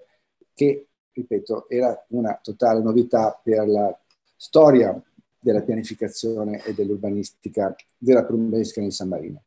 eh, con naturalmente un'attenzione anche alla, al rapporto col centro storico, con la Rocca, con questa emergenza, con questa emergenza straordinaria. Ma solo, se potete guardare qua, 200 edifici in area ad alto rischio ideologico di possibile localizzazione, già solo questo nome, questo, questa cifra ci indica come questo sia stato un punto eh, fondamentale eh, di partenza per tutto il nostro lavoro, oltre che quello di spostare previsioni di sviluppo che insistevano su aree ad estremo rischio. Eh, passo infine eh, in modo veloce a eh, raccontare eh, un terzo elemento che mi è stato chiesto di eh, segnalare,